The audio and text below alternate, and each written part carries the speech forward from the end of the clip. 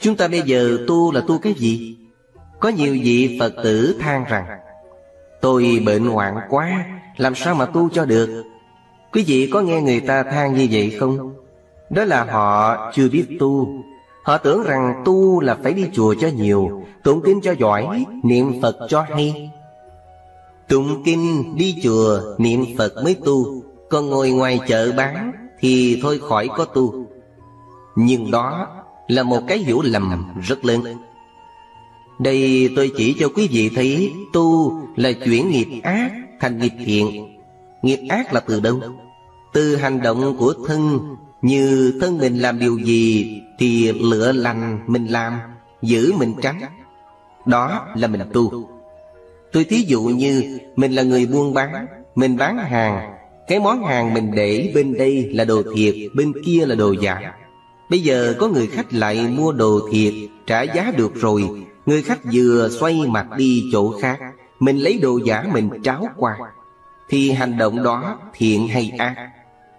Ừ Hành động đó là ác, Có phải vậy không? Như vậy là không biết tu. Nếu có người hỏi mua đồ thiệt, Thì mình bán đồ thiệt, Đâu đó đàng hoàng. Tuy cũng mua bán, Mà đâu có phải là ác nếu quý vị ra ngoài đường Thấy bà cụ già hơn mình Tay sách giỏ nặng quá Mình hỏi Thưa bà, bà đi về đâu?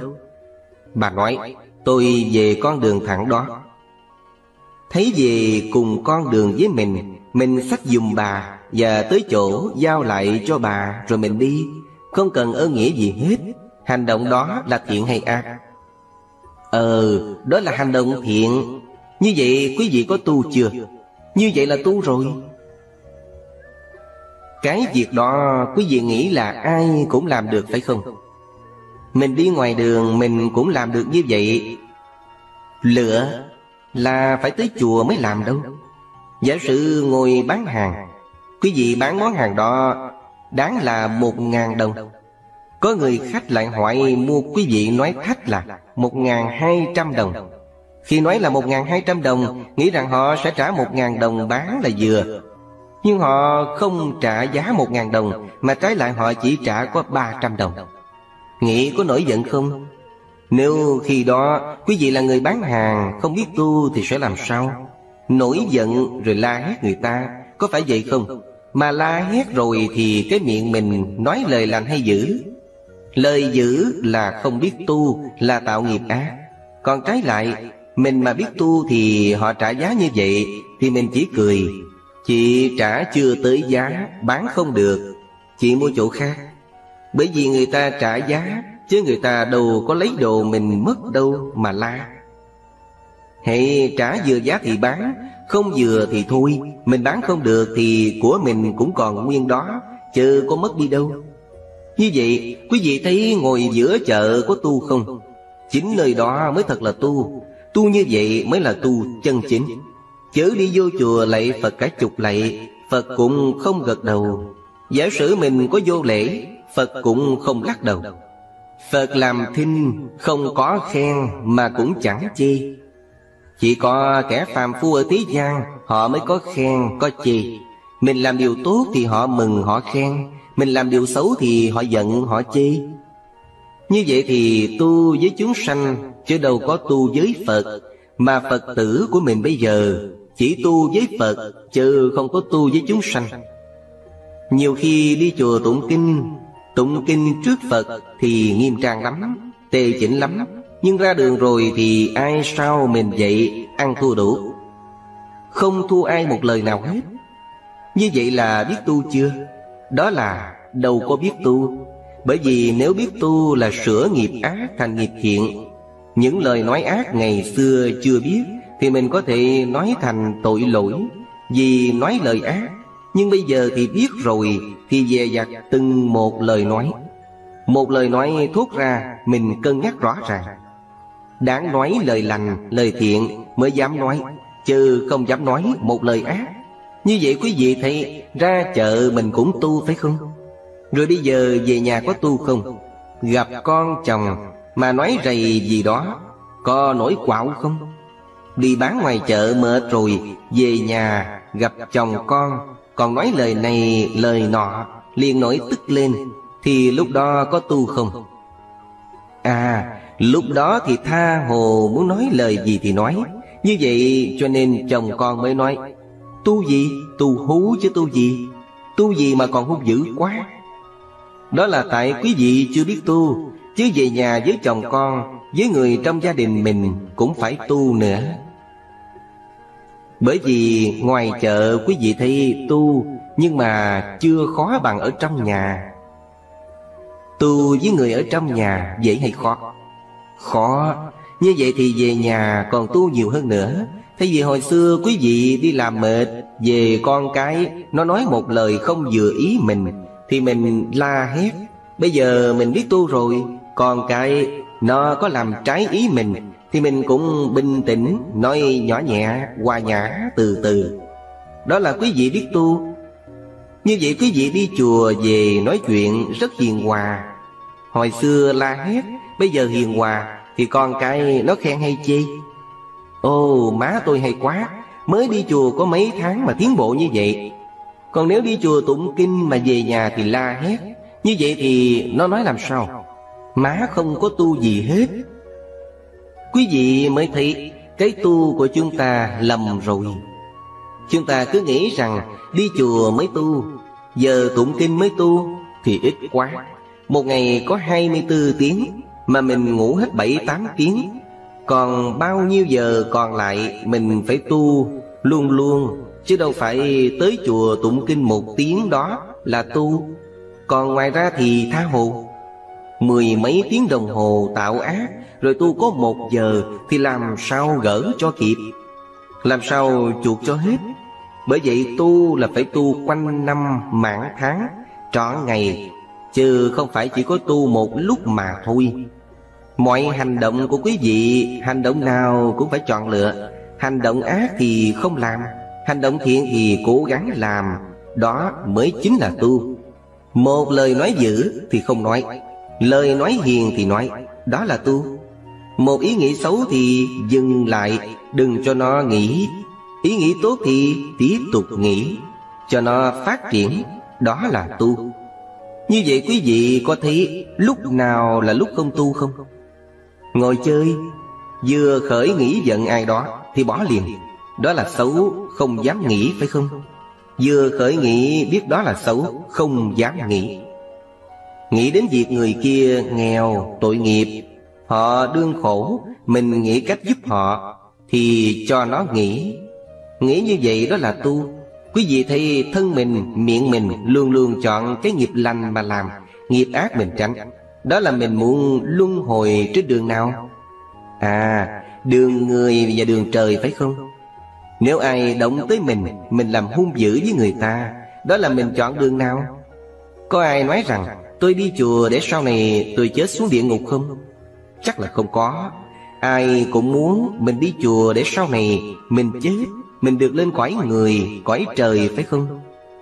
Còn cao hơn nữa là Về cực lạc hay nhập niết bàn, Chứ không ai muốn trở xuống địa ngục, ngạ quỷ, súc sanh hết. Mà như vậy, cái nghiệp ác là cái nghiệp địa ngục, ngạ quỷ, súc sanh. Nghiệp lành là quải người, quải trời và các quải trên nữa Như vậy chúng ta tu là chọn lấy nghiệp lành mà tu phải không? Còn cái nào ác chúng ta phải tránh, phải chừa. Như vậy thì quý vị thị lúc nào cũng tu. Ở chợ thì quý vị tu với người mua bán ngoài chợ Về nhà thì tu với mọi người trong gia đình. Chờ trên thuận dưới hòa thì đó là tu Chứ đâu phải chỉ có tu với Phật, tu với chùa. Nhiều khi quý vị Phật tử không biết Cứ nghĩ rằng đi chùa nhiều mới tu Nên bỏ cả công ăn việc làm để đi chùa. Sau khi đi chùa về Ở nhà thấy công việc bề bối Bị người ta la rầy thì mình nói làm sao? Tôi tu mà bị nghiệp nó khảo quá phải không? Tu bị nghiệp nó khảo Khảo gì đâu, Tại vì mình tu không đúng. Công việc ở nhà thì cứ việc ở nhà làm, Chừng nào rảnh thì mới đi chùa. Phật đâu có bắt buộc mình, Chỉ cần là làm sao chuyển nghiệp ác thành nghiệp thiện, Đó là then chốt của tu. Còn nếu mình muốn được đi chùa nhiều, Muốn được tụng kinh nhiều Mà ba nghiệp ác không chừa, Thì tu đó là bị người ta kêu ngạo làm sao? Nghĩa là, tất cả người đời chỉ nhìn thấy người tu, Như chẳng hạn thấy bà đó đi chùa nhiều, Bà đó tụng kinh giỏi, Mà về nhà thì cứ là oai oải trong nhà hoài. Họ không chịu nổi, Rồi họ nói làm sao? Nhiều cách họ nói lắm. Nào là tu hú, Nào là miệng nam mô Mà bụng một bồ dao găm Dân dân Cái đó là do Phật tử không biết tu Mà bị người ta chế nhạo. Chứ nếu mà mình biết tu Là sửa cho cái nghiệp của mình Từ cái nghiệp xấu, nghiệp ác Thành cái nghiệp lành, nghiệp thiện Bây giờ quý vị thử tưởng tượng coi Nếu một người Phật tử nào đó Thân không dám ác Miệng không dám nói một lời ác Ý không dám nghĩ một điều xấu Thì người đó ở trong gia đình có thắc mắc Có rầy rà không? Bởi vì đâu có nói ác Mà sinh chuyện rầy rà phải không? Mà nếu trong gia đình cả ngày không thắc mắc, Không rầy rà, Thì gia đình đó có hạnh phúc không? Đó mới chính là nguồn hạnh phúc phải không? Rồi ra ngoài xã hội, Cả ngày mình không dám nói một lời nói nặng ai Cả ngày mình không dám nghĩ xấu ai, Thì tự nhiên mình được vui, Mọi người được an vui Như vậy, trong gia đình thì hòa nhã an vui, Ngoài xã hội thì cũng đều an vui Tu như vậy mới thật là tu chứ một người tu thì đem lại hạnh phúc cho bản thân mình, Cho gia đình mình, Mà cũng đem lại hạnh phúc cho thế gian nữa. Như vậy mới thật là tu. Còn Phật tử mình bây giờ, Tu đó thì ham tu, Mà về nhà thì rầy rà om sòm phải không? Nghĩa là hiền với huynh đệ Mà không hiền với con cháu. Có phải vậy không? Có nhiều khi con cháu làm trái ý gì Thì la mắng đủ chuyện cho nên rồi cũng bị người ta phê phán ở chỗ đó. Cũng như bên Nhật, có bà già, Bà niệm Phật giỏi lắm. Cầm chuỗi niệm hoài. Nhưng mà niệm Phật, Lúc nào niệm thì niệm. Dừng niệm lại thì rầy la con cháu om sòm. Thằng con thấy vậy, nó buồn mới nói, Má à Má niệm Phật thì má niệm Phật đi. Tại sao má cứ rầy ra hoài Thì nó sao lãng? Thì làm sao Phật chứng cho má? Bà mới nói, Khi nào tao niệm Phật, Thì cái tiếng tao niệm, Phật thông cảm cho tao. Còn khi nào tao rầy, Tụi bay biết cho tao. Bà chia làm hai phần. Phần niệm Phật thì dành cho Phật, Có phần rầy thì dành cho con cháu. Như vậy thì quý vị thấy tu chia làm hai phần. Phân nửa tu với Phật, Phân nửa giữ thì cho gia đình. Bởi vậy cho nên chúng ta phải làm sao Vừa tu với Phật mà vừa tu với người thế gian nữa, Thì cái tu đó mới là trọn, Phải vậy không Tu như vậy mới là hay Đó là tôi nói cái nghiệp của Phật tử chúng ta muốn tu Muốn chọn đường đi ngày mai được an vui hạnh phúc, Thì ngay từ bây giờ chúng ta phải làm sao? Phải tu Tu tức là bỏ nghiệp ác, Làm nghiệp thiện, phải không? Bởi vậy cho nên, Trong một bài kinh, Có một người ngoại đạo đến hỏi Phật Thưa Ngài Cổ Đàm, Cái gì định đặt con người sinh ra, Có kẻ nghèo nàn khổ sở, Có người thì giàu sang sung sướng, có người thì sống lâu, Có người thì chết yểu, Có người thì bệnh hoạn, Có người thì khỏe mạnh, Có người thì thông minh, Có người thì ngu tối. Vậy cái gì định đặt ra, Có người giàu sang sung sướng, Người thì nghèo nàn khổ sở, Có người thì sống dài 70 đến 80 tuổi có người chết yểu, Có người nghèo đói, Người dư giả Có người thông minh, Có người ngu tối Tại sao vậy? Cái gì định đặt ra? Nghe xong, Đức Phật trả lời, Tất cả những cái sai biệt giữa con người với nhau, Đó là do từ nghiệp mà nó định đặt ra Nghiệp định ra có người có ưu, có liệt Người đó lại hỏi, Nghiệp gì khiến cho người đó sống lâu Nghiệp gì khiến cho người kia chết yểu? Phật dạy Những người không sát hại chúng sanh Người đó do cái nghiệp đó mà họ được sống dài còn những người nào hay giết hại chúng sanh Thì cái nghiệp đó khiến họ bị chết yểu.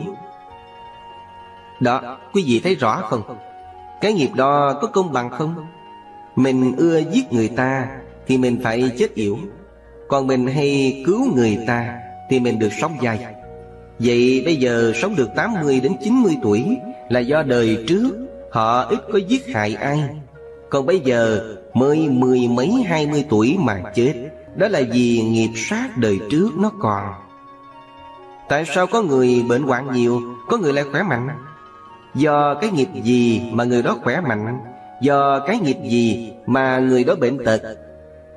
Phật trả lời Do cái nghiệp làm đau khổ cho người, cho chúng sanh Nên bây giờ bệnh hoạn nhiều.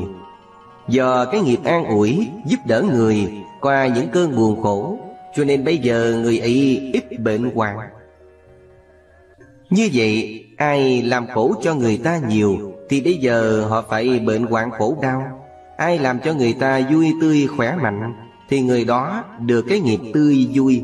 Như vậy có công bằng không? Tại sao có người sanh ra, Cha mẹ họ là giàu sang sung sướng? Họ vừa lọt lòng ra Là đã sang cả rồi.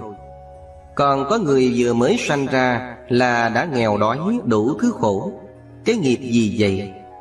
Phật dạy, Bởi vì đời trước họ biết làm lành, Bố thí, Biết giúp đỡ người nghèo đói, bệnh tật.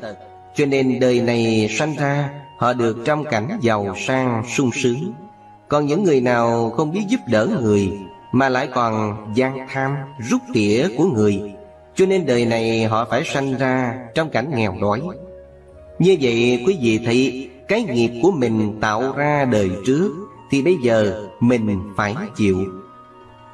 Còn nghiệp gì người đó sanh ra được thông minh Còn người kia lại ngu tội?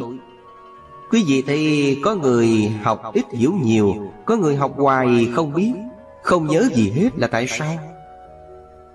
Phật nói, Tại vì người đó trước kia Tạo cái nghiệp siêng năng nghe Pháp, Tìm hiểu chánh Pháp. Do tìm hiểu và siêng năng nghe đó Mà sau này được cái nghiệp thông minh. Còn người lười biếng, Không chịu tìm hiểu và nghiên cứu chánh Pháp, Thì đó là cái nghiệp ngu tối. Như vậy chúng ta nghiệm thi Tất cả cái quả mà chúng ta có dây gốc Là từ cái nhân chúng ta gây thuở trước, Chứ không phải bỗng dưng mà nói như vậy. Biết như thế rồi, Chúng ta muốn ngày mai được cái gì Thì bây giờ chúng ta phải chuẩn bị, Phải tạo sẵn.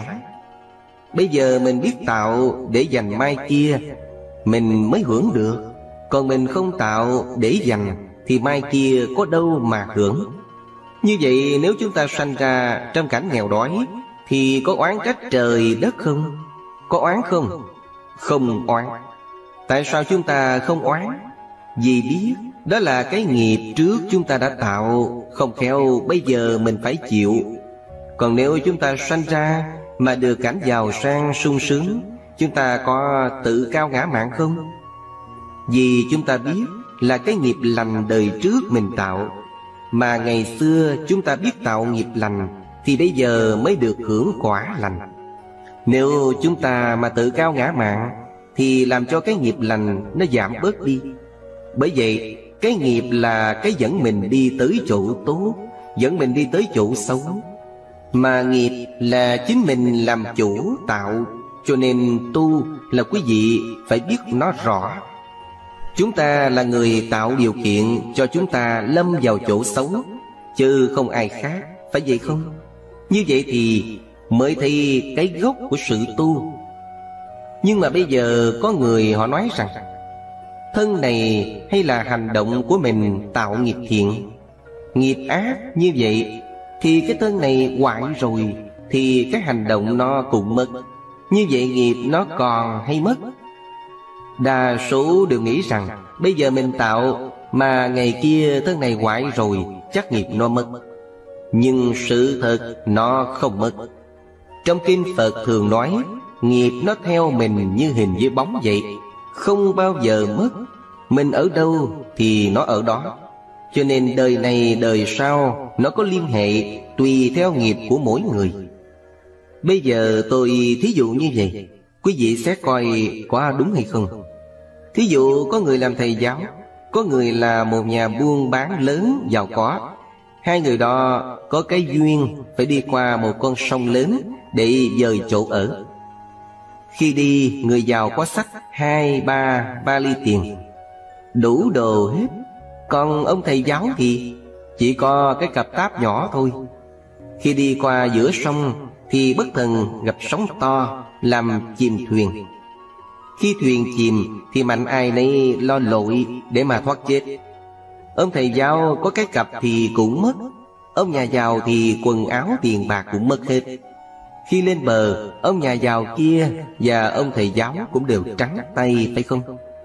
Nhưng mà Cái nghề thầy giáo có bị mất hay không?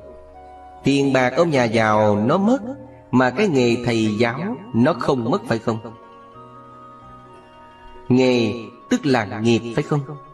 Cũng như quý vị thấy, Qua bao nhiêu cuộc biến cố Ở trên thế gian này, Tôi thí dụ như ở trong xóm mà bị lửa cháy, Nhà cửa sự nghiệp của mình bị lửa cháy theo rụi hết.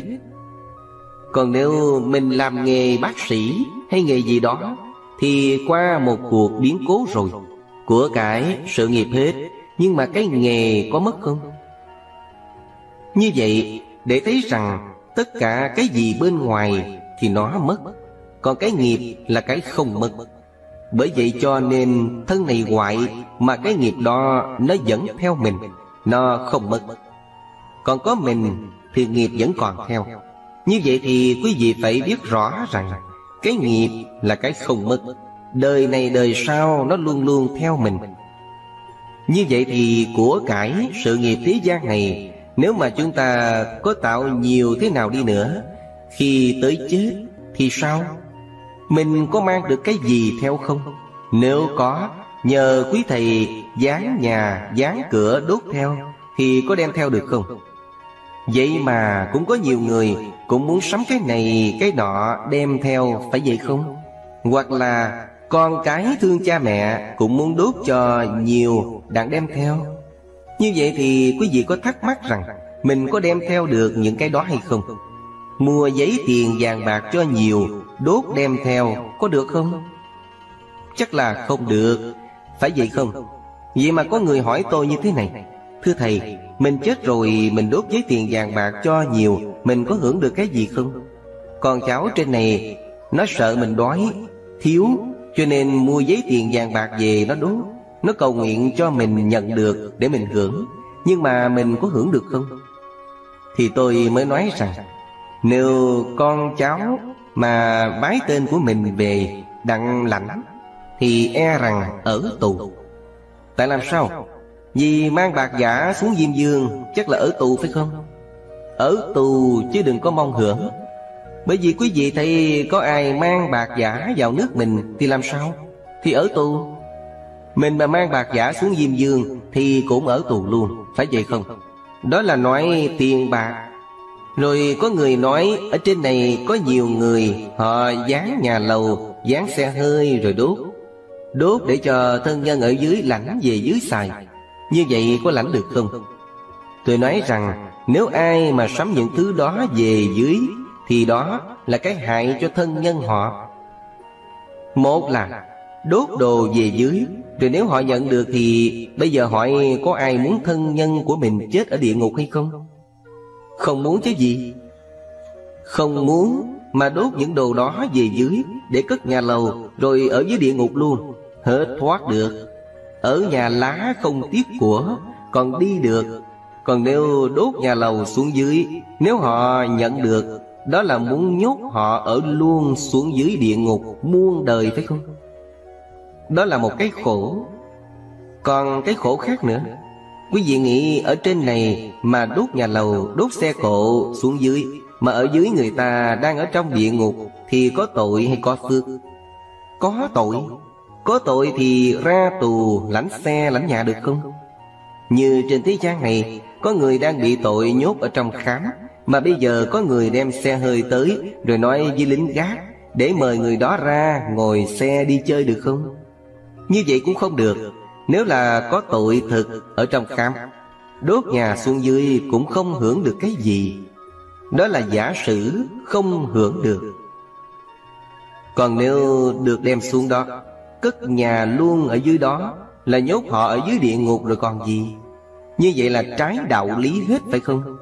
Huống chi là ở trên này Giá rồi đốt xuống, Thì làm sao ở dưới kia hưởng được? Chuyện đó rất là vô lý phải không? Như vậy Quý vị Phật tử thì chính nghiệp lành, nghiệp dữ của mình mới dẫn mình đi. Còn tất cả cái gì mà người khác mà thương mình Muốn giúp đỡ cho mình thì khó mà giúp được lắm. Mình làm thì mình phải chịu Chứ người khác làm sao thế Đó là cái chủ yếu của nghiệp. Như vậy quý vị thì cái nghiệp là cái thường trực theo chúng ta. Thì chúng ta phải nhớ luôn luôn tu ba nghiệp của mình. Đừng có tạo ác, Thì đó là chúng ta sáng suốt biết tu. Lại nữa, Bây giờ quý vị nghĩ, Người lỡ tạo nên nghiệp ác rồi, Bây giờ giả sử có tu, Thì cái nghiệp đó Nó có hết không? Bây giờ sẽ có một số người Có những thắc mắc, Không biết mình tạo nghiệp ác lỡ rồi, Vì ngày xưa mình chưa biết đạo. Bây giờ mình biết đạo mình tu Thì không biết nghiệp ác Nó có giảm hay không? Hoặc là trước kia mình tu, Mình biết đạo mình tu Mà lỡ có lúc mê lầm, Mình tạo những điều ác, Thì phước mà có lúc trước mình tu Bây giờ có còn không? Như vậy, đó là cái mà quý vị đang có những thắc mắc Bây giờ tôi nhắc lại trong kinh Phật có nói như thế này. Phật dạy rằng, Cái nghiệp của chúng sanh đó, Tuy mình tạo thì mình chịu, Nhưng mà Nó không có quyết định, Không có cố định. Nếu mình tạo nghiệp Mà hồi xưa mình đã làm phước, Làm lành, Mà bây giờ lỡ tạo nghiệp ác, Thì cái nghiệp ác đó Có thể nhẹ đi, Giảm bớt đi. Còn người không biết làm phước lành, Bây giờ tạo nghiệp ác Thì phải lãnh trọn. Trong Kinh Phật nói, ví dụ, Cũng như đem một nắm muối bỏ vô tô nước, thì tô muối nước đó có uống được không? Nếu đem nắm muối này bỏ vô lưu nước, Thì quý vị có uống được không? Được Thì nó cũng lờ lợ một chút, Nhưng mà có thể xài được Một nắm muối này mà để vô một hồ nước, Cả ngàn đôi, Thì quý vị có uống được không? Được thì như vậy của một năm muối Mà tùy lượng nước nhiều hay ít thì cái giá trị nó khác nhau. Như thế thì phật cũng nói vậy, người nào biết từ thân, tu giới, tu tâm, tu huệ thì cũng giống như một cái hồ nước vậy đó. Dù có tạo một cái nghiệp nhỏ như một năm muối để vô nó loãng đi cho. Còn người nào chỉ biết tu thân, tu giới, tu tâm thì giống như cái lu nước năm mươi đo đổ vô thì nó cũng lợt đi, có thể dùng được. Nếu người nào không biết tu gì hết Mà tạo cái nghiệp ác Thì nó lãnh đủ Như là một tô nước đổ nắm muối vào vậy. Phật lại ví dụ cái khác, Như cùng một việc ăn trộm dê.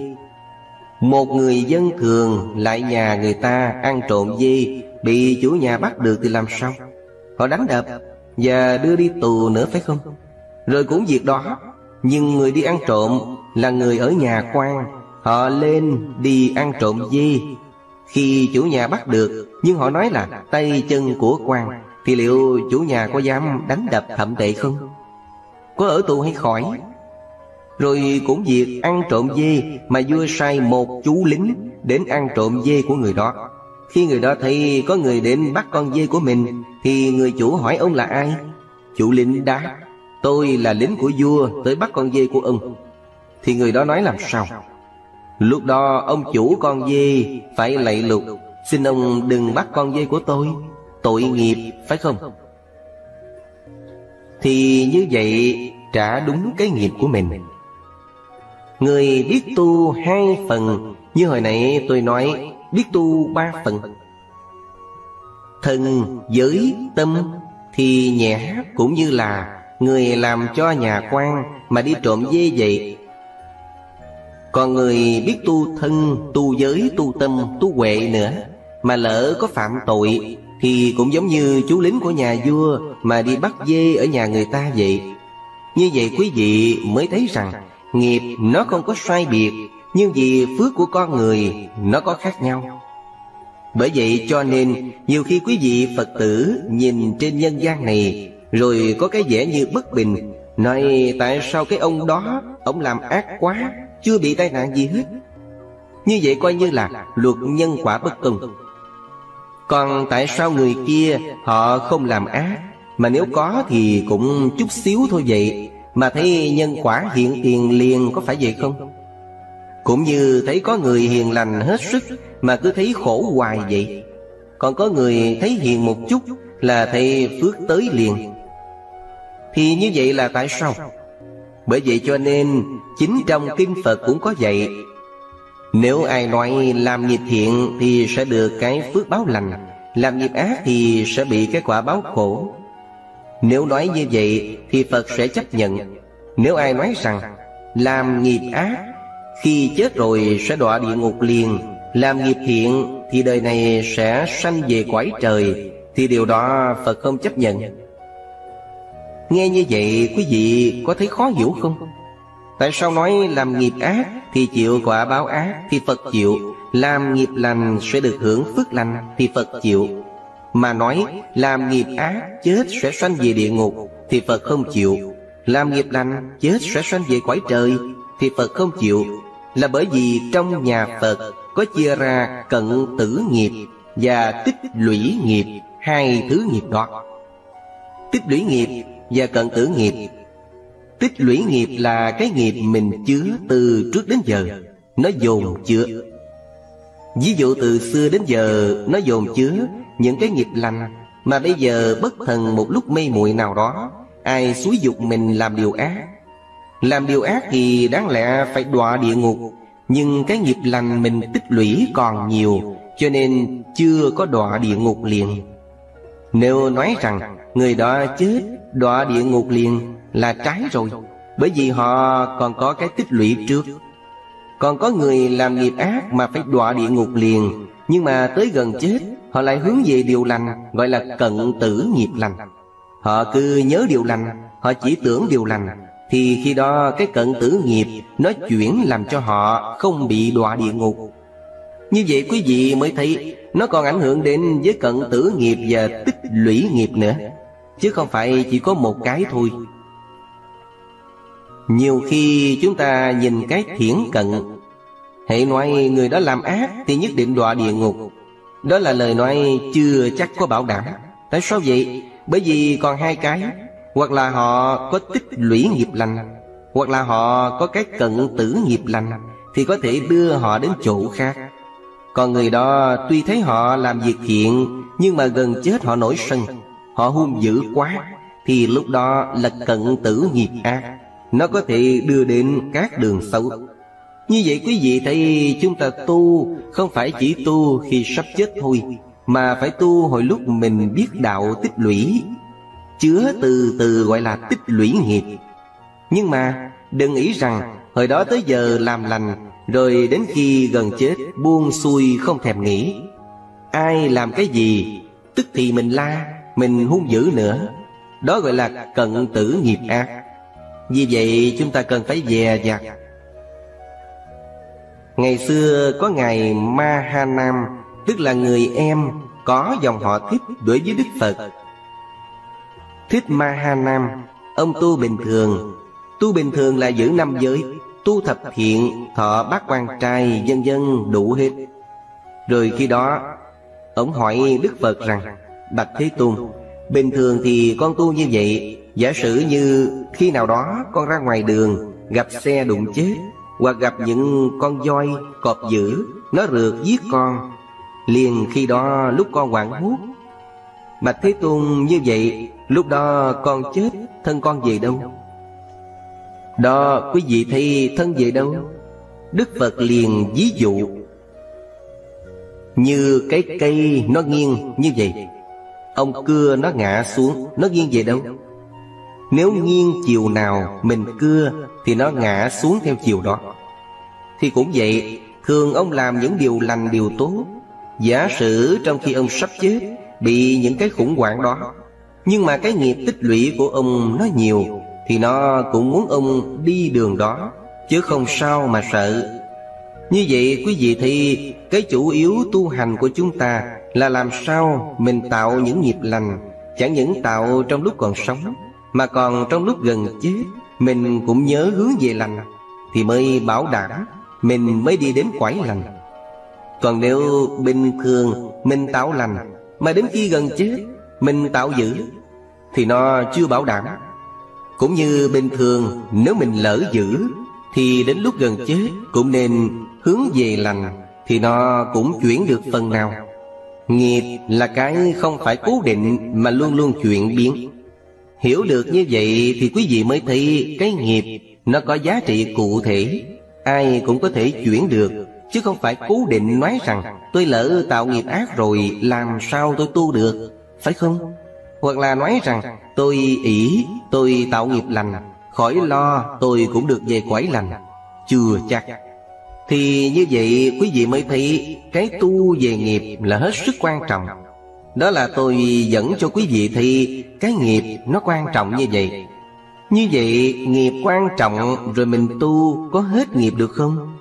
Chỗ này tôi nói hơi xa một chút. Bởi vì trong nhà thiền, Có một thiền sư là Ngài Trường Sa Cảnh Sâm. Có một người học trò đến hỏi thế này. Học trò đó là thiền sư Hạo Nguyệt. Hỏi rằng, Theo lời trong chứng đạo ca của Ngài Quyền Giác, Liệu tức nghiệp chướng bền lai không dị liêu ưng tu hoàng túc trai? Nói rằng, nếu mình liễu ngộ thì nghiệp chướng xưa nay là không. Còn nếu mình không liễu ngộ, Thì mình phải đền nợ trước. Ông Hạo Nguyệt mới hỏi Ngài Cảnh Sâm rằng, Như vậy thì tổ sư tử ở Ấn Độ có liễu chưa Mà bị vua kế tâm chặt đầu? Tổ Huệ Khả ở Trung Hoa có liễu chưa Mà chết ở trong khám? Không liễu, làm sao gọi là tổ? Ngài Trường Sa Cảnh Sâm đáp rằng Đại Đức chưa hiểu nghiệp chướng. Hỏi thế nào là nghiệp chướng? Thì Ngài trả lời rằng Bổn lai không. Như vậy quý vị hiểu chưa? Chắc cũng chưa hiểu luôn. Bây giờ tôi nói thế này Thì quý vị hiểu. Thí dụ như có người từ trước đến giờ Chưa có học đạo Chưa có hiểu đạo Cho nên tạo nghiệp ác Gây oán thù với người. Thí dụ như Hồi trước mình làm cho họ khổ tâm Chửi mắng họ. Bây giờ họ hận ở trong lòng. Hồi đó thế lực của họ yếu Không dám nói gì Hoặc làm trả lại. Rồi 10 năm, 20 năm qua Mình quên đi Và đến giờ này mình thất thế. Trái lại thế lực của họ cao hơn mình Nên lúc gặp lại mình Họ chửi mắng mình thậm tệ hơn hồi xưa Mình chửi họ nữa. Thì quý vị có thấy nghiệp có mắt không? Nhưng bây giờ họ chửi lại mình, Thì mình coi những lời chửi đó, Những lời nói đó như gió ngoài tay Họ chửi om sòm mà mình cười, Mình không giận cái gì hết trơn.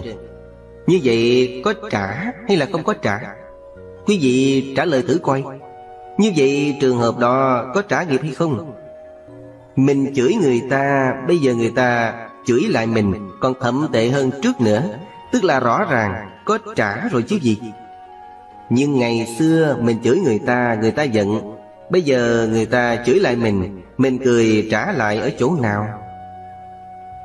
Quý vị mới thấy Cái chỗ đó là cái chỗ đặc biệt của nhà Phật. Biết rằng nghiệp tạo thì không mất phải không? Có tạo mà không mất, Tức là tạo ra thì phải có trả. Nhưng mà mê thì trả đủ, Còn ngộ thì Thấy như không có trả gì hết phải không?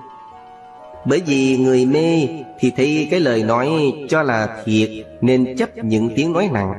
Mình cho nó là làm khổ mình. Rồi bây giờ họ chửi mình, Coi như họ nói với hư không vậy thôi. Qua rồi thôi, Coi như không có dính cái gì hết, Thì trả ở chỗ nào? Phải vậy không? Bởi vậy cho nên Nhiều người cứ thắc mắc thế này. Họ nói, giả sử mình tu thành Phật hay chứng A-la-hán rồi Thì nghiệp còn trả nữa, Thì tu làm gì?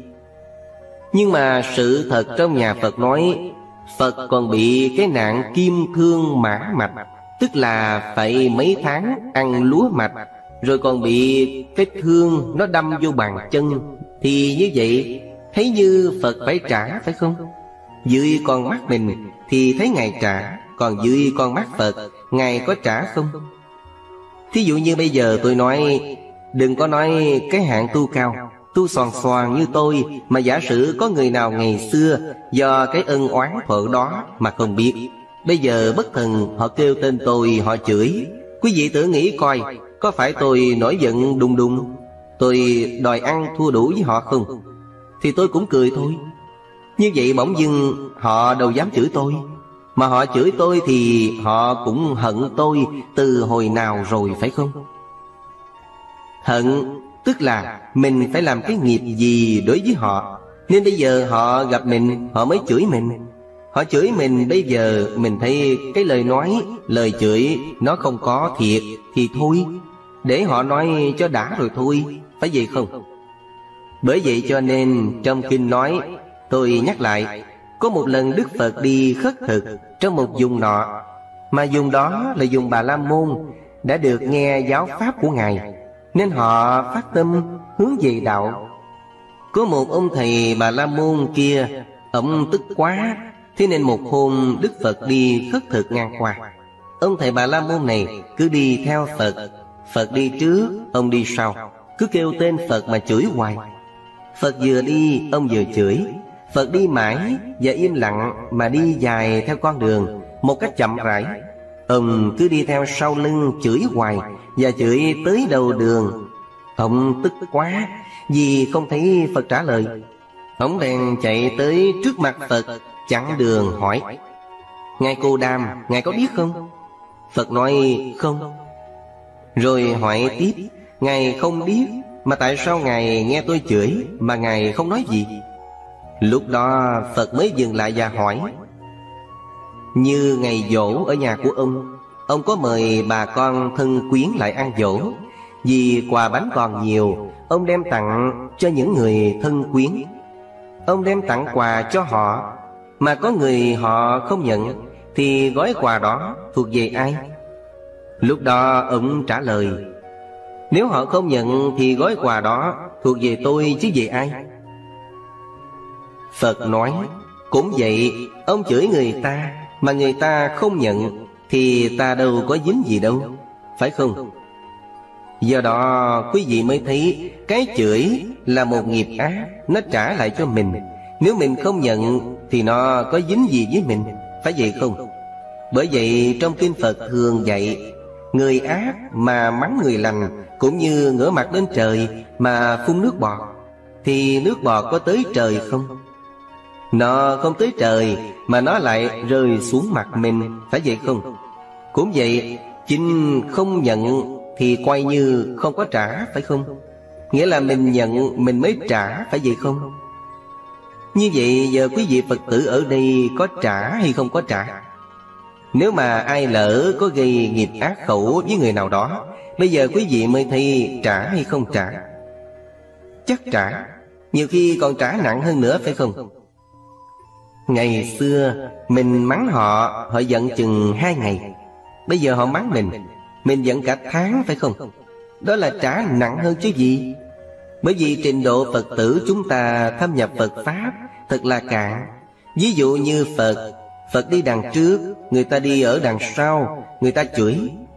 Phật không có dính gì hết trơn, Thì Ngài không có nhận còn mình đây, ở ngoài đường có hai, ba người Đứng dựa lề đường nói sầm xì, Có tên mình, Thì mình có chịu đi không? Hay là đứng lại điều tra? Đứng lại chú ý Và hỏi họ, vừa nói cái gì đó? Nói cái gì mà có tên tôi? Vừa có tên mình là mình muốn ăn thua rồi phải không? Còn khi xưa, họ kêu tên Phật mà chửi, Ngài vẫn lặng lẽ mà đi, Không màng để ý tới như vậy quý vị thấy cái tu và cái chưa tu Nó khác nhau ở chỗ đó phải không? Chúng ta tu không phải cúng chùa nhiều Mà chúng ta hết khổ Mà chúng ta phải biết cái gì thật, cái gì giả Cái gì không đúng, cái gì sai Cái gì không phải không đáng để ý Thì mình bỏ qua Sở dĩ chúng ta tạo thành nghiệp quan trọng Vì chúng ta chú tâm Thân, khẩu, ý mà dồn nghĩ vào đó, cho nên nó thành nghiệp. Còn nếu thân khẩu ý của chúng ta, Dù có những điều phải đến, Mà chúng ta vẫn coi thường, Thì nó cũng nhẹ nhàng, Nó cũng hết. Bởi vậy cho nên, Người Phật tử chân chính phải hiểu rằng, Nghiệp đúng ra là do hành động của mình, Mà hành động của mình có thiệt hay không? Qua rồi nó mất phải không? Nhưng mà riết rồi thành thói quen. Thói quen đó là chữ nghiệp. Như vậy, Nghiệp chúng ta có thể chuyển được Mà cũng có thể chúng ta chuyển không được, phải không? Nếu một người biết tu mạnh dạng, Biết mình từ hồi đó tới giờ Tạo nghiệp ác nhiều, Bây giờ cố gắng làm điều lành nhiều, Cố gắng tiến tu, Thì cái điều ác có thể bị mất.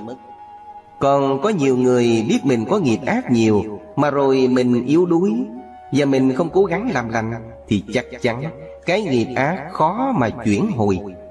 Thí dụ như quý vị thấy Có những người lỡ nghiện rượu, Mà lỡ nghiện rượu rồi Bác sĩ có giải thích Cái nghiện rượu như vậy hại thế nào, Nguy hiểm thế nào? Họ nghe, họ hiểu. Giả sử trong năm người đã nghiện rượu Được giải thích đó, Thì năm người đó có bỏ hết được không? Tại sao có người bỏ được, Có người bỏ không được? Người bỏ được là khi họ biết cái đó rõ ràng rồi. Biết cái tai hại lớn lao rồi Bản thân họ có một sức mạnh, ý chí mạnh. Họ dứt khoát bỏ là có thể bỏ được.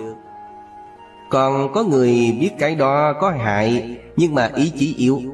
Muốn bỏ nhưng mà ghiền và thèm. Thèm là muốn uống lại phải vậy không? Hoặc bạn bè rủ Muốn đi theo thì như vậy. Tuy biết có muốn bỏ nhưng mà bỏ không được.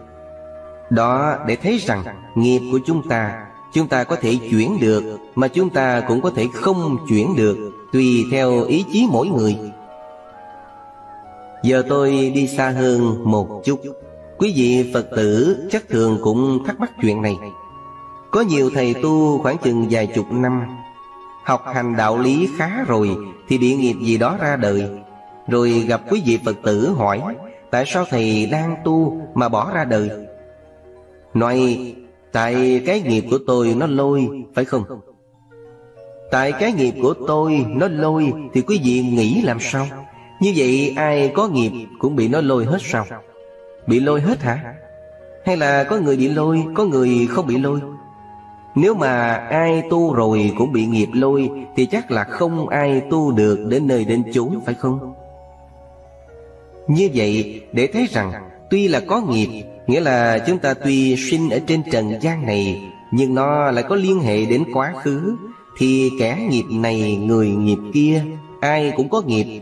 Nhưng mà ý chí mạnh thì chuyển được, Còn yếu thì bị nó lôi.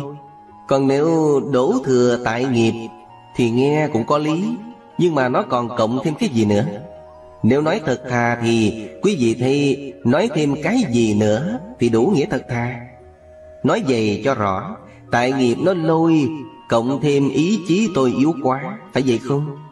Ý chí yếu nên bị nghiệp nó lôi, Chứ nếu ý chí mạnh Thì mình chuyển được nghiệp, Phải vậy không?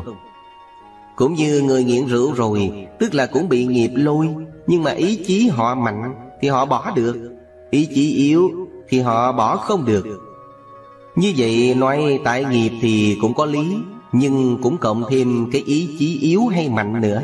Chứ không phải nói nghiệp rồi bất cứ ai Hễ gặp cảnh gì không vui Rồi trở ra thế gian Là nói tại nghiệp hết. Cứ nói như vậy thì Phật tử họ quảng hốt. Như vậy rồi quý thầy tu rồi trở về đời. Quý thầy có duyên, có phước lắm Mới được xuất gia, mới được tu. Mà bây giờ trở ra đời Mình còn tóc như vậy thì làm sao mà chuyển nghiệp nổi phải không? Rồi cảm thấy buồn Cảm thấy như tiếng không được. Nhưng mà tôi nói như vậy Quý vị đừng có khinh mất người trở về đời. Họ không có dở đâu. Tại sao vậy? Như hồi xưa lúc Phật còn tại thế Có bà tỳ kheo liên hoa sắc. Khi bà tu chứng quả A-la-hán Rồi trên đường bà đi Bà gặp các cô gái 15, 17 tuổi. Bà rủ các cô đi tu, Đi xuất gia. Thọ tỳ kheo ni.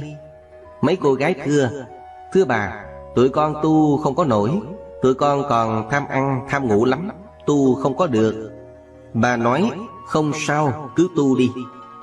Rồi họ nói, Lỡ tụi con thọ tỳ kheo rồi, Tụi con phạm giới, đọa địa ngục rồi sao?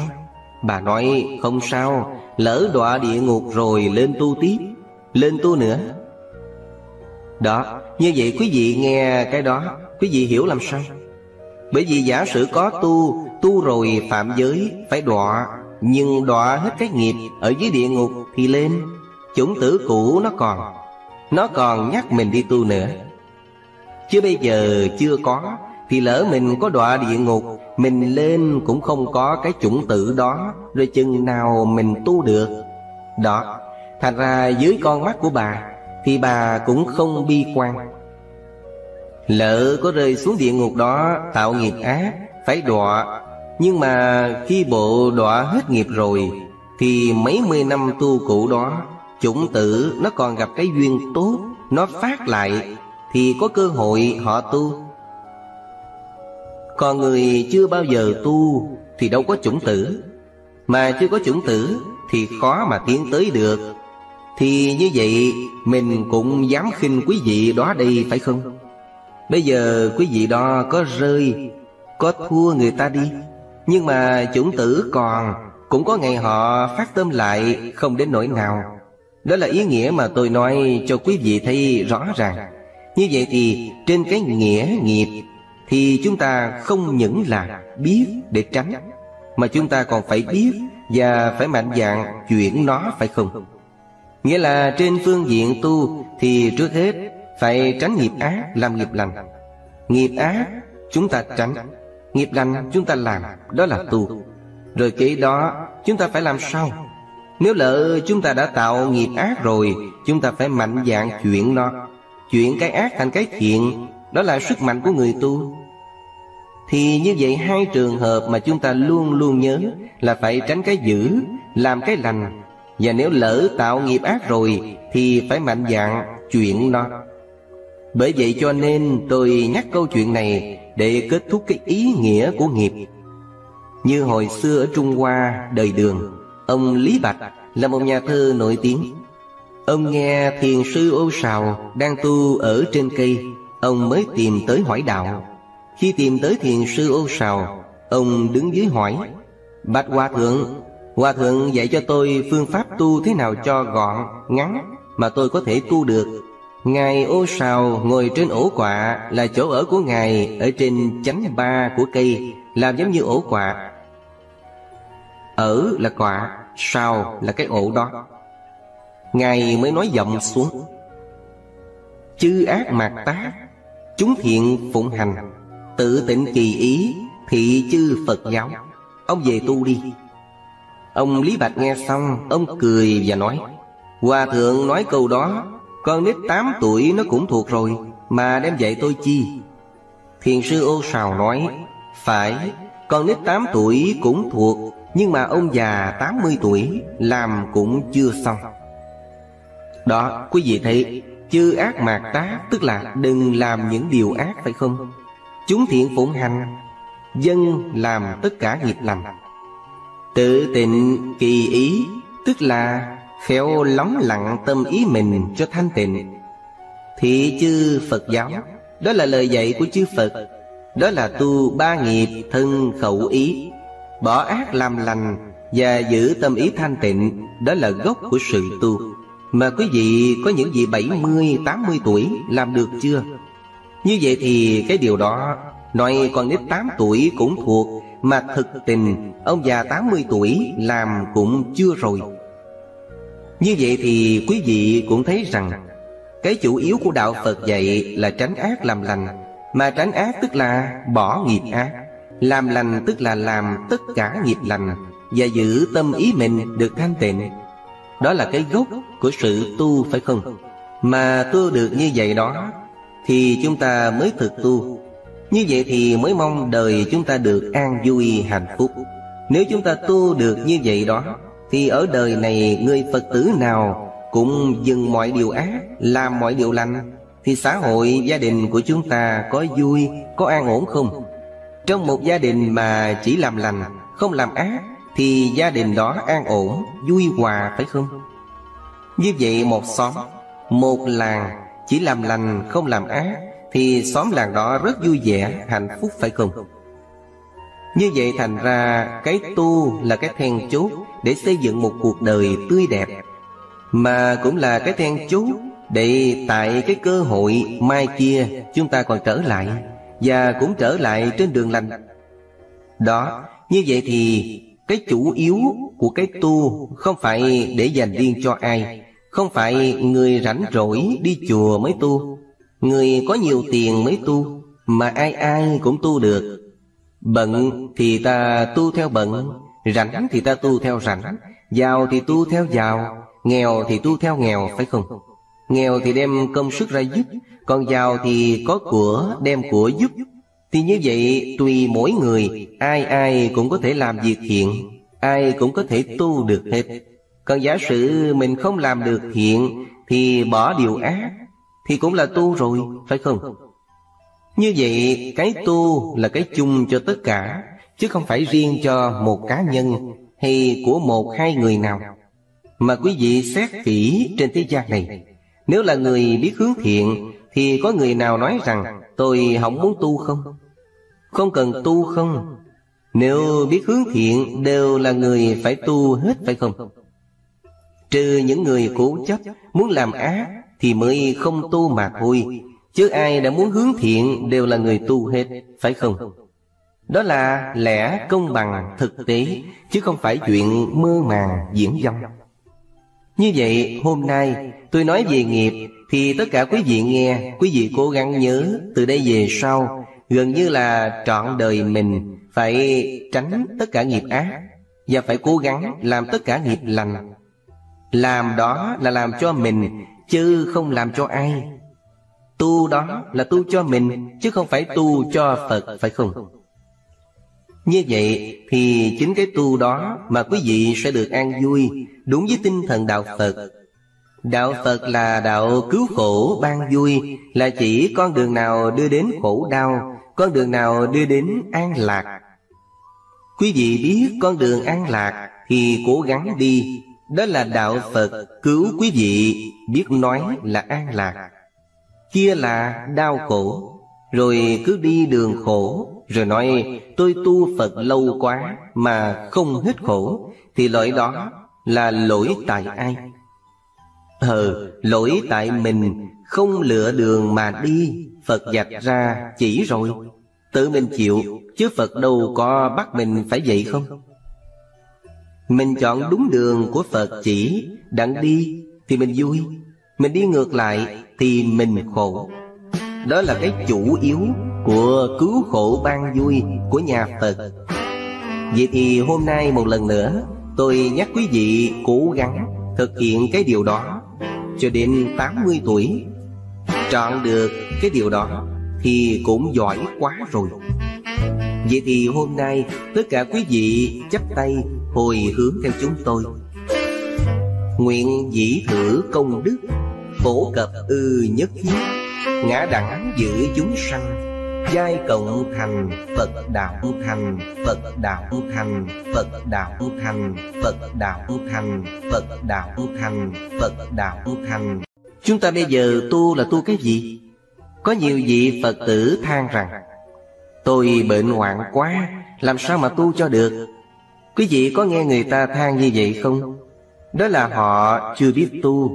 Họ tưởng rằng tu là phải đi chùa cho nhiều, Tụng kinh cho giỏi, Niệm Phật cho hay. Tụng kinh, đi chùa, Niệm Phật mới tu. Còn ngồi ngoài chợ bán Thì thôi khỏi có tu. Nhưng đó là một cái hiểu lầm rất lớn. Đây tôi chỉ cho quý vị thấy, Tu là chuyển nghiệp ác thành nghiệp thiện. Nghiệp ác là từ đâu? Từ hành động của thân, Như thân mình làm điều gì, thì lựa lành mình làm, Giữ mình tránh. Đó là mình tu. Tôi thí dụ như Mình là người buôn bán, Mình bán hàng, Cái món hàng mình để bên đây là đồ thiệt, Bên kia là đồ giả. Bây giờ có người khách lại mua đồ thiệt, Trả giá được rồi, Người khách vừa xoay mặt đi chỗ khác, Mình lấy đồ giả mình tráo qua. Thì hành động đó thiện hay ác? Ừ Hành động đó là ác có phải vậy không? Như vậy là không biết tu Nếu có người hỏi mua đồ thiệt Thì mình bán đồ thiệt Đâu đó đàng hoàng Tuy cũng mua bán Mà đâu có phải là ác Nếu quý vị ra ngoài đường Thấy bà cụ già hơn mình Tay sách giỏ nặng quá Mình hỏi Thưa bà, bà đi về đâu? Bà nói Tôi về con đường thẳng đó. Thấy về cùng con đường với mình Mình sách dùm bà Và tới chỗ giao lại cho bà Rồi mình đi. Không cần ơn nghĩa gì hết. Hành động đó là thiện hay ác? Ờ, đó là hành động thiện. Như vậy quý vị có tu chưa? Như vậy là tu rồi.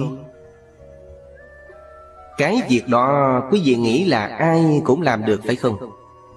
Mình đi ngoài đường, mình cũng làm được như vậy. Lựa là phải tới chùa mới làm đâu.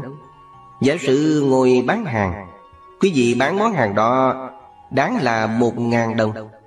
Có người khách lại hỏi mua quý vị nói khách là một ngàn hai trăm đồng. Khi nói là một ngàn hai trăm đồng, Nghĩ rằng họ sẽ trả một ngàn đồng bán là vừa. Nhưng họ không trả giá một ngàn đồng, Mà trái lại họ chỉ trả có ba trăm đồng. Nghĩ có nổi giận không? Nếu khi đó quý vị là người bán hàng, Không biết tu thì sẽ làm sao? Nổi giận rồi la hét người ta, Có phải vậy không? Mà la hét rồi thì cái miệng mình nói lời lành hay dữ Lời dữ là không biết tu, Là tạo nghiệp ác Còn trái lại, Mình mà biết tu thì họ trả giá như vậy, Thì mình chỉ cười Chị trả chưa tới giá, Bán không được Chị mua chỗ khác bởi vì người ta trả giá, Chứ người ta đâu có lấy đồ mình mất đâu mà la. Hãy trả vừa giá thì bán, Không vừa thì thôi. Mình bán không được thì của mình cũng còn nguyên đó Chứ có mất đi đâu. Như vậy, quý vị thấy ngồi giữa chợ có tu không? Chính nơi đó mới thật là tu. Tu như vậy mới là tu chân chính. Chớ đi vô chùa lạy Phật cả chục lạy, Phật cũng không gật đầu. Giả sử mình có vô lễ Phật cũng không lắc đầu. Phật làm thinh không có khen mà cũng chẳng chê Chỉ có kẻ phàm phu ở thế gian Họ mới có khen, có chê Mình làm điều tốt thì họ mừng, họ khen. Mình làm điều xấu thì họ giận, họ chê Như vậy thì tu với chúng sanh Chứ đâu có tu với Phật. Mà Phật tử của mình bây giờ Chỉ tu với Phật Chứ không có tu với chúng sanh. Nhiều khi đi chùa tụng kinh Tụng kinh trước Phật thì nghiêm trang lắm Tề chỉnh lắm. Nhưng ra đường rồi thì ai sao mình vậy Ăn thua đủ? Không thua ai một lời nào hết. Như vậy là biết tu chưa? Đó là đâu có biết tu. Bởi vì nếu biết tu là sửa nghiệp ác thành nghiệp thiện. Những lời nói ác ngày xưa chưa biết Thì mình có thể nói thành tội lỗi. Vì nói lời ác nhưng bây giờ thì biết rồi Thì dè dặt từng một lời nói. Một lời nói thốt ra Mình cân nhắc rõ ràng.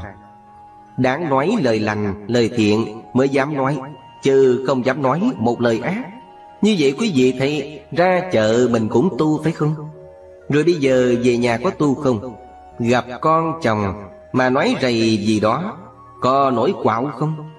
Đi bán ngoài chợ mệt rồi Về nhà gặp chồng con còn nói lời này, lời nọ, liền nổi tức lên, thì lúc đó có tu không? À lúc đó thì tha hồ muốn nói lời gì thì nói Như vậy cho nên chồng con mới nói, Tu gì? Tu hú chứ tu gì? Tu gì mà còn hung dữ quá Đó là tại quý vị chưa biết tu, Chứ về nhà với chồng con, Với người trong gia đình mình Cũng phải tu nữa bởi vì ngoài chợ quý vị thấy tu, Nhưng mà chưa khó bằng ở trong nhà. Tu với người ở trong nhà dễ hay khó? Khó. Như vậy thì về nhà còn tu nhiều hơn nữa. Thay vì hồi xưa quý vị đi làm mệt, Về con cái, Nó nói một lời không vừa ý mình, Thì mình la hét. Bây giờ mình biết tu rồi Còn cái, nó có làm trái ý mình. Thì mình cũng bình tĩnh Nói nhỏ nhẹ, hòa nhã, từ từ. Đó là quý vị biết tu. Như vậy quý vị đi chùa về nói chuyện rất hiền hòa. Hồi xưa la hét Bây giờ hiền hòa Thì con cái nó khen hay chi? Ô má tôi hay quá Mới đi chùa có mấy tháng mà tiến bộ như vậy. Còn nếu đi chùa tụng kinh mà về nhà thì la hét Như vậy thì nó nói làm sao? Má không có tu gì hết. Quý vị mới thấy Cái tu của chúng ta lầm rồi. Chúng ta cứ nghĩ rằng Đi chùa mới tu, Giờ tụng kinh mới tu Thì ít quá. Một ngày có 24 tiếng Mà mình ngủ hết 7-8 tiếng. Còn bao nhiêu giờ còn lại Mình phải tu luôn luôn, Chứ đâu phải tới chùa tụng kinh một tiếng đó là tu. Còn ngoài ra thì tha hồ, Mười mấy tiếng đồng hồ tạo ác rồi tu có một giờ Thì làm sao gỡ cho kịp? Làm sao chuộc cho hết? Bởi vậy tu là phải tu quanh năm mãn tháng, Trọn ngày, Chứ không phải chỉ có tu một lúc mà thôi. Mọi hành động của quý vị, Hành động nào cũng phải chọn lựa. Hành động ác thì không làm, Hành động thiện thì cố gắng làm. Đó mới chính là tu. Một lời nói dữ thì không nói, Lời nói hiền thì nói, Đó là tu. Một ý nghĩ xấu thì dừng lại Đừng cho nó nghĩ. Ý nghĩ tốt thì tiếp tục nghĩ Cho nó phát triển Đó là tu. Như vậy quý vị có thấy Lúc nào là lúc không tu không? Ngồi chơi Vừa khởi nghĩ giận ai đó Thì bỏ liền. Đó là xấu không dám nghĩ phải không? Vừa khởi nghĩ biết đó là xấu Không dám nghĩ. Nghĩ đến việc người kia nghèo, tội nghiệp Họ đương khổ Mình nghĩ cách giúp họ Thì cho nó nghĩ Nghĩ như vậy đó là tu Quý vị thấy thân mình, miệng mình Luôn luôn chọn cái nghiệp lành mà làm Nghiệp ác mình tránh Đó là mình muốn luân hồi trên đường nào À, đường người và đường trời phải không? Nếu ai động tới mình Mình làm hung dữ với người ta Đó là mình chọn đường nào? Có ai nói rằng Tôi đi chùa để sau này tôi chết xuống địa ngục không? Chắc là không có. Ai cũng muốn mình đi chùa để sau này mình chết Mình được lên cõi người, cõi trời phải không? Còn cao hơn nữa là Về cực lạc hay nhập niết bàn Chứ không ai muốn trở xuống địa ngục, ngạ quỷ, súc sanh hết. Mà như vậy cái nghiệp ác là cái nghiệp địa ngục, ngạ quỷ súc sanh. Nghiệp lành là quái người, quái trời và các quái trên nữa Như vậy chúng ta tu là chọn lấy nghiệp lành mà tu phải không? Còn cái nào ác chúng ta phải tránh, phải chừa. Như vậy thì quý vị thị lúc nào cũng tu. Ở chợ thì quý vị tu với người mua bán ngoài chợ. Về nhà thì tu với mọi người trong gia đình. Chờ trên thuận dưới hòa thì đó là tu. Chứ đâu phải chỉ có tu với Phật, tu với chùa. Nhiều khi quý vị Phật tử không biết, Cứ nghĩ rằng đi chùa nhiều mới tu, Nên bỏ cả công ăn việc làm để đi chùa. Sau khi đi chùa về, Ở nhà thấy công việc bề bối, Bị người ta la rầy, Thì mình nói làm sao? Tôi tu mà bị nghiệp nó khảo quá phải không? Tu bị nghiệp nó khảo Khảo gì đâu, Tại vì mình tu không đúng.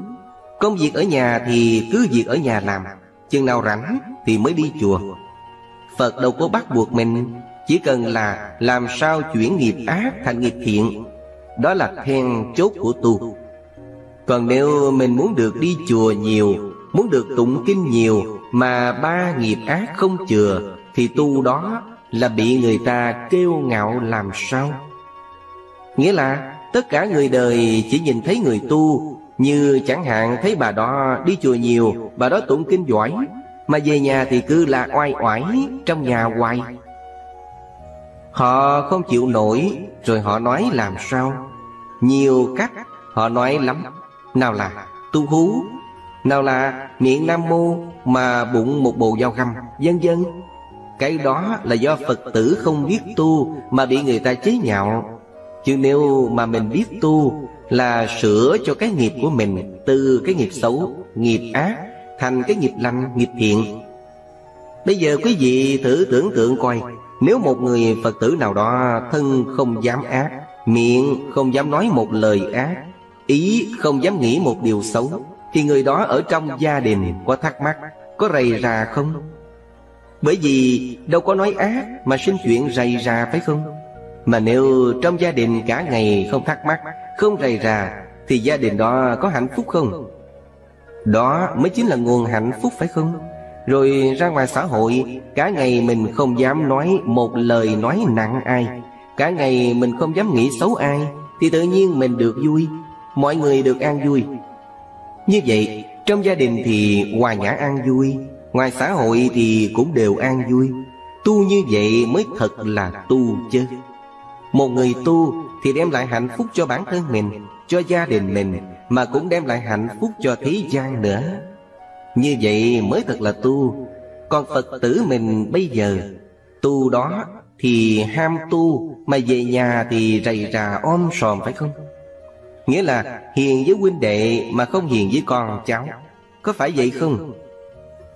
Có nhiều khi con cháu làm trái ý gì Thì la mắng đủ chuyện, Cho nên rồi cũng bị người ta phê phán ở chỗ đó. Cũng như bên Nhật, có bà già, Bà niệm Phật giỏi lắm. Cầm chuỗi niệm hoài, Nhưng mà niệm Phật, Lúc nào niệm thì niệm. Dừng niệm lại thì rầy la con cháu om sòm. Thằng con thấy vậy, nó buồn mới nói, Má à Má niệm Phật thì má niệm Phật đi. Tại sao má cứ rầy ra hoài Thì nó sao lãng Thì làm sao Phật chứng cho má? Bà mới nói, Khi nào tao niệm Phật thì cái tiếng tao niệm, Phật thông cảm cho tao. Còn khi nào tao rầy, Tụi bay biết cho tao. Bà chia làm hai phần. Phần niệm Phật thì dành cho Phật, Có phần rầy thì dành cho con cháu.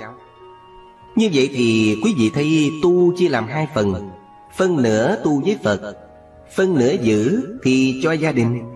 Bởi vậy cho nên chúng ta phải làm sao Vừa tu với Phật Mà vừa tu với người thế gian nữa. Thì cái tu đó mới là trọn, Phải vậy không Tu như vậy mới là hay Đó là tôi nói cái nghiệp của Phật tử chúng ta muốn tu Muốn chọn đường đi ngày mai được an vui hạnh phúc, Thì ngay từ bây giờ chúng ta phải làm sao? Phải tu Tu tức là bỏ nghiệp ác, Làm nghiệp thiện, phải không?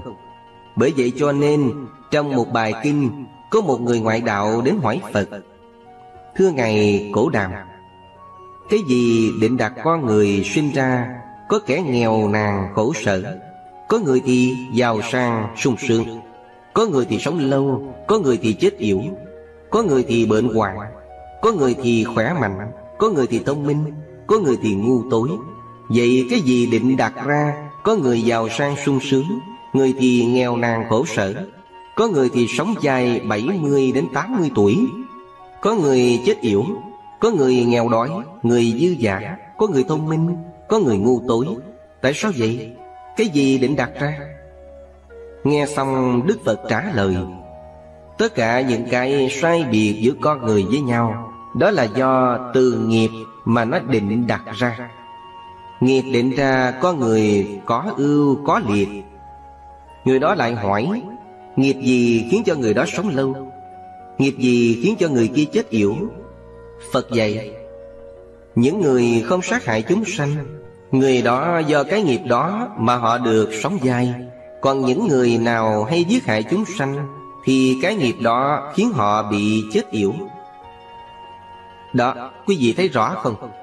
Cái nghiệp đó có công bằng không? Mình ưa giết người ta Thì mình phải chết yểu Còn mình hay cứu người ta Thì mình được sống dài Vậy bây giờ sống được 80 đến 90 tuổi Là do đời trước Họ ít có giết hại ai. Còn bây giờ mới mười mấy, hai mươi tuổi mà chết, đó là vì nghiệp sát đời trước nó còn. Tại sao có người bệnh hoạn nhiều, Có người lại khỏe mạnh? Do cái nghiệp gì mà người đó khỏe mạnh? Do cái nghiệp gì mà người đó bệnh tật? Phật trả lời Do cái nghiệp làm đau khổ cho người, cho chúng sanh Nên bây giờ bệnh hoạn nhiều.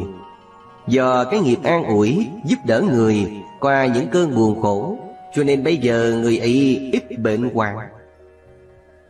Như vậy ai làm khổ cho người ta nhiều Thì bây giờ họ phải bệnh hoạn khổ đau. Ai làm cho người ta vui tươi khỏe mạnh Thì người đó được cái nghiệp tươi vui. Như vậy có công bằng không?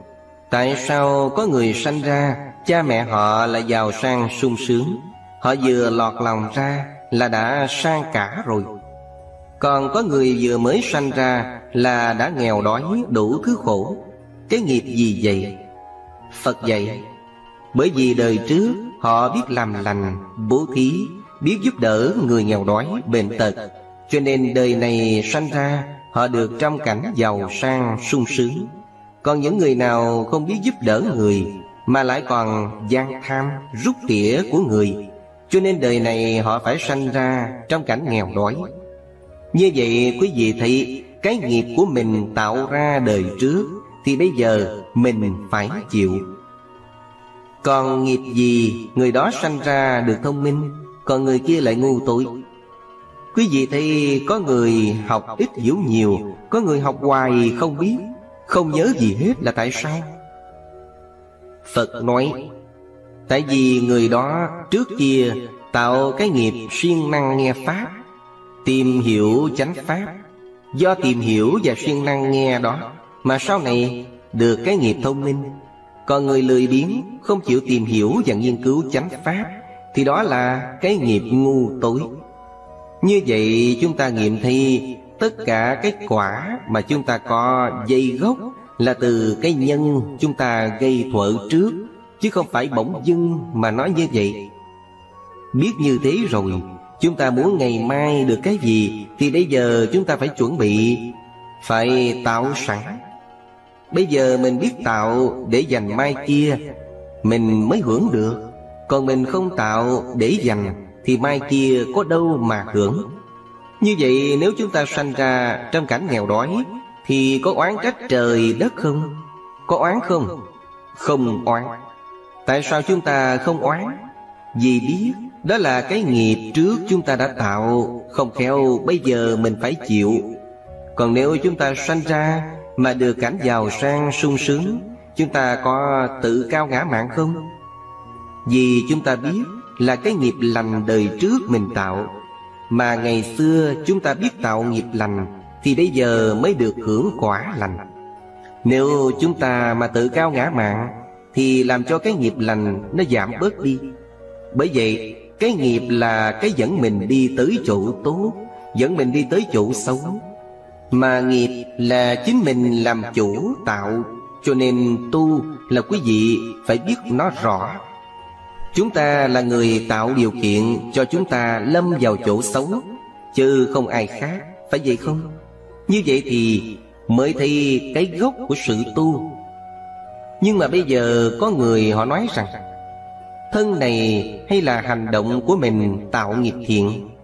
Nghiệp ác như vậy Thì cái thân này hoại rồi Thì cái hành động nó cũng mất. Như vậy nghiệp nó còn hay mất? Đa số đều nghĩ rằng, Bây giờ mình tạo, Mà ngày kia thân này hoại rồi, Chắc nghiệp nó mất.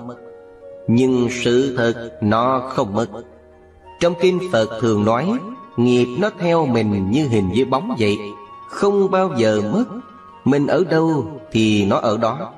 Cho nên đời này, đời sau, Nó có liên hệ Tùy theo nghiệp của mỗi người. Bây giờ tôi thí dụ như vậy, Quý vị sẽ coi có đúng hay không? Thí dụ có người làm thầy giáo, Có người là một nhà buôn bán lớn giàu có. Hai người đó có cái duyên Phải đi qua một con sông lớn Để dời chỗ ở. Khi đi, người giàu có sách Hai, ba ba ly tiền. Đủ đồ hết. Còn ông thầy giáo thì Chỉ có cái cặp táp nhỏ thôi. Khi đi qua giữa sông Thì bất thần gặp sóng to Làm chìm thuyền khi thuyền chìm thì mạnh ai nấy lo lội để mà thoát chết.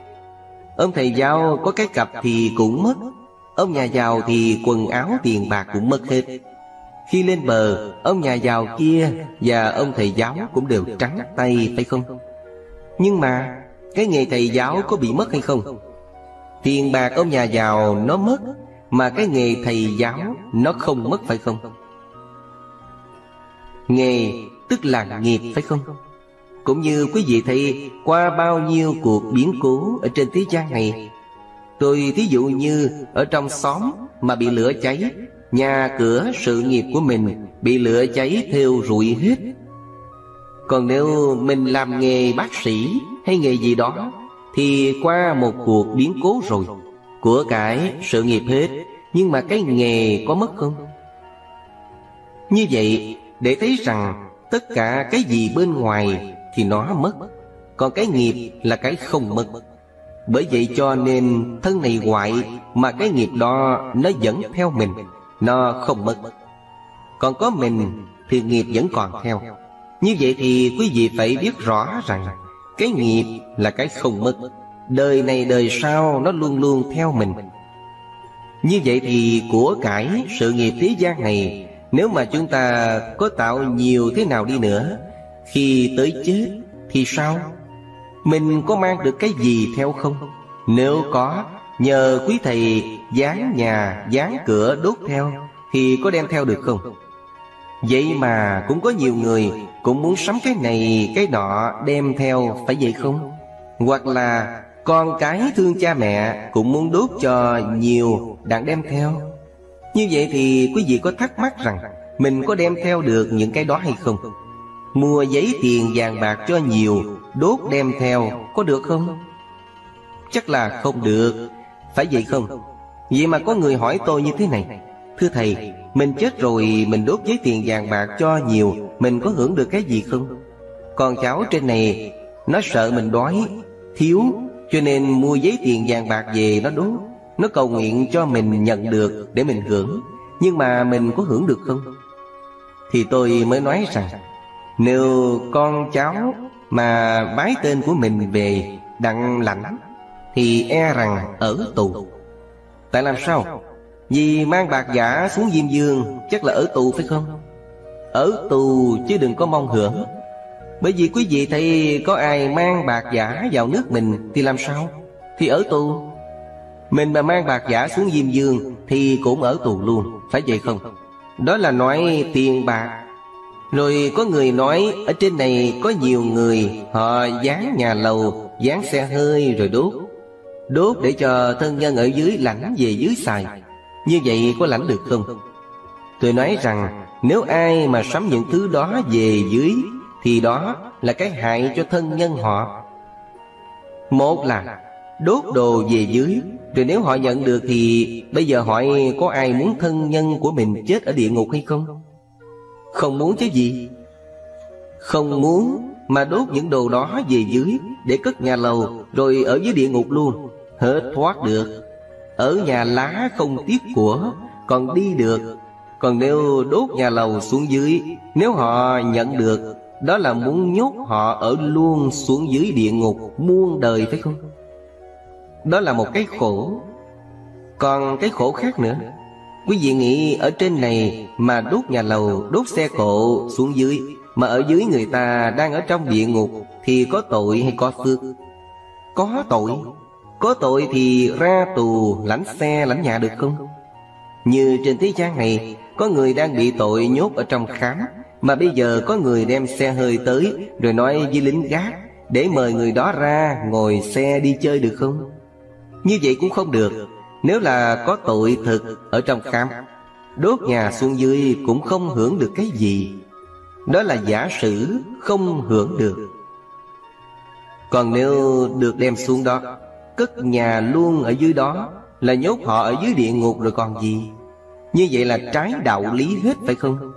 Huống chi là ở trên này Giá rồi đốt xuống, Thì làm sao ở dưới kia hưởng được? Chuyện đó rất là vô lý phải không? Như vậy Quý vị Phật tử thì chính nghiệp lành, nghiệp dữ của mình mới dẫn mình đi. Còn tất cả cái gì mà người khác mà thương mình Muốn giúp đỡ cho mình thì khó mà giúp được lắm.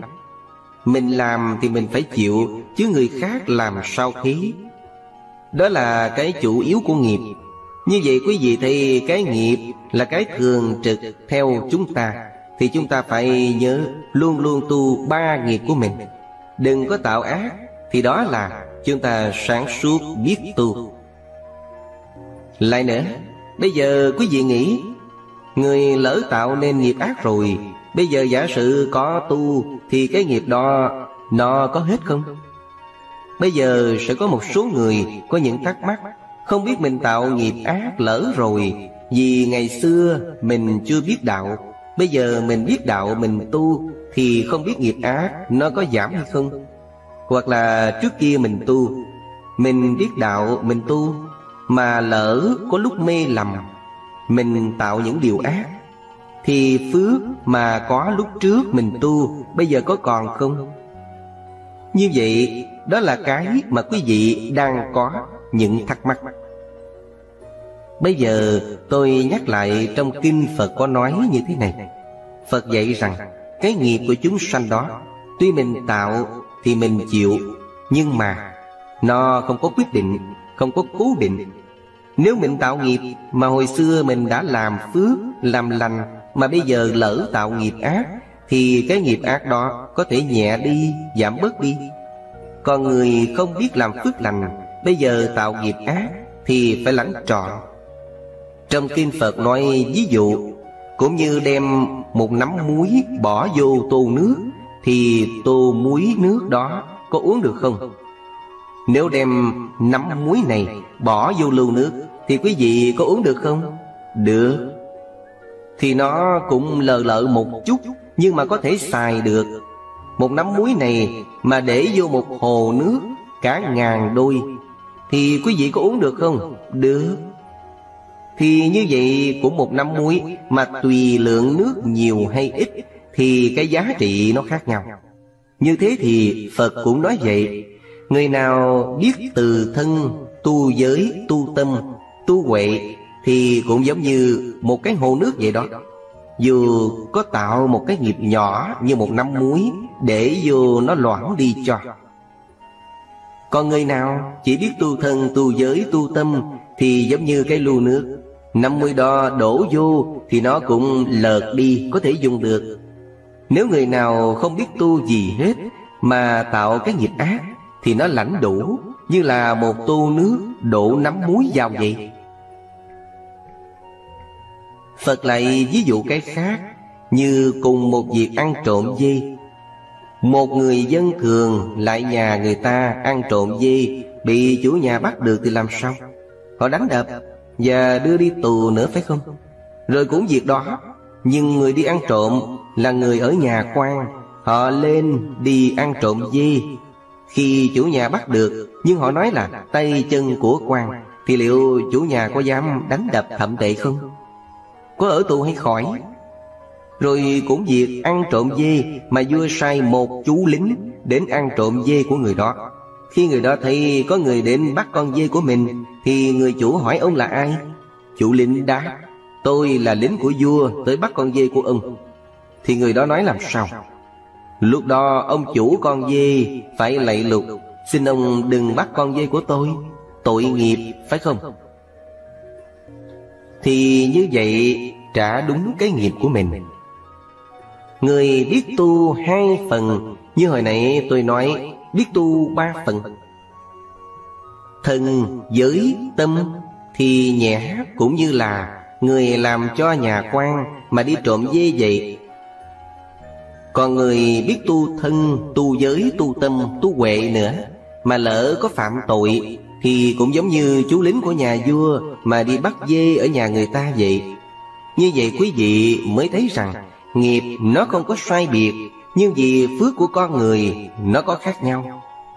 Bởi vậy cho nên, Nhiều khi quý vị Phật tử Nhìn trên nhân gian này, Rồi có cái vẻ như bất bình. Nói, tại sao cái ông đó, Ông làm ác quá, Chưa bị tai nạn gì hết? Như vậy coi như là luật nhân quả bất công Còn tại sao người kia Họ không làm ác? Mà nếu có thì cũng chút xíu thôi vậy. Mà thấy nhân quả hiện tiền liền có phải vậy không? Cũng như thấy có người hiền lành hết sức mà cứ thấy khổ hoài vậy.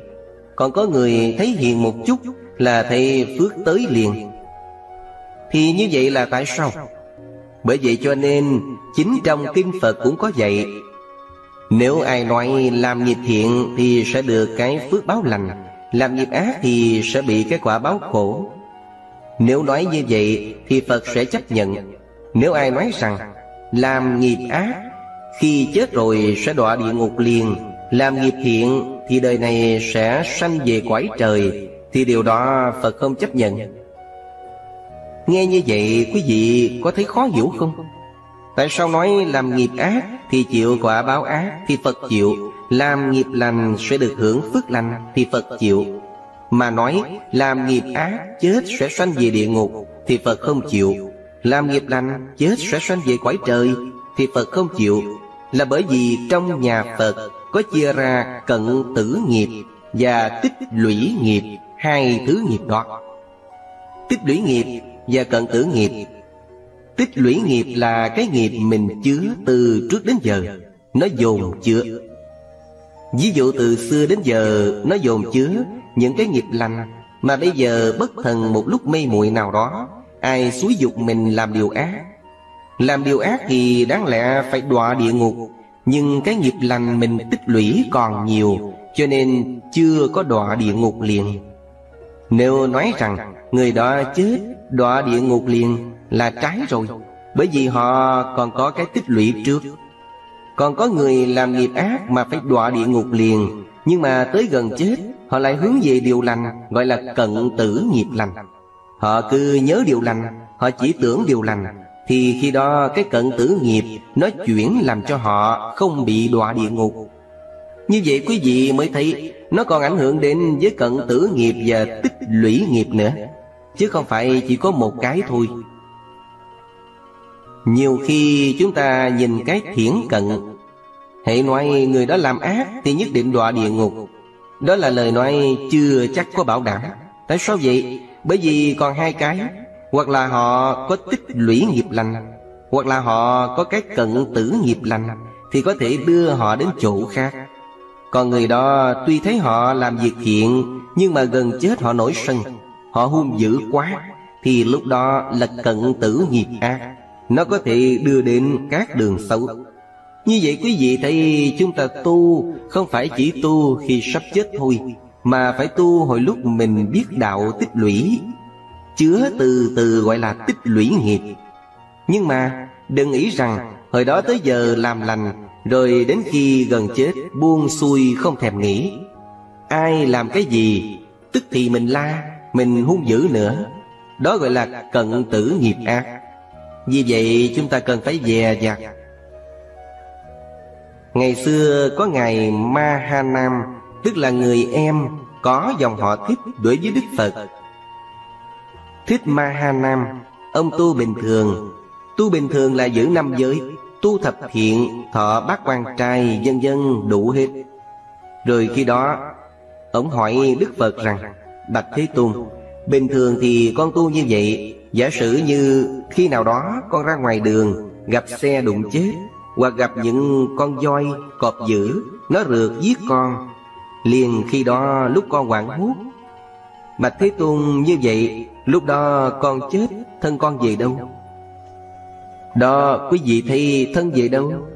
Đức Phật liền ví dụ. Như cái cây nó nghiêng như vậy, Ông cưa nó ngã xuống, Nó nghiêng về đâu? Nếu nghiêng chiều nào mình cưa, Thì nó ngã xuống theo chiều đó.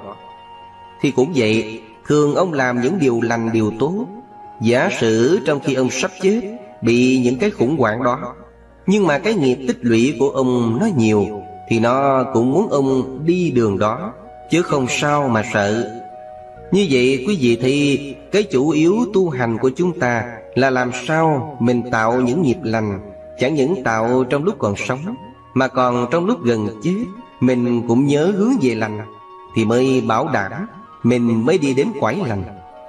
Còn nếu bình thường mình tạo lành, mà đến khi gần chết mình tạo dữ thì nó chưa bảo đảm. Cũng như bình thường, nếu mình lỡ dữ thì đến lúc gần chết cũng nên hướng về lành, thì nó cũng chuyển được phần nào. Nghiệp là cái không phải cố định mà luôn luôn chuyển biến. Hiểu được như vậy thì quý vị mới thấy cái nghiệp nó có giá trị cụ thể. Ai cũng có thể chuyển được, Chứ không phải cố định nói rằng, Tôi lỡ tạo nghiệp ác rồi, Làm sao tôi tu được? Phải không? Hoặc là nói rằng, Tôi ỷ, tôi tạo nghiệp lành, Khỏi lo, tôi cũng được về quải lành, Chưa chắc. Thì như vậy, quý vị mới thấy Cái tu về nghiệp là hết sức quan trọng. Đó là tôi dẫn cho quý vị thì Cái nghiệp nó quan trọng như vậy. Như vậy, nghiệp quan trọng Rồi mình tu có hết nghiệp được không? Chỗ này tôi nói hơi xa một chút, Bởi vì trong nhà thiền có một thiền sư là Ngài Trường Sa Cảnh Sâm. Có một người học trò đến hỏi thế này. Học trò đó là thiền sư Hạo Nguyệt. Hỏi rằng, Theo lời trong chứng đạo ca của Ngài Quyền Giác Liễu tức nghiệp chướng bền lai không dị liêu ưng tu hoàng túc trai? Nói rằng, Nếu mình liễu ngộ, Thì nghiệp chướng xưa nay là không. Còn nếu mình không liễu ngộ, Thì mình phải đền nợ trước. Ông Hạo Nguyệt mới hỏi Ngài Cảnh Sâm rằng, Như vậy thì tổ sư tử ở Ấn Độ có liễu chưa Mà bị vua kế tâm chặt đầu? Tổ Huệ Khả ở Trung Hoa có liễu chưa Mà chết ở trong khám? Không liễu, làm sao gọi là tổ? Ngài Trường Sa Cảnh Sâm đáp rằng, Đại Đức chưa hiểu nghiệp chướng, Hỏi thế nào là nghiệp chướng? Thì Ngài trả lời rằng, Bổn lai không. Như vậy quý vị hiểu chưa? Chắc cũng chưa hiểu luôn. Bây giờ tôi nói thế này Thì quý vị hiểu. Thí dụ như có người từ trước đến giờ Chưa có học đạo, Chưa có hiểu đạo, Cho nên tạo nghiệp ác, Gây oán thù với người. Thí dụ như, Hồi trước, Mình làm cho họ khổ tâm, Chửi mắng họ Bây giờ họ hận ở trong lòng. Hồi đó thế lực của họ yếu Không dám nói gì Hoặc làm trả lại. Rồi 10 năm, 20 năm qua Mình quên đi Và đến giờ này mình thất thế. Trái lại thế lực của họ cao hơn mình Nên lúc gặp lại mình Họ chửi mắng mình thậm tệ hơn hồi xưa Mình chửi họ nữa. Thì quý vị có thấy nghiệp có mắt không?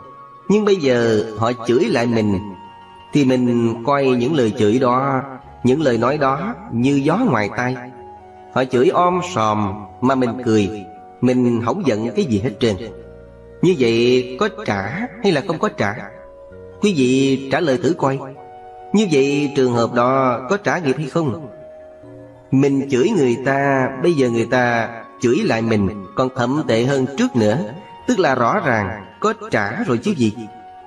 Nhưng ngày xưa mình chửi người ta Người ta giận Bây giờ người ta chửi lại mình Mình cười trả lại ở chỗ nào Quý vị mới thấy Cái chỗ đó là cái chỗ đặc biệt của nhà Phật Biết rằng nghiệp tạo thì không mất phải không? Có tạo mà không mất, Tức là tạo ra thì phải có trả Nhưng mà mê thì trả đủ, Còn ngộ thì thấy như không có trả gì hết phải không? Bởi vì người mê thì thấy cái lời nói cho là thiệt Nên chấp những tiếng nói nặng. Mình cho nó là làm khổ mình. Rồi bây giờ họ chửi mình, Coi như họ nói với hư không vậy thôi.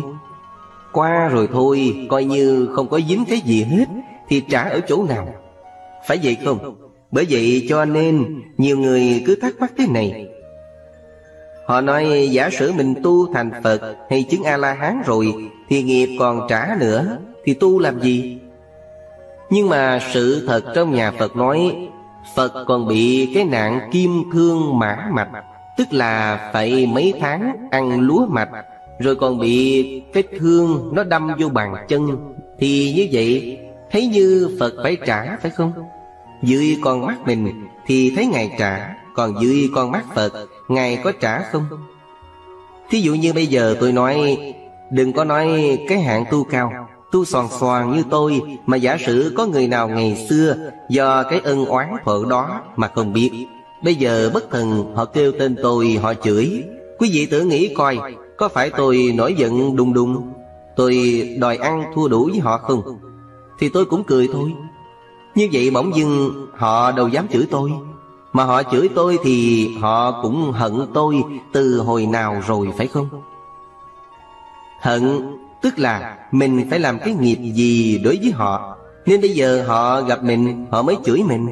Họ chửi mình, bây giờ mình thấy cái lời nói, Lời chửi nó không có thiệt Thì thôi. Để họ nói cho đã rồi thôi, Phải vậy không? Bởi vậy cho nên trong kinh nói, Tôi nhắc lại, Có một lần Đức Phật đi khất thực Trong một vùng nọ, Mà vùng đó là vùng Bà La Môn, Đã được nghe giáo pháp của Ngài. Nên họ phát tâm hướng về đạo. Có một ông thầy Bà La Môn kia Ông tức quá Thế nên một hôm Đức Phật đi khất thực ngang qua. Ông thầy Bà La Môn này cứ đi theo Phật Phật đi trước, ông đi sau Cứ kêu tên Phật mà chửi hoài. Phật vừa đi, ông vừa chửi. Phật đi mãi và im lặng mà đi dài theo con đường Một cách chậm rãi. Ông cứ đi theo sau lưng chửi hoài Và chửi tới đầu đường. Ông tức quá Vì không thấy Phật trả lời. Ông bèn chạy tới trước mặt Phật Chặn đường hỏi Ngài cô đàm, Ngài có biết không? Phật nói không. Rồi hỏi tiếp Ngài không biết Mà tại sao Ngài nghe tôi chửi Mà Ngài không nói gì? Lúc đó Phật mới dừng lại và hỏi như ngày dỗ ở nhà của ông Ông có mời bà con thân quyến lại ăn dỗ Vì quà bánh còn nhiều, Ông đem tặng cho những người thân quyến Ông đem tặng quà cho họ, Mà có người họ không nhận, Thì gói quà đó thuộc về ai? Lúc đó ông trả lời, Nếu họ không nhận thì gói quà đó thuộc về tôi chứ về ai? Phật nói, Cũng vậy, Ông chửi người ta mà người ta không nhận, Thì ta đâu có dính gì đâu. Phải không? Do đó, quý vị mới thấy Cái chửi là một nghiệp ác, Nó trả lại cho mình. Nếu mình không nhận, Thì nó có dính gì với mình? Phải vậy không? Bởi vậy, trong kinh Phật thường dạy, Người ác mà mắng người lành, Cũng như ngửa mặt lên trời Mà phun nước bọt, Thì nước bọt có tới trời không? Nó không tới trời mà nó lại rơi xuống mặt mình, Phải vậy không? Cũng vậy, Chính không nhận Thì quay như không có trả, phải không? Nghĩa là mình nhận, Mình mới trả, phải vậy không? Như vậy, giờ quý vị Phật tử ở đây Có trả hay không có trả? Nếu mà ai lỡ có gây nghiệp ác khẩu với người nào đó, Bây giờ quý vị mới thi trả hay không trả? Chắc trả. Nhiều khi còn trả nặng hơn nữa, phải không? Ngày xưa, mình mắng họ Họ giận chừng hai ngày. Bây giờ họ mắng mình Mình giận cả tháng, phải không? Đó là trả nặng hơn chứ gì? Bởi vì trình độ Phật tử chúng ta thâm nhập Phật Pháp Thật là cạn. Ví dụ như Phật Phật đi đằng trước, Người ta đi ở đằng sau, Người ta chửi. Phật không có dính gì hết trơn, Thì Ngài không có nhận còn mình đây, ở ngoài đường có hai, ba người Đứng dựa lề đường nói sầm xì, Có tên mình, Thì mình có chịu đi không? Hay là đứng lại điều tra? Đứng lại chú ý Và hỏi họ vừa nói cái gì đó. Nói cái gì mà có tên tôi? Vừa có tên mình là mình muốn ăn thua rồi phải không? Còn khi xưa, họ kêu tên Phật mà chửi, Ngài vẫn lặng lẽ mà đi, Không màng để ý tới như vậy quý vị thấy cái tu và cái chưa tu Nó khác nhau ở chỗ đó phải không? Chúng ta tu không phải cúng chùa nhiều Mà chúng ta hết khổ Mà chúng ta phải biết cái gì thật, cái gì giả Cái gì không đúng, cái gì sai. Cái gì không phải không đáng để ý Thì mình bỏ qua. Sở dĩ chúng ta tạo thành nghiệp quan trọng Vì chúng ta chú tâm Thân, khẩu, ý Mà dồn nghĩ vào đó cho nên nó thành nghiệp. Còn nếu thân khẩu ý của chúng ta, Dù có những điều phải đến, Mà chúng ta vẫn coi thường, Thì nó cũng nhẹ nhàng, Nó cũng hết. Bởi vậy cho nên, Người Phật tử chân chính phải hiểu rằng, Nghiệp đúng ra là do hành động của mình, Mà hành động của mình có thiệt hay không? Qua rồi nó mất phải không? Nhưng mà riết rồi thành thói quen. Thói quen đó là chữ nghiệp. Như vậy, Nghiệp chúng ta có thể chuyển được Mà cũng có thể chúng ta chuyển không được, phải không? Nếu một người biết tu mạnh dạng, Biết mình từ hồi đó tới giờ Tạo nghiệp ác nhiều, Bây giờ cố gắng làm điều lành nhiều, Cố gắng tiến tu, Thì cái điều ác có thể bị mất. Còn có nhiều người biết mình có nghiệp ác nhiều, Mà rồi mình yếu đuối Và mình không cố gắng làm lành thì chắc chắn cái nghiệp ác khó mà chuyển hồi. Thí dụ như quý vị thấy có những người lỡ nghiện rượu, mà lỡ nghiện rượu rồi, bác sĩ có giải thích cái nghiện rượu như vậy hại thế nào, nguy hiểm thế nào? Họ nghe, họ hiểu. Giả sử trong năm người đã nghiện rượu được giải thích đó, thì năm người đó Có bỏ hết được không? Tại sao có người bỏ được, Có người bỏ không được? Người bỏ được là khi họ biết cái đó rõ ràng rồi. Biết cái tai hại lớn lao rồi Bản thân họ có một sức mạnh, ý chí mạnh. Họ dứt khoát bỏ là có thể bỏ được. Còn có người biết cái đó có hại Nhưng mà ý chí yếu. Muốn bỏ nhưng mà ghiền và thèm. Thèm là muốn uống lại phải vậy không? Hoặc bạn bè rủ Muốn đi theo thì như vậy. Tuy biết có muốn bỏ nhưng mà bỏ không được.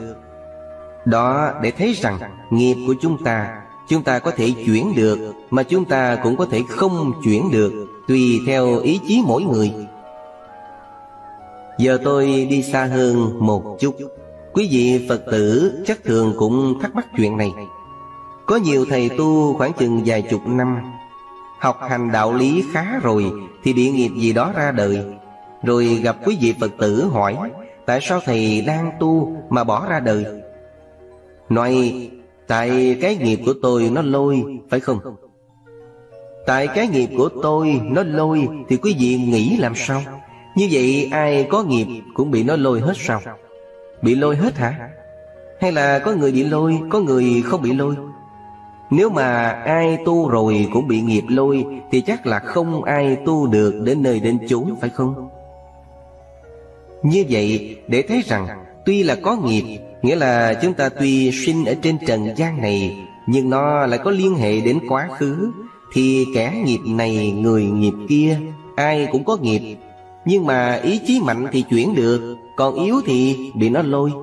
Còn nếu đổ thừa tại nghiệp, Thì nghe cũng có lý, Nhưng mà nó còn cộng thêm cái gì nữa? Nếu nói thật thà thì Quý vị thi nói thêm cái gì nữa Thì đủ nghĩa thật thà Nói về cho rõ, Tại nghiệp nó lôi, Cộng thêm ý chí tôi yếu quá, Phải vậy không? Ý chí yếu nên bị nghiệp nó lôi, Chứ nếu ý chí mạnh Thì mình chuyển được nghiệp, Phải vậy không? Cũng như người nghiện rượu rồi, Tức là cũng bị nghiệp lôi, Nhưng mà ý chí họ mạnh Thì họ bỏ được, Ý chí yếu thì họ bỏ không được như vậy nói tại nghiệp thì cũng có lý Nhưng cũng cộng thêm cái ý chí yếu hay mạnh nữa. Chứ không phải nói nghiệp rồi bất cứ ai Hễ gặp cảnh gì không vui Rồi trở ra thế gian Là nói tại nghiệp hết. Cứ nói như vậy thì Phật tử họ quảng hốt. Như vậy rồi quý thầy tu rồi trở về đời. Quý thầy có duyên, có phước lắm Mới được xuất gia, mới được tu. Mà bây giờ trở ra đời Mình còn tóc như vậy thì làm sao mà chuyển nghiệp nổi phải không? Rồi cảm thấy buồn Cảm thấy như tiếng không được. Nhưng mà tôi nói như vậy Quý vị đừng có khinh mất người trở về đời. Họ không có dở đâu. Tại sao vậy? Như hồi xưa lúc Phật còn tại thế Có bà tỳ kheo liên hoa sắc. Khi bà tu chứng quả A-la-hán Rồi trên đường bà đi Bà gặp các cô gái 15, 17 tuổi. Bà rủ các cô đi tu, Đi xuất gia. Thọ tỳ kheo ni. Mấy cô gái thưa Thưa bà, Tụi con tu không có nổi, Tụi con còn tham ăn, tham ngủ lắm, Tu không có được. Bà nói, không sao, cứ tu đi. Rồi họ nói, Lỡ tụi con thọ tỳ kheo rồi, Tụi con phạm giới, đọa địa ngục rồi sao? Bà nói, không sao, Lỡ đọa địa ngục rồi, lên tu tiếp, Lên tu nữa. Đó, Như vậy quý vị nghe cái đó, Quý vị hiểu làm sao? Bởi vì giả sử có tu Tu rồi phạm giới, phải đọa, Nhưng đọa hết cái nghiệp Ở dưới địa ngục thì lên, Chủng tử cũ nó còn. Nó còn nhắc mình đi tu nữa. Chứ bây giờ chưa có, Thì lỡ mình có đọa địa ngục, Mình lên cũng không có cái chủng tử đó, Rồi chừng nào mình tu được. Đó, Thành ra dưới con mắt của bà thì bà cũng không bi quan. Lỡ có rơi xuống địa ngục đó, Tạo nghiệp ác, Phải đọa. Nhưng mà khi bộ đọa hết nghiệp rồi, Thì mấy mươi năm tu cũ đó, Chủng tử nó còn gặp cái duyên tốt, Nó phát lại, Thì có cơ hội họ tu. Còn người chưa bao giờ tu, Thì đâu có chủng tử. Mà chưa có chủng tử, Thì khó mà tiến tới được. Thì như vậy, Mình cũng dám khinh quý vị đó đi phải không? Bây giờ quý vị đó có rơi, Có thua người ta đi. Nhưng mà chủng tử còn, Cũng có ngày họ phát tâm lại, Không đến nỗi nào. Đó là ý nghĩa mà tôi nói cho quý vị thấy rõ ràng. Như vậy thì, trên cái nghĩa nghiệp, Thì chúng ta không những là biết để tránh, Mà chúng ta còn phải biết Và phải mạnh dạn chuyển nó, phải không? Nghĩa là trên phương diện tu Thì trước hết phải tránh nghiệp ác, làm nghiệp lành. Nghiệp ác chúng ta tránh, Nghiệp lành chúng ta làm, Đó là tu. Rồi kế đó chúng ta phải làm sao? Nếu lỡ chúng ta đã tạo nghiệp ác rồi, Chúng ta phải mạnh dạng chuyển nó. Chuyển cái ác thành cái thiện, Đó là sức mạnh của người tu. Thì như vậy hai trường hợp mà chúng ta luôn luôn nhớ Là phải tránh cái dữ, Làm cái lành và nếu lỡ tạo nghiệp ác rồi, Thì phải mạnh dạng chuyển nó. Bởi vậy cho nên tôi nhắc câu chuyện này Để kết thúc cái ý nghĩa của nghiệp. Như hồi xưa ở Trung Hoa đời đường, Ông Lý Bạch là một nhà thơ nổi tiếng. Ông nghe thiền sư ô sào đang tu ở trên cây, Ông mới tìm tới hỏi đạo. Khi tìm tới thiền sư ô sào, Ông đứng dưới hỏi, Bạch Hòa Thượng Hòa Thượng dạy cho tôi phương pháp tu thế nào cho gọn, ngắn Mà tôi có thể tu được. Ngài ô sào ngồi trên ổ quạ Là chỗ ở của Ngài Ở trên chánh ba của cây Làm giống như ổ quạ. Ở là quạ Sào là cái ổ đó. Ngài mới nói giọng xuống.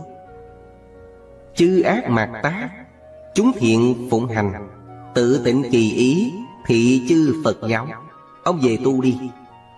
Ông Lý Bạch nghe xong, Ông cười và nói, Hòa thượng nói câu đó, con nít 8 tuổi nó cũng thuộc rồi, Mà đem dạy tôi chi? Thiền sư ô sào nói, Phải, Con nít 8 tuổi cũng thuộc, Nhưng mà ông già 80 tuổi, Làm cũng chưa xong. Đó, quý vị thấy, Chư ác mạt tá, Tức là đừng làm những điều ác phải không? Chúng thiện phụng hành, Dân làm tất cả nghiệp lành. Tự tịnh kỳ ý Tức là Khéo lóng lặng tâm ý mình cho thanh tịnh. Thị chư Phật giáo Đó là lời dạy của chư Phật Đó là tu ba nghiệp thân khẩu ý. Bỏ ác làm lành Và giữ tâm ý thanh tịnh Đó là gốc của sự tu. Mà quý vị có những vị 70, 80 tuổi làm được chưa? Như vậy thì cái điều đó Nói con nít 8 tuổi cũng thuộc mà thực tình, Ông già 80 tuổi làm cũng chưa rồi. Như vậy thì quý vị cũng thấy rằng, Cái chủ yếu của Đạo Phật dạy là tránh ác làm lành. Mà tránh ác tức là bỏ nghiệp ác. Làm lành tức là làm tất cả nghiệp lành Và giữ tâm ý mình được thanh tịnh. Đó là cái gốc của sự tu, phải không? Mà tu được như vậy đó, Thì chúng ta mới thực tu.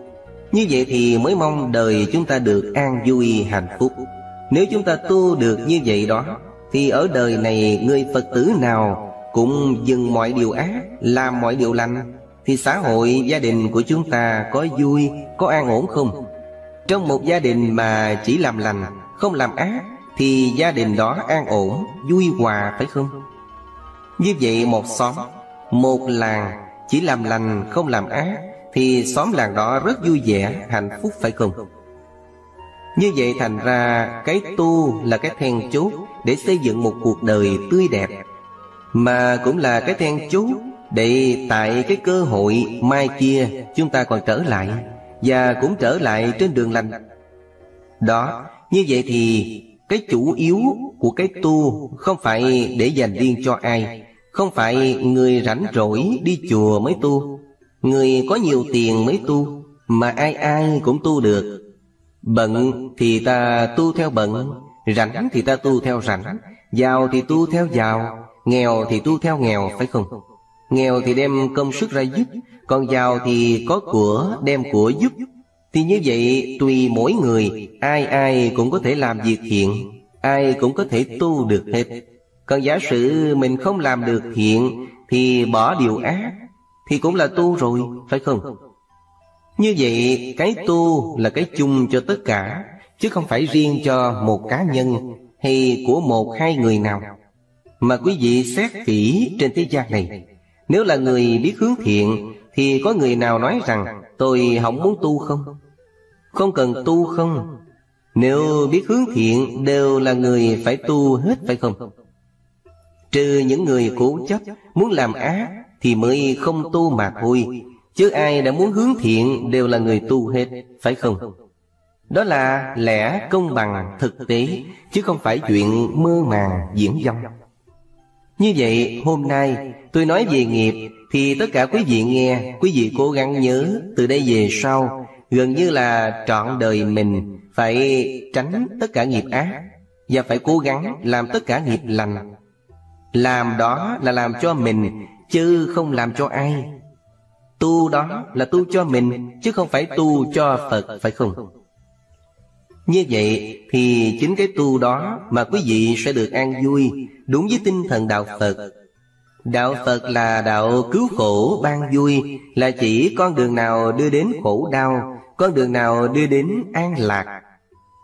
Quý vị biết con đường an lạc Thì cố gắng đi đó là đạo Phật cứu quý vị biết nói là an lạc Kia là đau khổ Rồi cứ đi đường khổ Rồi nói tôi tu Phật lâu quá Mà không hết khổ Thì lỗi đó là lỗi tại ai? Ờ, lỗi tại mình Không lựa đường mà đi Phật dạch ra chỉ rồi Tự mình chịu Chứ Phật đâu có bắt mình phải vậy không? Mình chọn đúng đường của Phật chỉ, Đặng đi thì mình vui. Mình đi ngược lại thì mình khổ. Đó là cái chủ yếu của cứu khổ ban vui của nhà Phật. Vậy thì hôm nay một lần nữa, Tôi nhắc quý vị cố gắng thực hiện cái điều đó Cho đến 80 tuổi. Chọn được cái điều đó Thì cũng giỏi quá rồi. Vậy thì hôm nay tất cả quý vị chấp tay hồi hướng theo chúng tôi. Nguyện dĩ thử công đức, Phổ cập ư nhất thiết, Ngã đẳng giữ chúng sanh, Giai cộng thành Phật đạo thành, Phật đạo thành, Phật đạo thành, Phật đạo thành, Phật đạo thành, Phật đạo thành. Chúng ta bây giờ tu là tu cái gì? Có nhiều vị Phật tử than rằng, Tôi bệnh hoạn quá, Làm sao mà tu cho được? Quý vị có nghe người ta than như vậy không? Đó là họ chưa biết tu. Họ tưởng rằng tu là phải đi chùa cho nhiều, Tụng kinh cho giỏi, Niệm Phật cho hay. Tụng kinh, đi chùa, Niệm Phật mới tu. Còn ngồi ngoài chợ bán Thì thôi khỏi có tu. Nhưng đó là một cái hiểu lầm rất lớn. Đây tôi chỉ cho quý vị thấy, Tu là chuyển nghiệp ác thành nghiệp thiện. Nghiệp ác là từ đâu? Từ hành động của thân, Như thân mình làm điều gì Thì lựa lành mình làm, Giữ mình tránh Đó là mình tu. Tôi thí dụ như Mình là người buôn bán, Mình bán hàng, Cái món hàng mình để bên đây là đồ thiệt, Bên kia là đồ giả. Bây giờ có người khách lại mua đồ thiệt, Trả giá được rồi, Người khách vừa xoay mặt đi chỗ khác, Mình lấy đồ giả mình tráo qua. Thì hành động đó thiện hay ác? Ừ, hành động đó là ác, có phải vậy không? Như vậy là không biết tu Nếu có người hỏi mua đồ thiệt Thì mình bán đồ thiệt đâu đó đàng hoàng Tuy cũng mua bán Mà đâu có phải là ác Nếu quý vị ra ngoài đường Thấy bà cụ già hơn mình Tay sách giỏ nặng quá Mình hỏi Thưa bà, bà đi về đâu? Bà nói Tôi về con đường thẳng đó. Thấy về cùng con đường với mình Mình xách dùm bà Và tới chỗ giao lại cho bà, Rồi mình đi. Không cần ơn nghĩa gì hết. Hành động đó là thiện hay ác? Ờ Đó là hành động thiện. Như vậy quý vị có tu chưa? Như vậy là tu rồi. Cái việc đó quý vị nghĩ là ai cũng làm được phải không? Mình đi ngoài đường, Mình cũng làm được như vậy. Lựa là phải tới chùa mới làm đâu. Giả sử ngồi bán hàng, Quý vị bán món hàng đó, Đáng là một ngàn đồng. Có người khách lại hỏi mua quý vị nói khách là một ngàn hai trăm đồng. Khi nói là một ngàn hai trăm đồng, Nghĩ rằng họ sẽ trả một ngàn đồng bán là vừa. Nhưng họ không trả giá một ngàn đồng, Mà trái lại họ chỉ trả có ba trăm đồng. Nghĩ có nổi giận không? Nếu khi đó quý vị là người bán hàng, Không biết tu thì sẽ làm sao? Nổi giận rồi la hét người ta, Có phải vậy không? Mà la hét rồi thì cái miệng mình nói lời lành hay dữ Lời dữ là không biết tu, Là tạo nghiệp ác Còn trái lại, Mình mà biết tu thì họ trả giá như vậy, Thì mình chỉ cười Chị trả chưa tới giá, Bán không được Chị mua chỗ khác bởi vì người ta trả giá, Chứ người ta đâu có lấy đồ mình mất đâu mà la. Hãy trả vừa giá thì bán, Không vừa thì thôi. Mình bán không được thì của mình cũng còn nguyên đó Chứ có mất đi đâu. Như vậy, quý vị thấy ngồi giữa chợ có tu không? Chính nơi đó mới thật là tu. Tu như vậy mới là tu chân chính. Chớ đi vô chùa lạy Phật cả chục lạy Phật cũng không gật đầu. Giả sử mình có vô lễ Phật cũng không lắc đầu. Phật làm thinh không có khen mà cũng chẳng chê Chỉ có kẻ phàm phu ở thế gian Họ mới có khen, có chê Mình làm điều tốt thì họ mừng, họ khen. Mình làm điều xấu thì họ giận, họ chê Như vậy thì tu với chúng sanh Chứ đâu có tu với Phật.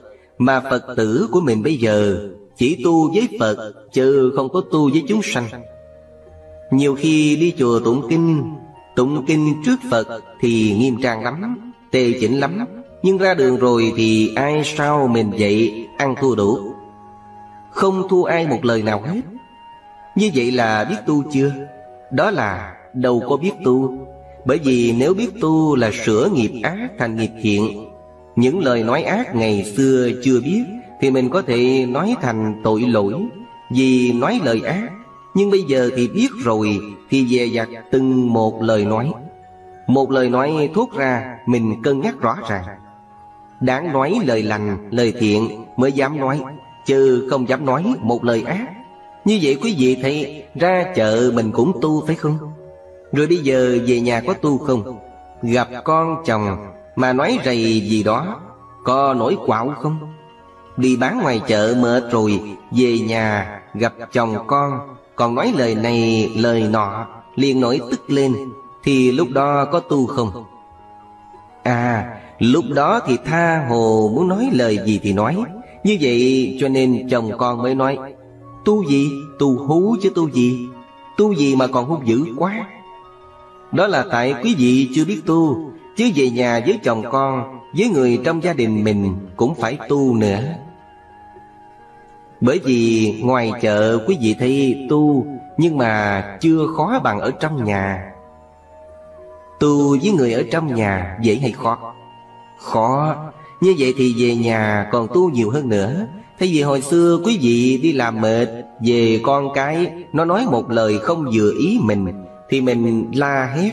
Bây giờ mình biết tu rồi, Con cái, nó có làm trái ý mình thì mình cũng bình tĩnh Nói nhỏ nhẹ, hòa nhã, từ từ. Đó là quý vị biết tu. Như vậy quý vị đi chùa về nói chuyện rất hiền hòa. Hồi xưa la hét Bây giờ hiền hòa Thì con cái nó khen hay chi? Ồ má tôi hay quá Mới đi chùa có mấy tháng mà tiến bộ như vậy. Còn nếu đi chùa tụng kinh mà về nhà thì la hét Như vậy thì nó nói làm sao? Má không có tu gì hết Quý vị mới thấy cái tu của chúng ta lầm rồi. Chúng ta cứ nghĩ rằng đi chùa mới tu, Giờ tụng kinh mới tu Thì ít quá. Một ngày có 24 tiếng Mà mình ngủ hết 7-8 tiếng. Còn bao nhiêu giờ còn lại Mình phải tu luôn luôn, Chứ đâu phải tới chùa tụng kinh một tiếng đó là tu. Còn ngoài ra thì tha hồ, Mười mấy tiếng đồng hồ tạo ác rồi tu có một giờ Thì làm sao gỡ cho kịp? Làm sao chuộc cho hết? Bởi vậy tu là phải tu quanh năm mãn tháng, Trọn ngày, Chứ không phải chỉ có tu một lúc mà thôi. Mọi hành động của quý vị, Hành động nào cũng phải chọn lựa. Hành động ác thì không làm, Hành động thiện thì cố gắng làm. Đó mới chính là tu.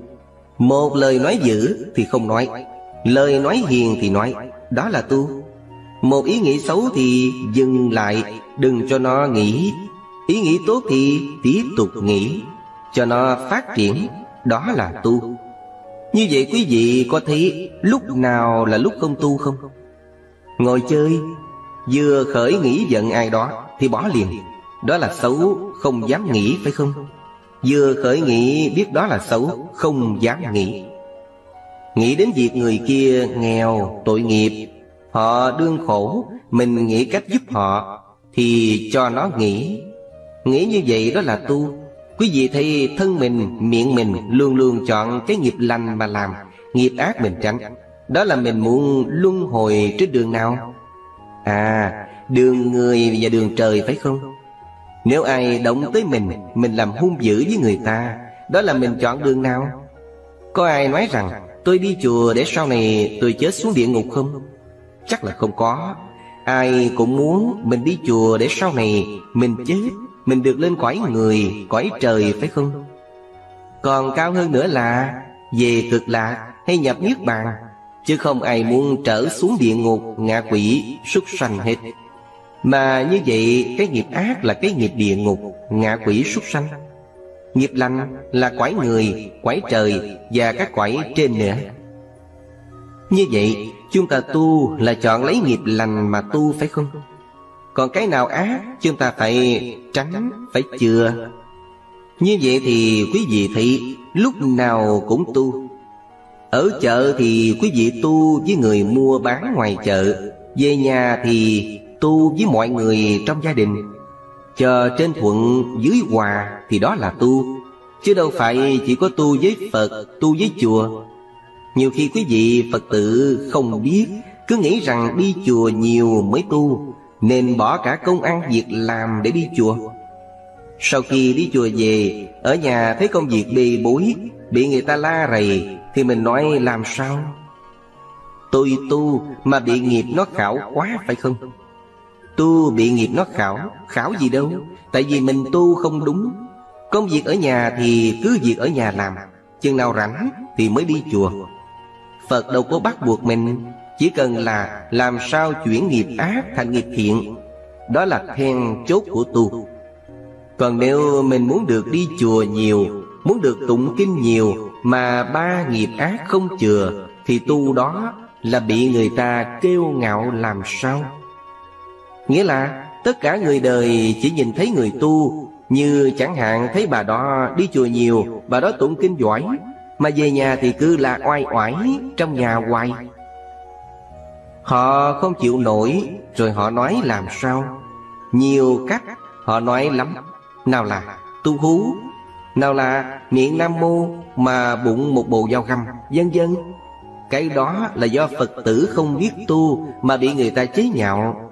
Chứ nếu mà mình biết tu Là sửa cho cái nghiệp của mình Từ cái nghiệp xấu, nghiệp ác Thành cái nghiệp lành, nghiệp thiện.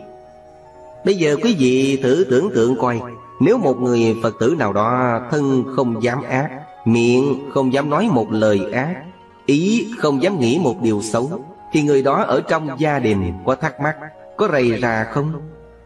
Bởi vì đâu có nói ác Mà sinh chuyện rầy rà phải không? Mà nếu trong gia đình cả ngày không thắc mắc Không rầy rà Thì gia đình đó có hạnh phúc không? Đó mới chính là nguồn hạnh phúc phải không? Rồi ra ngoài xã hội, Cả ngày mình không dám nói một lời nói nặng ai. Cả ngày mình không dám nghĩ xấu ai, Thì tự nhiên mình được vui. Mọi người được an vui. Như vậy, trong gia đình thì hòa nhã an vui, Ngoài xã hội thì cũng đều an vui. Tu như vậy mới thật là tu chứ. Một người tu thì đem lại hạnh phúc cho bản thân mình, Cho gia đình mình. Mà cũng đem lại hạnh phúc cho thế gian nữa. Như vậy mới thật là tu. Còn Phật tử mình bây giờ, Tu đó thì ham tu, Mà về nhà thì rầy rà om sòm phải không?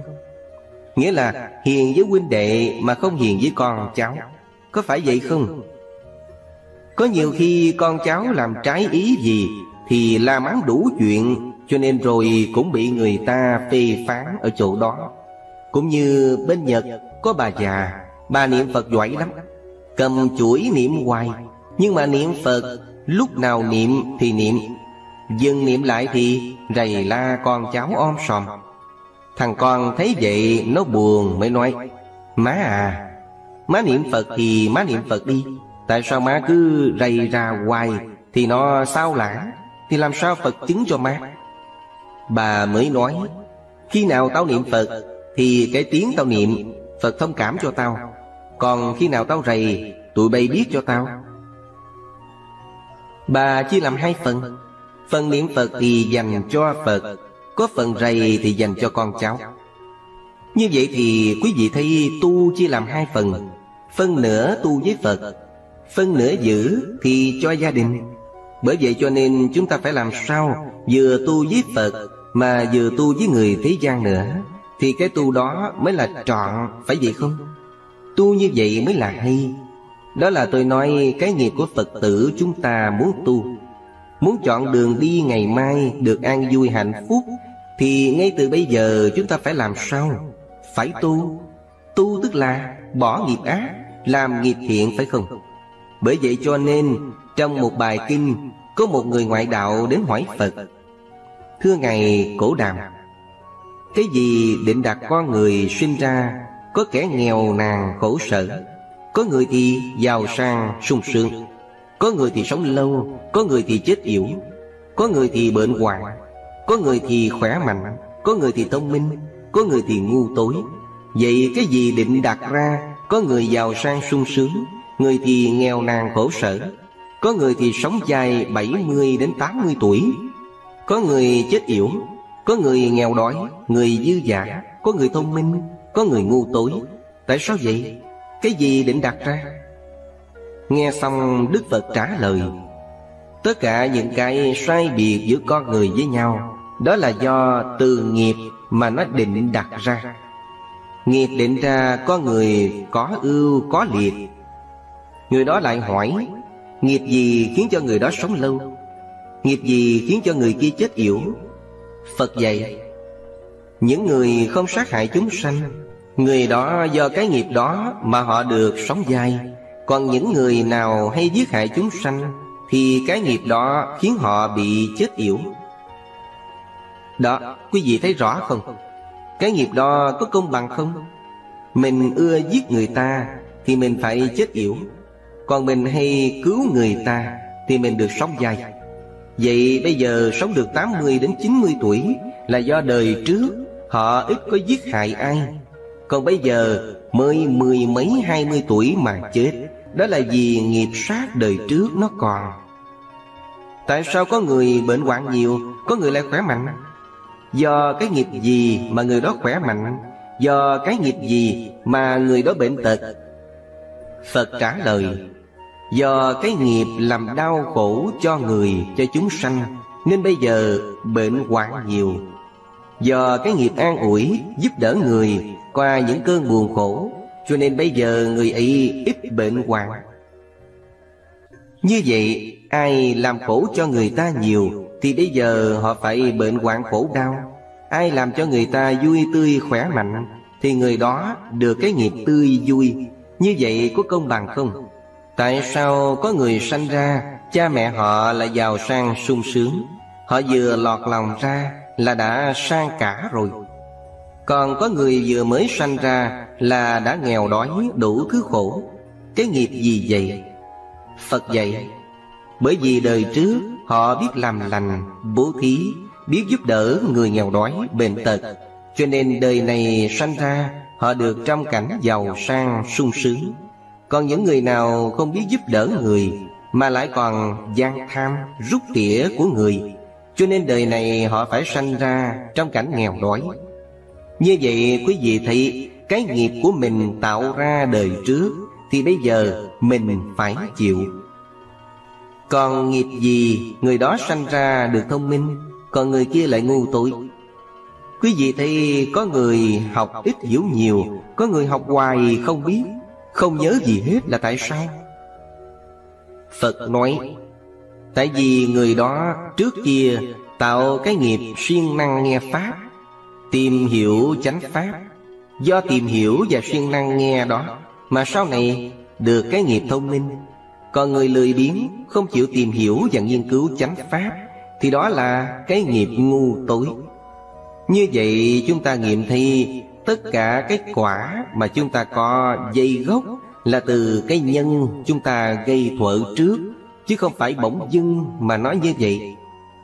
Biết như thế rồi, Chúng ta muốn ngày mai được cái gì Thì bây giờ chúng ta phải chuẩn bị, Phải tạo sẵn. Bây giờ mình biết tạo để dành mai kia, Mình mới hưởng được. Còn mình không tạo để dành Thì mai kia có đâu mà hưởng. Như vậy nếu chúng ta sanh ra trong cảnh nghèo đói, Thì có oán trách trời đất không? Có oán không? Không oán Tại sao chúng ta không oán? Vì biết đó là cái nghiệp trước chúng ta đã tạo, Không khéo bây giờ mình phải chịu Còn nếu chúng ta sanh ra Mà được cảnh giàu sang sung sướng, Chúng ta có tự cao ngã mạng không? Vì chúng ta biết là cái nghiệp lành đời trước mình tạo mà ngày xưa chúng ta biết tạo nghiệp lành, Thì bây giờ mới được hưởng quả lành. Nếu chúng ta mà tự cao ngã mạng, Thì làm cho cái nghiệp lành nó giảm bớt đi. Bởi vậy, cái nghiệp là cái dẫn mình đi tới chỗ tốt, Dẫn mình đi tới chỗ xấu. Mà nghiệp là chính mình làm chủ, tạo. Cho nên tu là quý vị phải biết nó rõ. Chúng ta là người tạo điều kiện cho chúng ta lâm vào chỗ xấu Chứ không ai khác, phải vậy không? Như vậy thì mới thấy cái gốc của sự tu.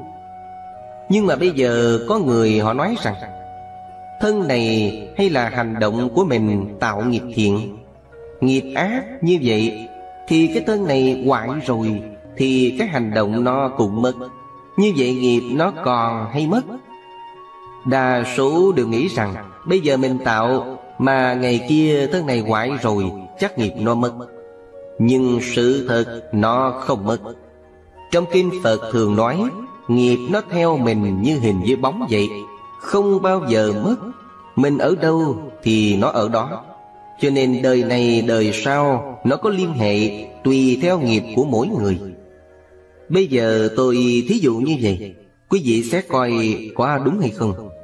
Thí dụ có người làm thầy giáo, Có người là một nhà buôn bán lớn giàu có. Hai người đó có cái duyên Phải đi qua một con sông lớn Để dời chỗ ở. Khi đi, người giàu có sách hai, ba ba ly tiền. Đủ đồ hết. Còn ông thầy giáo thì Chỉ có cái cặp táp nhỏ thôi. Khi đi qua giữa sông Thì bất thần gặp sóng to Làm chìm thuyền. Khi thuyền chìm Thì mạnh ai nấy lo lội Để mà thoát chết. Ông thầy giáo có cái cặp thì cũng mất, Ông nhà giàu thì quần áo tiền bạc cũng mất hết. Khi lên bờ, Ông nhà giàu kia Và ông thầy giáo cũng đều trắng tay, phải không? Nhưng mà Cái nghề thầy giáo có bị mất hay không? Tiền bạc ông nhà giàu nó mất, Mà cái nghề thầy giáo Nó không mất, phải không? Nghề tức là nghiệp, phải không Cũng như quý vị thấy, Qua bao nhiêu cuộc biến cố Ở trên thế gian này, Tôi thí dụ như Ở trong xóm mà bị lửa cháy, Nhà cửa sự nghiệp của mình Bị lửa cháy theo rụi hết Còn nếu mình làm nghề bác sĩ Hay nghề gì đó, Thì qua một cuộc biến cố rồi, Của cải sự nghiệp hết, Nhưng mà cái nghề có mất không? Như vậy, để thấy rằng Tất cả cái gì bên ngoài Thì nó mất, Còn cái nghiệp là cái không mất. Bởi vậy cho nên thân này hoại Mà cái nghiệp đó nó vẫn theo mình, nó không mất. Còn có mình thì nghiệp vẫn còn theo. Như vậy thì quý vị phải biết rõ rằng Cái nghiệp là cái không mất. Đời này đời sau nó luôn luôn theo mình. Như vậy thì của cải sự nghiệp thế gian này nếu mà chúng ta có tạo nhiều thế nào đi nữa Khi tới chết thì sao? Mình có mang được cái gì theo không? Nếu có Nhờ quý thầy dán nhà, dán cửa đốt theo Thì có đem theo được không? Vậy mà cũng có nhiều người Cũng muốn sắm cái này, cái nọ đem theo Phải vậy không? Hoặc là con cái thương cha mẹ Cũng muốn đốt cho nhiều đặng đem theo như vậy thì quý vị có thắc mắc rằng Mình có đem theo được những cái đó hay không? Mua giấy tiền vàng bạc cho nhiều, Đốt đem theo, có được không? Chắc là không được phải vậy không?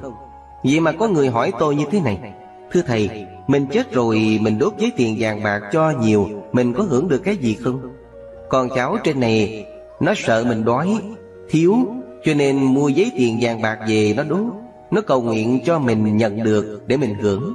Nhưng mà mình có hưởng được không? Thì tôi mới nói rằng, Nếu con cháu Mà bái tên của mình về Đặng lãnh, Thì e rằng ở tù. Tại làm sao? Vì mang bạc giả xuống Diêm Dương, Chắc là ở tù phải không? Ở tù chứ đừng có mong hưởng. Bởi vì quý vị thấy Có ai mang bạc giả vào nước mình Thì làm sao? Thì ở tù. Mình mà mang bạc giả xuống Diêm Dương Thì cũng ở tù luôn, Phải vậy không? Đó là nói tiền bạc. Rồi có người nói Ở trên này có nhiều người, Họ dán nhà lầu, Dán xe hơi rồi đốt. Đốt để cho thân nhân ở dưới lãnh về dưới xài. Như vậy có lãnh được không? Tôi nói rằng, Nếu ai mà sắm những thứ đó về dưới, Thì đó là cái hại cho thân nhân họ. Một là đốt đồ về dưới. Rồi nếu họ nhận được thì Bây giờ hỏi có ai muốn thân nhân của mình chết ở địa ngục hay không? Không muốn chứ gì? Không muốn mà đốt những đồ đó về dưới Để cất nhà lầu Rồi ở dưới địa ngục luôn. Hết thoát được. Ở nhà lá không tiếc của, Còn đi được. Còn nếu đốt nhà lầu xuống dưới, Nếu họ nhận được, Đó là muốn nhốt họ ở luôn xuống dưới địa ngục Muôn đời phải không? Đó là một cái khổ Còn cái khổ khác nữa Quý vị nghĩ ở trên này Mà đốt nhà lầu, Đốt xe cộ xuống dưới, Mà ở dưới người ta đang ở trong địa ngục Thì có tội hay có phước Có tội có tội thì ra tù, lãnh xe, lãnh nhà được không? Như trên thế gian này, Có người đang bị tội nhốt ở trong khám, Mà bây giờ có người đem xe hơi tới Rồi nói với lính gác Để mời người đó ra ngồi xe đi chơi được không? Như vậy cũng không được.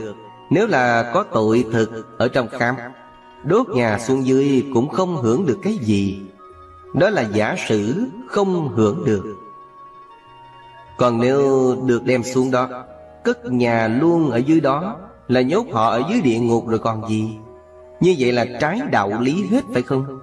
Huống chi là ở trên này Giá rồi đốt xuống, Thì làm sao ở dưới kia hưởng được? Chuyện đó rất là vô lý phải không? Như vậy Quý vị Phật tử thì chính nghiệp lành, nghiệp dữ của mình mới dẫn mình đi. Còn tất cả cái gì mà người khác mà thương mình Muốn giúp đỡ cho mình thì khó mà giúp được lắm. Mình làm thì mình phải chịu Chứ người khác làm sao thế? Đó là cái chủ yếu của nghiệp. Như vậy quý vị thì cái nghiệp là cái thường trực theo chúng ta. Thì chúng ta phải nhớ luôn luôn tu ba nghiệp của mình. Đừng có tạo ác, Thì đó là chúng ta sáng suốt biết tu.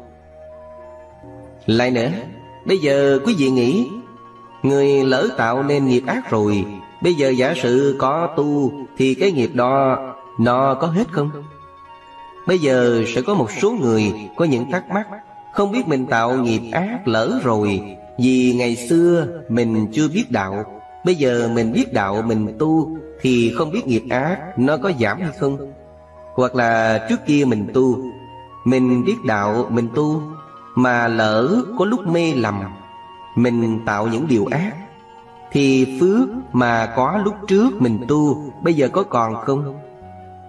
Như vậy, đó là cái mà quý vị đang có những thắc mắc Bây giờ tôi nhắc lại trong kinh Phật có nói như thế này. Phật dạy rằng Cái nghiệp của chúng sanh đó Tuy mình tạo thì mình chịu Nhưng mà Nó không có quyết định Không có cố định. Nếu mình tạo nghiệp Mà hồi xưa mình đã làm phước Làm lành mà bây giờ lỡ tạo nghiệp ác Thì cái nghiệp ác đó có thể nhẹ đi, giảm bớt đi. Còn người không biết làm phước lành Bây giờ tạo nghiệp ác Thì phải lãnh trọn. Trong Kinh Phật nói ví dụ, Cũng như đem một nắm muối bỏ vô tô nước, Thì tô muối nước đó có uống được không? Nếu đem nắm muối này bỏ vô lưu nước, Thì quý vị có uống được không? Được thì nó cũng lờ lợ một chút, Nhưng mà có thể xài được Một nắm muối này mà để vô một hồ nước, Cả ngàn đôi, Thì quý vị có uống được không? Được thì như vậy cũng một năm muối Mà tùy lượng nước nhiều hay ít Thì cái giá trị nó khác nhau. Như thế thì Phật cũng nói vậy Người nào biết từ thân Tu giới, tu tâm, tu huệ Thì cũng giống như một cái hồ nước vậy đó. Dù có tạo một cái nghiệp nhỏ như một năm muối Để vô nó loãng đi cho. Còn người nào chỉ biết tu thân, tu giới, tu tâm Thì giống như cái lu nước năm mươi đo đổ vô Thì nó cũng lợt đi, Có thể dùng được. Nếu người nào không biết tu gì hết Mà tạo cái nghiệp ác Thì nó lãnh đủ Như là một tô nước đổ nắm muối vào vậy. Phật lại ví dụ cái khác Như cùng một việc ăn trộm dê. Một người dân thường lại nhà người ta ăn trộm dê Bị chủ nhà bắt được thì làm sao? Họ đánh đập. Và đưa đi tù nữa phải không? Rồi cũng việc đó. Nhưng người đi ăn trộm là người ở nhà quan. Họ lên đi ăn trộm dê Khi chủ nhà bắt được, Nhưng họ nói là tay chân của quan. Thì liệu chủ nhà có dám đánh đập thậm tệ không? Có ở tù hay khỏi? Rồi cũng việc ăn trộm dê Mà vua sai một chú lính Đến ăn trộm dê của người đó. Khi người đó thấy có người đến bắt con dê của mình, Thì người chủ hỏi ông là ai? Chủ lính đáp, Tôi là lính của vua tới bắt con dê của ông. Thì người đó nói làm sao? Lúc đó ông chủ con dê phải lạy lục, Xin ông đừng bắt con dê của tôi, Tội nghiệp, phải không? Thì như vậy trả đúng cái nghiệp của mình. Người biết tu hai phần, Như hồi nãy tôi nói Biết tu ba phần. Thân, giới, tâm Thì nhẹ cũng như là Người làm cho nhà quan Mà đi trộm dê vậy.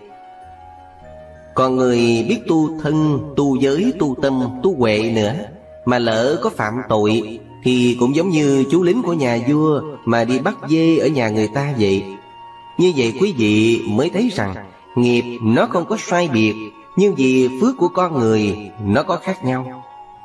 Bởi vậy cho nên, Nhiều khi quý vị Phật tử Nhìn trên nhân gian này, Rồi có cái vẻ như bất bình. Nói, tại sao cái ông đó, Ông làm ác quá, Chưa bị tai nạn gì hết? Như vậy coi như là luật nhân quả bất công còn tại sao người kia, họ không làm ác? Mà nếu có thì cũng chút xíu thôi vậy. Mà thấy nhân quả hiện tiền liền có phải vậy không? Cũng như thấy có người hiền lành hết sức Mà cứ thấy khổ hoài vậy. Còn có người thấy hiền một chút Là thấy phước tới liền. Thì như vậy là tại sao? Bởi vậy cho nên, Chính trong kinh Phật cũng có vậy nếu ai nói làm nghiệp thiện thì sẽ được cái phước báo lành, Làm nghiệp ác thì sẽ bị cái quả báo khổ. Nếu nói như vậy thì Phật sẽ chấp nhận. Nếu ai nói rằng làm nghiệp ác khi chết rồi sẽ đọa địa ngục liền, Làm nghiệp thiện thì đời này sẽ sanh về quái trời, Thì điều đó Phật không chấp nhận. Nghe như vậy, quý vị có thấy khó hiểu không? Tại sao nói làm nghiệp ác thì chịu quả báo ác thì Phật chịu, Làm nghiệp lành sẽ được hưởng phước lành thì Phật chịu. Mà nói làm nghiệp ác chết sẽ sanh về địa ngục thì Phật không chịu, Làm nghiệp lành chết sẽ sanh về quái trời thì Phật không chịu.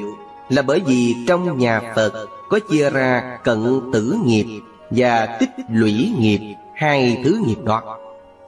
Tích lũy nghiệp và cận tử nghiệp. Tích lũy nghiệp là cái nghiệp mình chứa từ trước đến giờ, Nó dồn chứa. Ví dụ từ xưa đến giờ, Nó dồn chứa những cái nghiệp lành Mà bây giờ bất thần một lúc mê muội nào đó, Ai xúi dục mình làm điều ác làm điều ác thì đáng lẽ phải đọa địa ngục. Nhưng cái nghiệp lành mình tích lũy còn nhiều, Cho nên chưa có đọa địa ngục liền. Nếu nói rằng người đó chết, đọa địa ngục liền là trái rồi, Bởi vì họ còn có cái tích lũy trước. Còn có người làm nghiệp ác mà phải đọa địa ngục liền, Nhưng mà tới gần chết, Họ lại hướng về điều lành, Gọi là cận tử nghiệp lành. Họ cứ nhớ điều lành, Họ chỉ tưởng điều lành thì khi đó cái cận tử nghiệp Nó chuyển làm cho họ không bị đọa địa ngục. Như vậy quý vị mới thấy Nó còn ảnh hưởng đến với cận tử nghiệp và tích lũy nghiệp nữa, Chứ không phải chỉ có một cái thôi. Nhiều khi chúng ta nhìn cái thiển cận Hệ nói người đó làm ác Thì nhất định đọa địa ngục. Đó là lời nói chưa chắc có bảo đảm. Tại sao vậy? Bởi vì còn hai cái. Hoặc là họ có tích lũy nghiệp lành, Hoặc là họ có cái cận tử nghiệp lành, Thì có thể đưa họ đến chỗ khác. Còn người đó tuy thấy họ làm việc thiện Nhưng mà gần chết họ nổi sân, Họ hung dữ quá, Thì lúc đó là cận tử nghiệp ác. Nó có thể đưa đến các đường xấu. Như vậy quý vị thấy chúng ta tu Không phải chỉ tu khi sắp chết thôi, Mà phải tu hồi lúc mình biết đạo tích lũy. Chứa từ từ gọi là tích lũy nghiệp.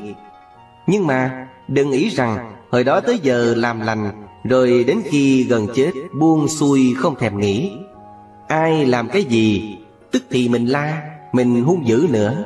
Đó gọi là cận tử nghiệp ác. Vì vậy chúng ta cần phải dè dặt. Ngày xưa có ngài Ma Ha Nam, Tức là người em, có dòng họ thích đối với Đức Phật. Thích Ma Ha Nam Ông tu bình thường. Tu bình thường là giữ năm giới Tu thập thiện Thọ bát quan trai Dân dân đủ hết.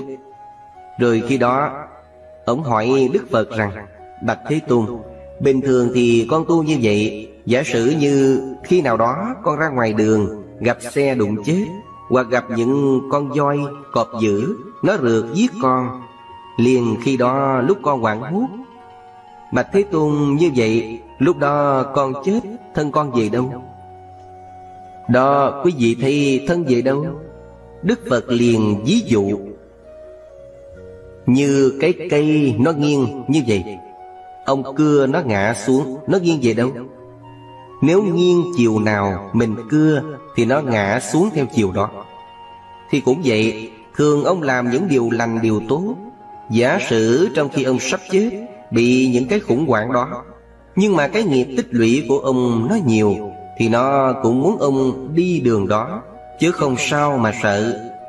Như vậy, quý vị thì Cái chủ yếu tu hành của chúng ta Là làm sao mình tạo những nghiệp lành, Chẳng những tạo trong lúc còn sống, Mà còn trong lúc gần chết Mình cũng nhớ hướng về lành, Thì mới bảo đảm Mình mới đi đến quải lành. Còn nếu bình thường Mình tạo lành, Mà đến khi gần chết Mình tạo dữ thì nó chưa bảo đảm. Cũng như bình thường, Nếu mình lỡ dữ Thì đến lúc gần chết Cũng nên hướng về lành, Thì nó cũng chuyển được phần nào. Nghiệp là cái không phải cố định Mà luôn luôn chuyển biến. Hiểu được như vậy Thì quý vị mới thấy Cái nghiệp nó có giá trị cụ thể. Ai cũng có thể chuyển được, Chứ không phải cố định nói rằng, Tôi lỡ tạo nghiệp ác rồi, Làm sao tôi tu được? Phải không? Hoặc là nói rằng, Tôi ỷ, tôi tạo nghiệp lành, Khỏi lo, tôi cũng được về quải lành, Chưa chắc. Thì như vậy, quý vị mới thấy Cái tu về nghiệp là hết sức quan trọng. Đó là tôi dẫn cho quý vị thì Cái nghiệp nó quan trọng như vậy. Như vậy, nghiệp quan trọng Rồi mình tu có hết nghiệp được không? Chỗ này tôi nói hơi xa một chút, Bởi vì trong nhà thiền, Có một thiền sư là Ngài Trường Sa Cảnh Sâm. Có một người học trò đến hỏi thế này. Học trò đó là thiền sư Hạo Nguyệt. Hỏi rằng, Theo lời trong chứng đạo ca của Ngài Quyền Giác, Liệu tức nghiệp chướng bền lai không dị liêu ưng tu hoàng túc trai? Nói rằng nếu mình liễu ngộ, Thì nghiệp chướng xưa nay là không. Còn nếu mình không liễu ngộ, Thì mình phải đền nợ trước. Ông Hạo Nguyệt mới hỏi Ngài Cảnh Sâm rằng, Như vậy thì tổ sư tử ở Ấn Độ có liễu chưa Mà bị vua kế tâm chặt đầu? Tổ Huệ Khả ở Trung Hoa có liễu chưa Mà chết ở trong khám? Không liễu, làm sao gọi là tổ? Ngài Trường Sa Cảnh Sâm đáp rằng Đại Đức chưa hiểu nghiệp chướng. Hỏi, thế nào là nghiệp chướng? Thì Ngài trả lời rằng, Bổn lai không. Như vậy quý vị hiểu chưa? Chắc cũng chưa hiểu luôn. Bây giờ tôi nói thế này Thì quý vị hiểu. Thí dụ như có người từ trước đến giờ Chưa có học đạo, Chưa có hiểu đạo, Cho nên tạo nghiệp ác, Gây oán thù với người. Thí dụ như, Hồi trước mình làm cho họ khổ tâm Chửi mắng họ. Bây giờ họ hận ở trong lòng. Hồi đó thế lực của họ yếu Không dám nói gì Hoặc làm trả lại. Rồi 10 năm, 20 năm qua Mình quên đi Và đến giờ này mình thất thế. Trái lại thế lực của họ cao hơn mình Nên lúc gặp lại mình Họ chửi mắng mình thậm tệ hơn hồi xưa Mình chửi họ nữa. Thì quý vị có thấy nghiệp có mắt không? Nhưng bây giờ họ chửi lại mình, Thì mình coi những lời chửi đó, Những lời nói đó như gió ngoài tay Họ chửi om sòm mà mình cười, Mình không giận cái gì hết trơn. Như vậy có trả hay là không có trả? Quý vị trả lời thử coi.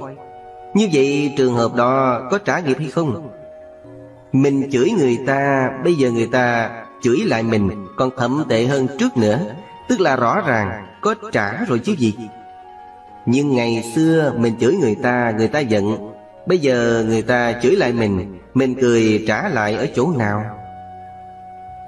Quý vị mới thấy Cái chỗ đó là cái chỗ đặc biệt của nhà Phật. Biết rằng nghiệp tạo thì không mất phải không? Có tạo mà không mất, Tức là tạo ra thì phải có trả. Nhưng mà mê thì trả đủ, Còn ngộ thì thấy như không có trả gì hết phải không?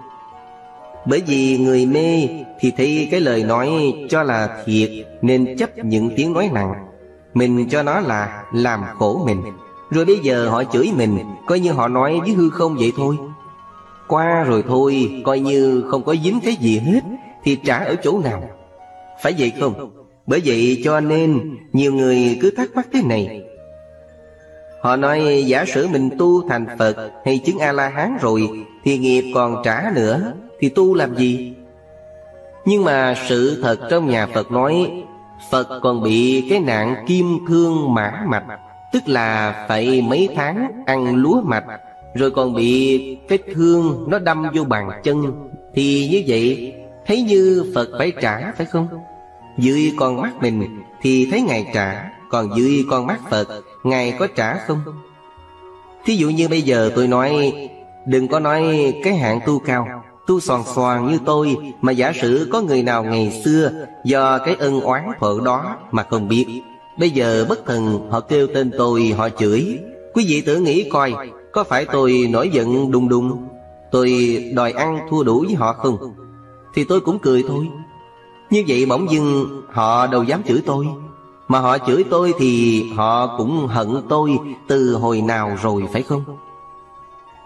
Hận Tức là mình phải làm cái nghiệp gì đối với họ. Nên bây giờ họ gặp mình, Họ mới chửi mình. Họ chửi mình, bây giờ Mình thấy cái lời nói, Lời chửi nó không có thiệt Thì thôi. Để họ nói cho đã rồi thôi, Phải vậy không? Bởi vậy cho nên trong kinh nói, Tôi nhắc lại có một lần Đức Phật đi khất thực Trong một vùng nọ Mà vùng đó là vùng Bà La Môn Đã được nghe giáo pháp của Ngài nên họ phát tâm hướng về đạo. Có một ông thầy Bà La Môn kia Ông tức quá Thế nên một hôm Đức Phật đi khất thực ngang qua. Ông thầy Bà La Môn này cứ đi theo Phật Phật đi trước, ông đi sau Cứ kêu tên Phật mà chửi hoài. Phật vừa đi, ông vừa chửi. Phật đi mãi và im lặng mà đi dài theo con đường Một cách chậm rãi. Ông cứ đi theo sau lưng chửi hoài Và chửi tới đầu đường. Ông tức quá Vì không thấy Phật trả lời. Ông bèn chạy tới trước mặt Phật, Chặn đường hỏi, Ngài cô đàm, Ngài có biết không? Phật nói, không. Rồi hỏi tiếp, Ngài không biết, Mà tại sao Ngài nghe tôi chửi Mà Ngài không nói gì? Lúc đó Phật mới dừng lại và hỏi, như ngày dỗ ở nhà của ông Ông có mời bà con thân quyến lại ăn dỗ Vì quà bánh còn nhiều, Ông đem tặng cho những người thân quyến Ông đem tặng quà cho họ, Mà có người họ không nhận, Thì gói quà đó thuộc về ai? Lúc đó ông trả lời, Nếu họ không nhận thì gói quà đó thuộc về tôi chứ về ai? Phật nói, Cũng vậy, Ông chửi người ta Mà người ta không nhận, Thì ta đâu có dính gì đâu, Phải không? Do đó, quý vị mới thấy Cái chửi là một nghiệp ác, Nó trả lại cho mình. Nếu mình không nhận, Thì nó có dính gì với mình, Phải vậy không? Bởi vậy, trong Kinh Phật thường dạy, Người ác mà mắng người lành, Cũng như ngửa mặt lên trời Mà phun nước bọt, Thì nước bọt có tới trời không? Nó không tới trời Mà nó lại rơi xuống mặt mình, Phải vậy không? Cũng vậy, Chính không nhận Thì quay như không có trả, phải không? Nghĩa là mình nhận, Mình mới trả, phải vậy không? Như vậy, giờ quý vị Phật tử ở đây Có trả hay không có trả? Nếu mà ai lỡ có gây nghiệp ác khẩu với người nào đó, Bây giờ quý vị mới thi trả hay không trả Chắc trả Nhiều khi còn trả nặng hơn nữa, phải không Ngày xưa, mình mắng họ Họ giận chừng hai ngày. Bây giờ họ mắng mình Mình giận cả tháng, phải không? Đó là trả nặng hơn chứ gì? Bởi vì trình độ Phật tử chúng ta thâm nhập Phật Pháp Thật là cạn. Ví dụ như Phật Phật đi đằng trước, Người ta đi ở đằng sau, Người ta chửi. Phật không có dính gì hết trơn, Thì Ngài không có nhận.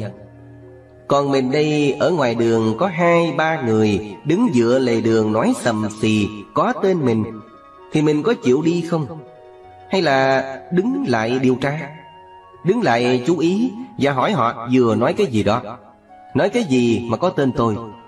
Vừa có tên mình là mình muốn ăn thua rồi phải không? Còn khi xưa, họ kêu tên Phật mà chửi, Ngài vẫn lặng lẽ mà đi, Không màng để ý tới. Như vậy quý vị thấy cái tu và cái chưa tu Nó khác nhau ở chỗ đó phải không? Chúng ta tu không phải cúng chùa nhiều Mà chúng ta hết khổ Mà chúng ta phải biết cái gì thật, cái gì giả Cái gì không đúng, cái gì sai. Cái gì không phải không đáng để ý Thì mình bỏ qua. Sở dĩ chúng ta tạo thành nghiệp quan trọng Vì chúng ta chú tâm thân, khẩu, ý Mà dồn nghĩ vào đó cho nên nó thành nghiệp. Còn nếu thân khẩu ý của chúng ta, Dù có những điều phải đến, Mà chúng ta vẫn coi thường, Thì nó cũng nhẹ nhàng, Nó cũng hết. Bởi vậy cho nên, Người Phật tử chân chính phải hiểu rằng, Nghiệp đúng ra là do hành động của mình, mà hành động của mình có thiệt hay không? Qua rồi nó mất phải không? Nhưng mà riết rồi thành thói quen. Thói quen đó là chữ nghiệp. Như vậy, Nghiệp chúng ta có thể chuyển được Mà cũng có thể chúng ta chuyển không được, phải không? Nếu một người biết tu mạnh dạng, Biết mình từ hồi đó tới giờ Tạo nghiệp ác nhiều, Bây giờ cố gắng làm điều lành nhiều, Cố gắng tiến tu, Thì cái điều ác có thể bị mất. Còn có nhiều người biết mình có nghiệp ác nhiều, Mà rồi mình yếu đuối Và mình không cố gắng làm lành thì chắc chắn cái nghiệp ác khó mà chuyển hồi. Thí dụ như quý vị thấy Có những người lỡ nghiện rượu, Mà lỡ nghiện rượu rồi, Bác sĩ có giải thích Cái nghiện rượu như vậy hại thế nào, Nguy hiểm thế nào? Họ nghe, họ hiểu. Giả sử trong năm người đã nghiện rượu Được giải thích đó, Thì năm người đó có bỏ hết được không? Tại sao có người bỏ được, Có người bỏ không được? Người bỏ được là khi họ biết cái đó rõ ràng rồi. Biết cái tai hại lớn lao rồi Bản thân họ có một sức mạnh, ý chí mạnh. Họ dứt khoát bỏ là có thể bỏ được. Còn có người biết cái đó có hại Nhưng mà ý chí yếu. Muốn bỏ nhưng mà ghiền và thèm. Thèm là muốn uống lại phải vậy không? Hoặc bạn bè rủ Muốn đi theo thì như vậy. Tuy biết có muốn bỏ nhưng mà bỏ không được. Đó để thấy rằng Nghiệp của chúng ta Chúng ta có thể chuyển được, Mà chúng ta cũng có thể không chuyển được, Tùy theo ý chí mỗi người. Giờ tôi đi xa hơn một chút. Quý vị Phật tử chắc thường cũng thắc mắc chuyện này. Có nhiều thầy tu khoảng chừng vài chục năm, Học hành đạo lý khá rồi Thì địa nghiệp gì đó ra đời. Rồi gặp quý vị Phật tử hỏi Tại sao thầy đang tu mà bỏ ra đời? Nói, Tại cái nghiệp của tôi nó lôi, Phải không? Tại cái nghiệp của tôi Nó lôi Thì quý vị nghĩ làm sao?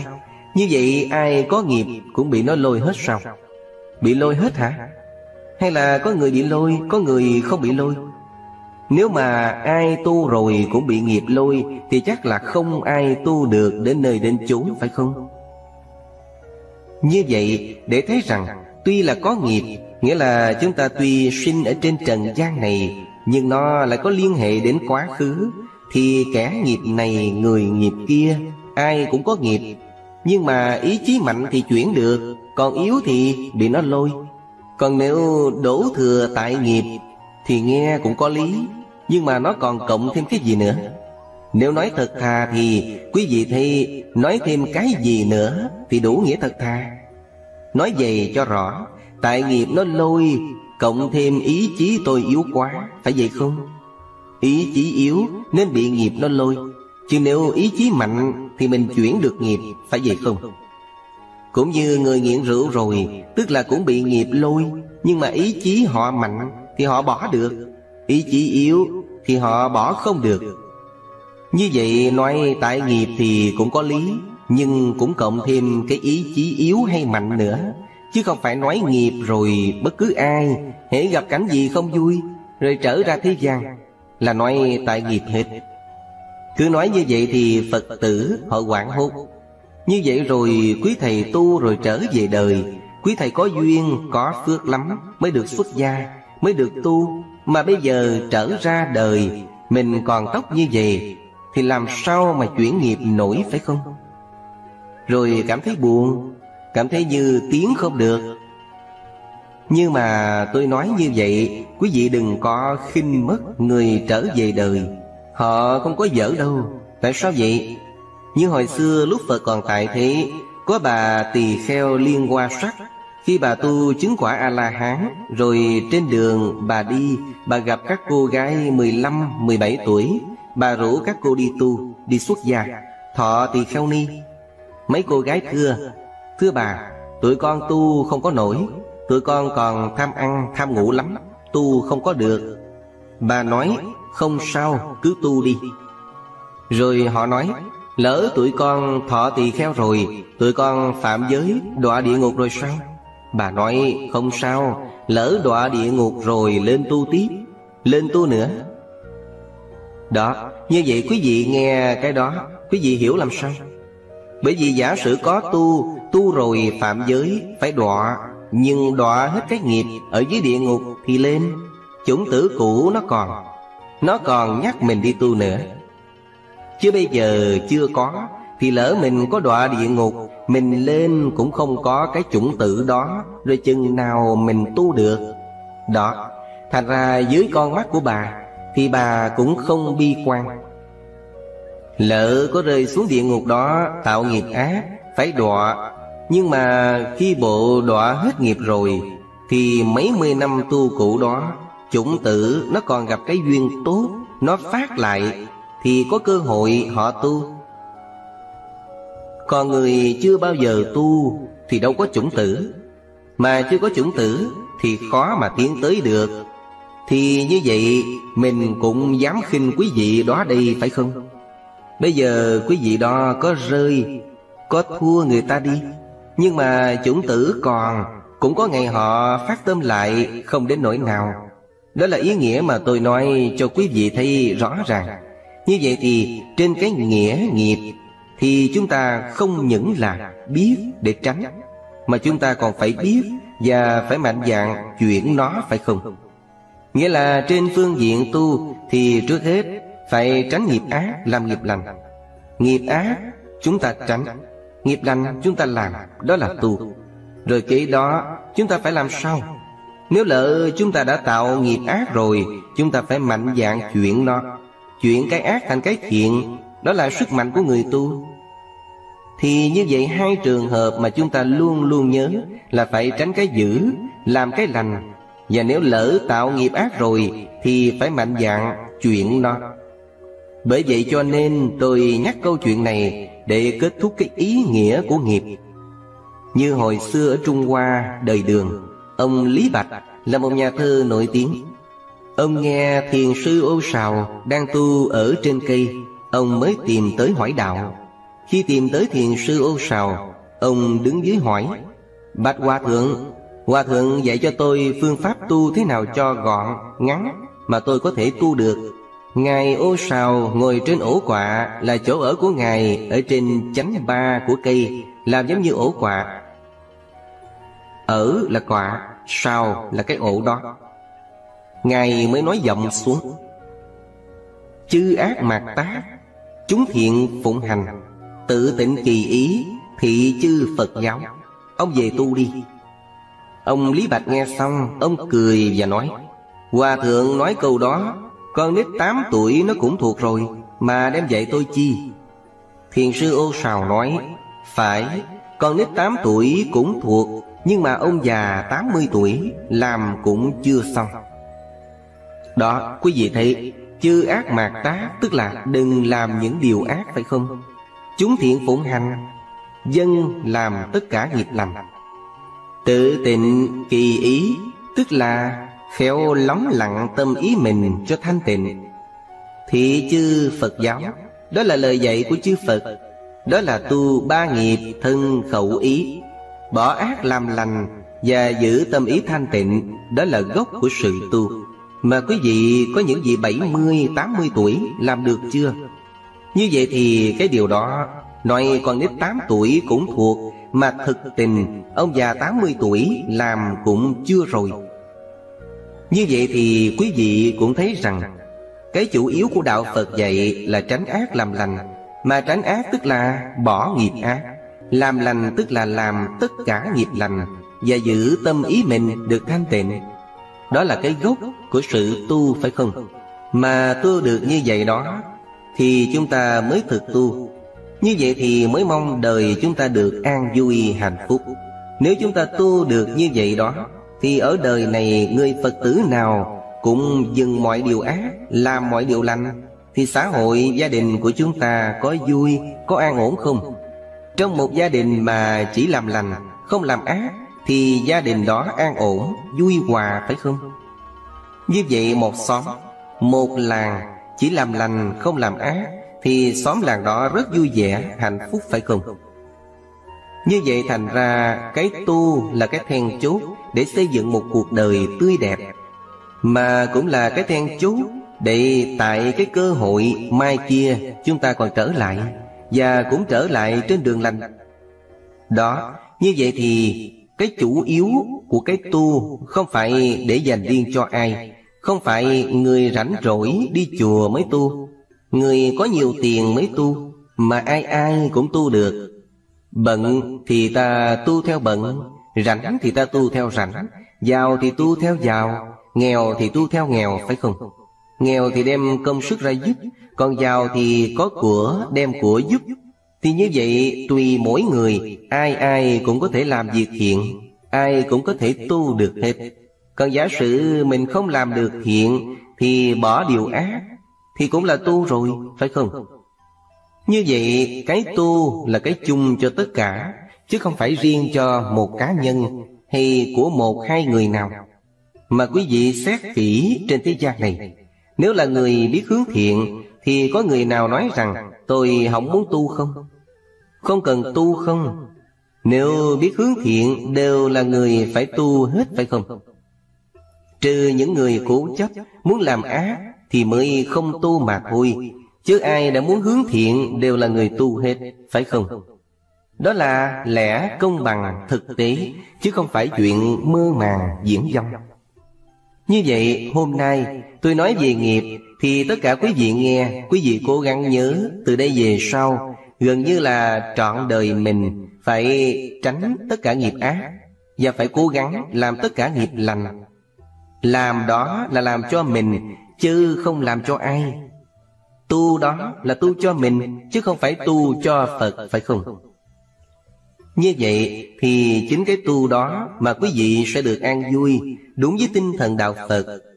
Đạo phật là đạo cứu khổ ban vui, là chỉ con đường nào đưa đến khổ đau, con đường nào đưa đến an lạc. Quý vị biết con đường an lạc thì cố gắng đi đó là đạo Phật cứu quý vị biết nói là an lạc. Kia là đau khổ Rồi cứ đi đường khổ Rồi nói tôi tu Phật lâu quá Mà không hết khổ Thì lỗi đó là lỗi tại ai?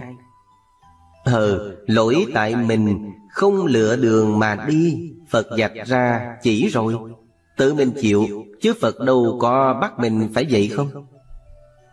Mình chọn đúng đường của Phật chỉ, Đặng đi thì mình vui. Mình đi ngược lại thì mình khổ. Đó là cái chủ yếu Của cứu khổ ban vui Của nhà Phật. Vậy thì hôm nay một lần nữa, Tôi nhắc quý vị cố gắng Thực hiện cái điều đó Cho đến 80 tuổi. Chọn được cái điều đó Thì cũng giỏi quá rồi. Vậy thì hôm nay Tất cả quý vị chắp tay Hồi hướng theo chúng tôi.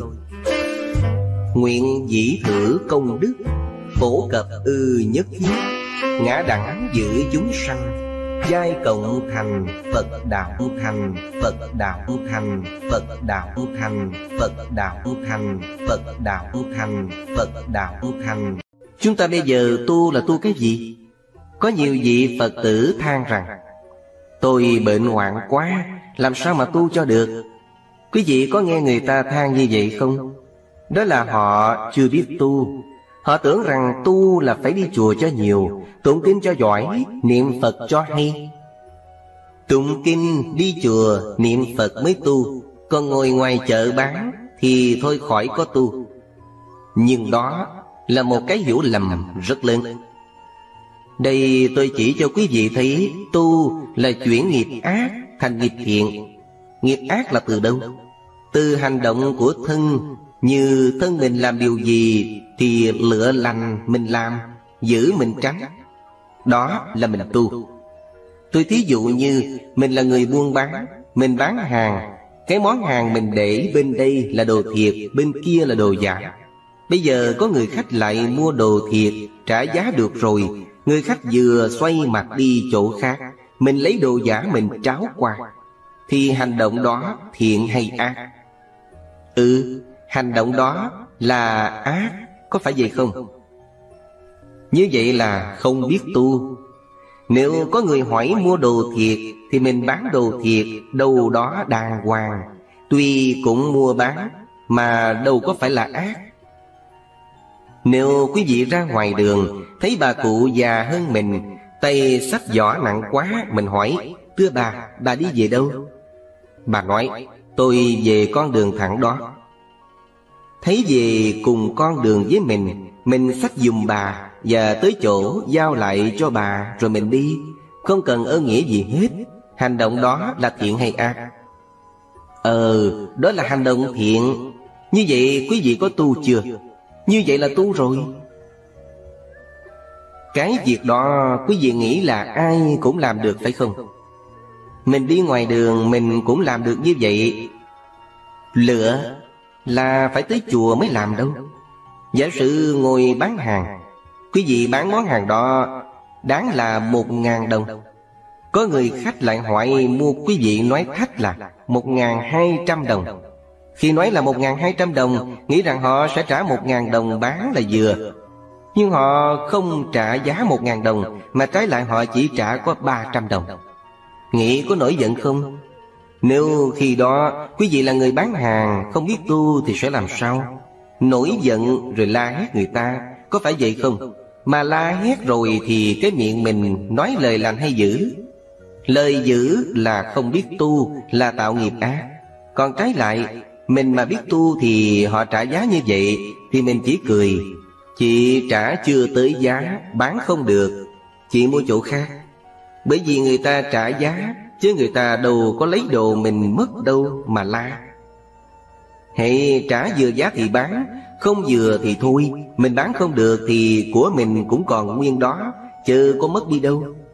Như vậy, quý vị thấy ngồi giữa chợ có tu không? Chính nơi đó mới thật là tu. Tu như vậy mới là tu chân chính. Chớ đi vô chùa lạy Phật cả chục lạy Phật cũng không gật đầu. Giả sử mình có vô lễ Phật cũng không lắc đầu. Phật làm thinh không có khen mà cũng chẳng chê Chỉ có kẻ phàm phu ở thế gian, Họ mới có khen, có chê Mình làm điều tốt thì họ mừng, họ khen. Mình làm điều xấu thì họ giận, họ chê Như vậy thì tu với chúng sanh, Chứ đâu có tu với Phật. Mà Phật tử của mình bây giờ, Chỉ tu với Phật, Chứ không có tu với chúng sanh. Nhiều khi đi chùa tụng kinh Tụng kinh trước Phật Thì nghiêm trang lắm Tề chỉnh lắm. Nhưng ra đường rồi thì ai sao mình vậy Ăn thua đủ? Không thua ai một lời nào hết. Như vậy là biết tu chưa? Đó là đâu có biết tu. Bởi vì nếu biết tu là sửa nghiệp ác thành nghiệp thiện. Những lời nói ác ngày xưa chưa biết Thì mình có thể nói thành tội lỗi. Vì nói lời ác, Nhưng bây giờ thì biết rồi thì dè dặt từng một lời nói Một lời nói thốt ra Mình cân nhắc rõ ràng. Đáng nói lời lành, lời thiện mới dám nói Chứ không dám nói một lời ác. Như vậy quý vị thấy Ra chợ mình cũng tu phải không? Rồi bây giờ về nhà có tu không? Gặp con chồng Mà nói rầy gì đó Có nổi quạo không? Đi bán ngoài chợ mệt rồi Về nhà gặp chồng con còn nói lời này, lời nọ, liền nổi tức lên, Thì lúc đó có tu không À Lúc đó thì tha hồ muốn nói lời gì thì nói Như vậy cho nên chồng con mới nói, Tu gì? Tu hú chứ tu gì? Tu gì mà còn hung dữ quá Đó là tại quý vị chưa biết tu, Chứ về nhà với chồng con, Với người trong gia đình mình Cũng phải tu nữa bởi vì ngoài chợ quý vị thấy tu, Nhưng mà chưa khó bằng ở trong nhà. Tu với người ở trong nhà dễ hay khó? Khó. Như vậy thì về nhà còn tu nhiều hơn nữa. Thay vì hồi xưa quý vị đi làm mệt, Về con cái, Nó nói một lời không vừa ý mình, Thì mình la hét, Bây giờ mình biết tu rồi, Con cái, nó có làm trái ý mình. Thì mình cũng bình tĩnh, Nói nhỏ nhẹ, Hòa nhã, từ từ. Đó là quý vị biết tu. Như vậy quý vị đi chùa về nói chuyện rất hiền hòa. Hồi xưa la hét, Bây giờ hiền hòa, Thì con cái nó khen hay chi? Ô, má tôi hay quá, Mới đi chùa có mấy tháng mà tiến bộ như vậy. Còn nếu đi chùa tụng kinh mà về nhà thì la hét, Như vậy thì nó nói làm sao? Má không có tu gì hết.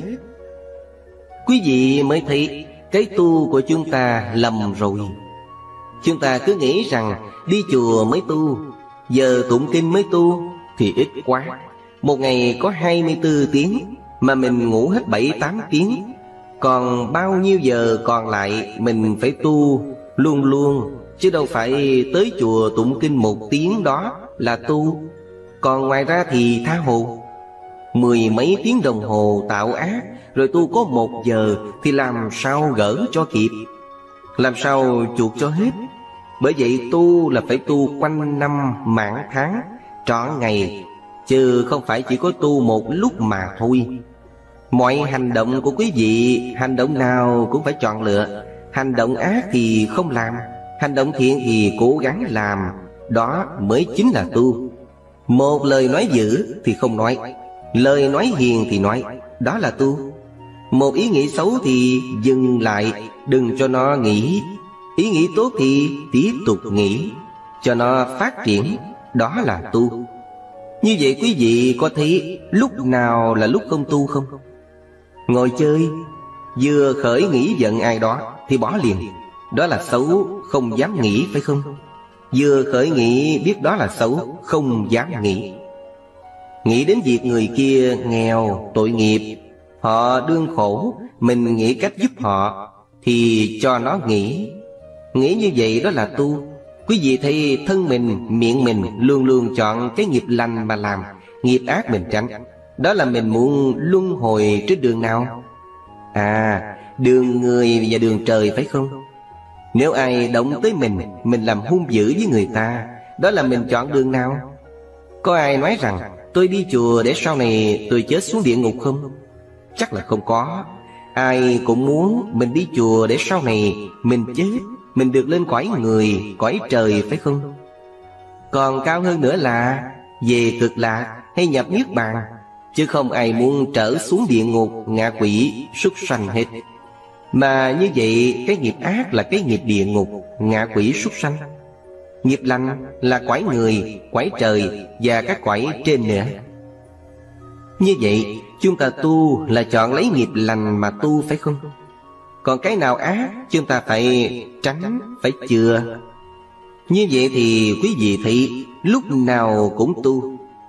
Ở chợ thì quý vị tu với người mua bán ngoài chợ. Về nhà thì tu với mọi người trong gia đình. Chờ trên thuận dưới hòa thì đó là tu. Chứ đâu phải chỉ có tu với Phật, tu với chùa. Nhiều khi quý vị Phật tử không biết, Cứ nghĩ rằng đi chùa nhiều mới tu, Nên bỏ cả công ăn việc làm để đi chùa. Sau khi đi chùa về, Ở nhà thấy công việc bề bối, Bị người ta la rầy, Thì mình nói làm sao? Tôi tu mà bị nghiệp nó khảo quá phải không? Tu bị nghiệp nó khảo Khảo gì đâu, Tại vì mình tu không đúng. Công việc ở nhà thì cứ việc ở nhà làm, Chừng nào rảnh thì mới đi chùa. Phật đâu có bắt buộc mình. Chỉ cần là làm sao chuyển nghiệp ác thành nghiệp thiện, Đó là then chốt của tu.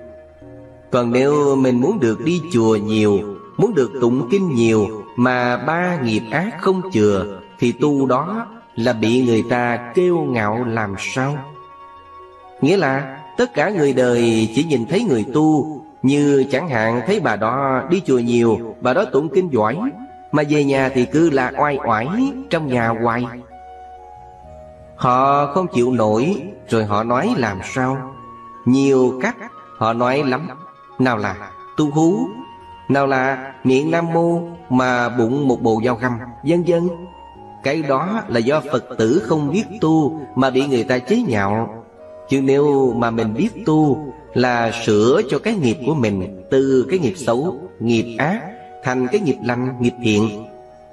Bây giờ quý vị thử tưởng tượng coi Nếu một người Phật tử nào đó Thân không dám ác Miệng không dám nói một lời ác Ý không dám nghĩ một điều xấu Thì người đó ở trong gia đình Có thắc mắc Có rầy rà không? Bởi vì đâu có nói ác Mà sinh chuyện rầy rà phải không? Mà nếu trong gia đình cả ngày không thắc mắc Không rầy rà Thì gia đình đó có hạnh phúc không? Đó mới chính là nguồn hạnh phúc phải không? Rồi ra ngoài xã hội, Cả ngày mình không dám nói một lời nói nặng ai. Cả ngày mình không dám nghĩ xấu ai, Thì tự nhiên mình được vui. Mọi người được an vui. Như vậy, trong gia đình thì hòa nhã an vui, Ngoài xã hội thì cũng đều an vui. Tu như vậy mới thật là tu chứ. Một người tu thì đem lại hạnh phúc cho bản thân mình, Cho gia đình mình. Mà cũng đem lại hạnh phúc cho thế gian nữa. Như vậy mới thật là tu. Còn Phật tử mình bây giờ, Tu đó thì ham tu, Mà về nhà thì rầy rà om sòm phải không? Nghĩa là hiền với huynh đệ Mà không hiền với con cháu. Có phải vậy không? Có nhiều khi con cháu làm trái ý gì Thì la mắng đủ chuyện, cho nên rồi cũng bị người ta phê phán ở chỗ đó. Cũng như bên Nhật, có bà già. Bà niệm Phật giỏi lắm. Cầm chuỗi niệm hoài. Nhưng mà niệm Phật, Lúc nào niệm thì niệm. Dừng niệm lại thì rầy la con cháu om sòm. Thằng con thấy vậy, nó buồn mới nói, Má à Má niệm Phật thì má niệm Phật đi. Tại sao má cứ rầy ra hoài? Thì nó sao lãng Thì làm sao Phật chứng cho má? Bà mới nói, Khi nào tao niệm Phật thì cái tiếng tao niệm, Phật thông cảm cho tao. Còn khi nào tao rầy, Tụi bay biết cho tao. Bà chia làm hai phần. Phần niệm Phật thì dành cho Phật, Có phần rầy thì dành cho con cháu. Như vậy thì quý vị thấy tu chia làm hai phần. Phân nửa tu với Phật, Phân nửa giữ thì cho gia đình. Bởi vậy cho nên chúng ta phải làm sao Vừa tu với Phật mà vừa tu với người thế gian nữa. Thì cái tu đó mới là trọn, Phải vậy không? Tu như vậy mới là hay Đó là tôi nói cái nghiệp của Phật tử chúng ta muốn tu Muốn chọn đường đi ngày mai được an vui hạnh phúc, Thì ngay từ bây giờ chúng ta phải làm sao? Phải tu Tu tức là bỏ nghiệp ác, Làm nghiệp thiện, phải không? Bởi vậy cho nên, Trong một bài kinh, Có một người ngoại đạo đến hỏi Phật, Thưa Ngài, Cổ Đàm cái gì định đặt con người sinh ra Có kẻ nghèo nàn khổ sở Có người thì giàu sang sung sướng Có người thì sống lâu Có người thì chết yểu Có người thì bệnh hoạn Có người thì khỏe mạnh Có người thì thông minh Có người thì ngu tối Vậy cái gì định đặt ra Có người giàu sang sung sướng Người thì nghèo nàn khổ sở Có người thì sống dài 70 đến 80 tuổi Có người chết yểu có người nghèo đói, Người dư giả Có người thông minh, Có người ngu tối. Tại sao vậy? Cái gì định đặt ra? Nghe xong, Đức Phật trả lời, Tất cả những cái sai biệt giữa con người với nhau, Đó là do từ nghiệp mà nó định đặt ra. Nghiệp định ra có người có ưu, có liệt. Người đó lại hỏi, Nghiệp gì khiến cho người đó sống lâu? Nghiệp gì khiến cho người kia chết yểu? Phật dạy Những người không sát hại chúng sanh Người đó do cái nghiệp đó mà họ được sống dài Còn những người nào hay giết hại chúng sanh Thì cái nghiệp đó khiến họ bị chết yểu Đó, quý vị thấy rõ không? Cái nghiệp đó có công bằng không? Mình ưa giết người ta Thì mình phải chết yểu Còn mình hay cứu người ta Thì mình được sống dài Vậy bây giờ sống được 80 đến 90 tuổi Là do đời trước Họ ít có giết hại ai. Còn bây giờ mới mười mấy, hai mươi tuổi mà chết, Đó là vì nghiệp sát đời trước nó còn. Tại sao có người bệnh hoạn nhiều, Có người lại khỏe mạnh? Do cái nghiệp gì mà người đó khỏe mạnh? Do cái nghiệp gì mà người đó bệnh tật? Phật trả lời Do cái nghiệp làm đau khổ cho người, cho chúng sanh Nên bây giờ bệnh hoạn nhiều. Do cái nghiệp an ủi, giúp đỡ người Qua những cơn buồn khổ Cho nên bây giờ người ấy ít bệnh hoạn. Như vậy, ai làm khổ cho người ta nhiều Thì bây giờ họ phải bệnh hoạn khổ đau. Ai làm cho người ta vui tươi khỏe mạnh Thì người đó được cái nghiệp tươi vui. Như vậy có công bằng không? Tại sao có người sanh ra Cha mẹ họ là giàu sang sung sướng? Họ vừa lọt lòng ra là đã sang cả rồi. Còn có người vừa mới sanh ra Là đã nghèo đói đủ thứ khổ. Cái nghiệp gì vậy? Phật dạy Bởi vì đời trước họ biết làm lành, bố thí biết giúp đỡ người nghèo đói, bệnh tật. Cho nên đời này sanh ra Họ được trong cảnh giàu sang, sung sướng. Còn những người nào không biết giúp đỡ người Mà lại còn gian tham, rút tỉa của người Cho nên đời này họ phải sanh ra trong cảnh nghèo đói. Như vậy quý vị thấy Cái nghiệp của mình tạo ra đời trước Thì bây giờ mình phải chịu. Còn nghiệp gì người đó sanh ra được thông minh còn người kia lại ngu tội? Quý vị thấy có người học ít hiểu nhiều Có người học hoài không biết. Không nhớ gì hết là tại sao? Phật nói, Tại vì người đó trước kia Tạo cái nghiệp siêng năng nghe Pháp, Tìm hiểu chánh Pháp. Do tìm hiểu và siêng năng nghe đó Mà sau này được cái nghiệp thông minh. Còn người lười biếng, Không chịu tìm hiểu và nghiên cứu chánh Pháp, thì đó là cái nghiệp ngu tối. Như vậy chúng ta nghiệm thi Tất cả cái quả mà chúng ta có dây gốc Là từ cái nhân chúng ta gây thuở trước, Chứ không phải bỗng dưng mà nói như vậy. Biết như thế rồi, Chúng ta muốn ngày mai được cái gì Thì bây giờ chúng ta phải chuẩn bị, Phải tạo sẵn. Bây giờ mình biết tạo để dành mai kia, Mình mới hưởng được. Còn mình không tạo để dành Thì mai kia có đâu mà hưởng. Như vậy nếu chúng ta sanh ra trong cảnh nghèo đói, Thì có oán trách trời đất không? Có oán không? Không oán Tại sao chúng ta không oán? Vì biết đó là cái nghiệp trước chúng ta đã tạo, Không khéo bây giờ mình phải chịu Còn nếu chúng ta sanh ra Mà được cảnh giàu sang sung sướng, Chúng ta có tự cao ngã mạng không? Vì chúng ta biết là cái nghiệp lành đời trước mình tạo mà ngày xưa chúng ta biết tạo nghiệp lành, Thì bây giờ mới được hưởng quả lành. Nếu chúng ta mà tự cao ngã mạng, Thì làm cho cái nghiệp lành nó giảm bớt đi. Bởi vậy, cái nghiệp là cái dẫn mình đi tới chỗ tốt, Dẫn mình đi tới chỗ xấu. Mà nghiệp là chính mình làm chủ, tạo. Cho nên tu là quý vị phải biết nó rõ. Chúng ta là người tạo điều kiện cho chúng ta lâm vào chỗ xấu Chứ không ai khác, phải vậy không? Như vậy thì mới thấy cái gốc của sự tu. Nhưng mà bây giờ có người họ nói rằng Thân này hay là hành động của mình tạo nghiệp thiện? Nghiệp ác như vậy Thì cái thân này hoại rồi Thì cái hành động nó cũng mất. Như vậy nghiệp nó còn hay mất? Đa số đều nghĩ rằng, Bây giờ mình tạo Mà ngày kia thân này hoại rồi, Chắc nghiệp nó mất. Nhưng sự thật, nó không mất. Trong kinh Phật thường nói, Nghiệp nó theo mình như hình với bóng vậy, Không bao giờ mất. Mình ở đâu thì nó ở đó. Cho nên đời này, đời sau, Nó có liên hệ Tùy theo nghiệp của mỗi người. Bây giờ tôi thí dụ như vậy, Quý vị sẽ coi có đúng hay không? Thí dụ có người làm thầy giáo, Có người là một nhà buôn bán lớn giàu có. Hai người đó có cái duyên Phải đi qua một con sông lớn Để dời chỗ ở.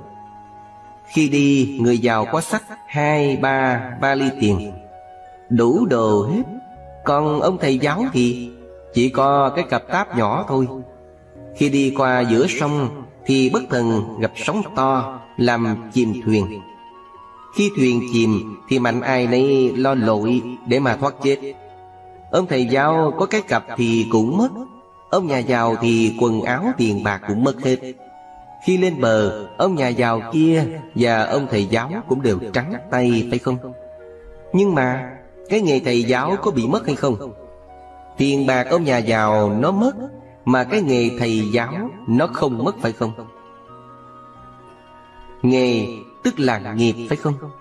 Cũng như quý vị thấy, qua bao nhiêu cuộc biến cố ở trên thế gian này, Tôi thí dụ như ở trong xóm mà bị lửa cháy, Nhà cửa sự nghiệp của mình bị lửa cháy theo rụi hết Còn nếu mình làm nghề bác sĩ hay nghề gì đó, Thì qua một cuộc biến cố rồi, Của cải sự nghiệp hết, Nhưng mà cái nghề có mất không? Như vậy, để thấy rằng Tất cả cái gì bên ngoài thì nó mất, Còn cái nghiệp là cái không mất. Bởi vậy cho nên thân này hoại Mà cái nghiệp đó nó vẫn theo mình, Nó không mất. Còn có mình thì nghiệp vẫn còn theo. Như vậy thì quý vị phải biết rõ rằng Cái nghiệp là cái không mất. Đời này đời sau nó luôn luôn theo mình. Như vậy thì của cải sự nghiệp thế gian này nếu mà chúng ta có tạo nhiều thế nào đi nữa Khi tới chết thì sao? Mình có mang được cái gì theo không? Nếu có Nhờ quý thầy dán nhà, dán cửa đốt theo Thì có đem theo được không? Vậy mà cũng có nhiều người Cũng muốn sắm cái này, cái nọ đem theo Phải vậy không? Hoặc là con cái thương cha mẹ Cũng muốn đốt cho nhiều đặng đem theo như vậy thì quý vị có thắc mắc rằng Mình có đem theo được những cái đó hay không? Mua giấy tiền vàng bạc cho nhiều, Đốt đem theo, có được không? Chắc là không được Phải vậy không? Vậy mà có người hỏi tôi như thế này Thưa Thầy, Mình chết rồi, mình đốt giấy tiền vàng bạc cho nhiều, Mình có hưởng được cái gì không? Còn cháu trên này, Nó sợ mình đói, Thiếu, Cho nên mua giấy tiền vàng bạc về nó đốt nó cầu nguyện cho mình nhận được để mình hưởng Nhưng mà mình có hưởng được không? Thì tôi mới nói rằng, Nếu con cháu mà bái tên của mình về đặng lãnh, Thì e rằng ở tù Tại làm sao? Vì mang bạc giả xuống Diêm Dương, Chắc là ở tù phải không? Ở tù chứ đừng có mong hưởng Bởi vì quý vị thấy có ai mang bạc giả vào nước mình Thì làm sao? Thì ở tù mình mà mang bạc giả xuống Diêm Dương Thì cũng ở tù luôn, Phải vậy không? Đó là nói tiền bạc. Rồi có người nói Ở trên này có nhiều người, Họ dán nhà lầu, Dán xe hơi rồi đốt. Đốt để cho thân nhân ở dưới lãnh về dưới xài. Như vậy có lãnh được không? Tôi nói rằng, Nếu ai mà sắm những thứ đó về dưới, Thì đó là cái hại cho thân nhân họ. Một là Đốt đồ về dưới. Rồi nếu họ nhận được thì Bây giờ hỏi có ai muốn thân nhân của mình chết ở địa ngục hay không? Không muốn chứ gì? Không muốn mà đốt những đồ đó về dưới Để cất nhà lầu, Rồi ở dưới địa ngục luôn. Hết thoát được. Ở nhà lá không tiếc của, Còn đi được. Còn nếu đốt nhà lầu xuống dưới, Nếu họ nhận được, Đó là muốn nhốt họ ở luôn xuống dưới địa ngục Muôn đời phải không? Đó là một cái khổ Còn cái khổ khác nữa Quý vị nghĩ ở trên này mà đốt nhà lầu, đốt xe cộ xuống dưới Mà ở dưới người ta đang ở trong địa ngục Thì có tội hay có phước? Có tội Có tội thì ra tù lãnh xe lãnh nhà được không? Như trên thế gian này Có người đang bị tội nhốt ở trong khám Mà bây giờ có người đem xe hơi tới Rồi nói với lính gác Để mời người đó ra ngồi xe đi chơi được không? Như vậy cũng không được. Nếu là có tội thực ở trong khám, Đốt nhà xuống dưới cũng không hưởng được cái gì. Đó là giả sử không hưởng được.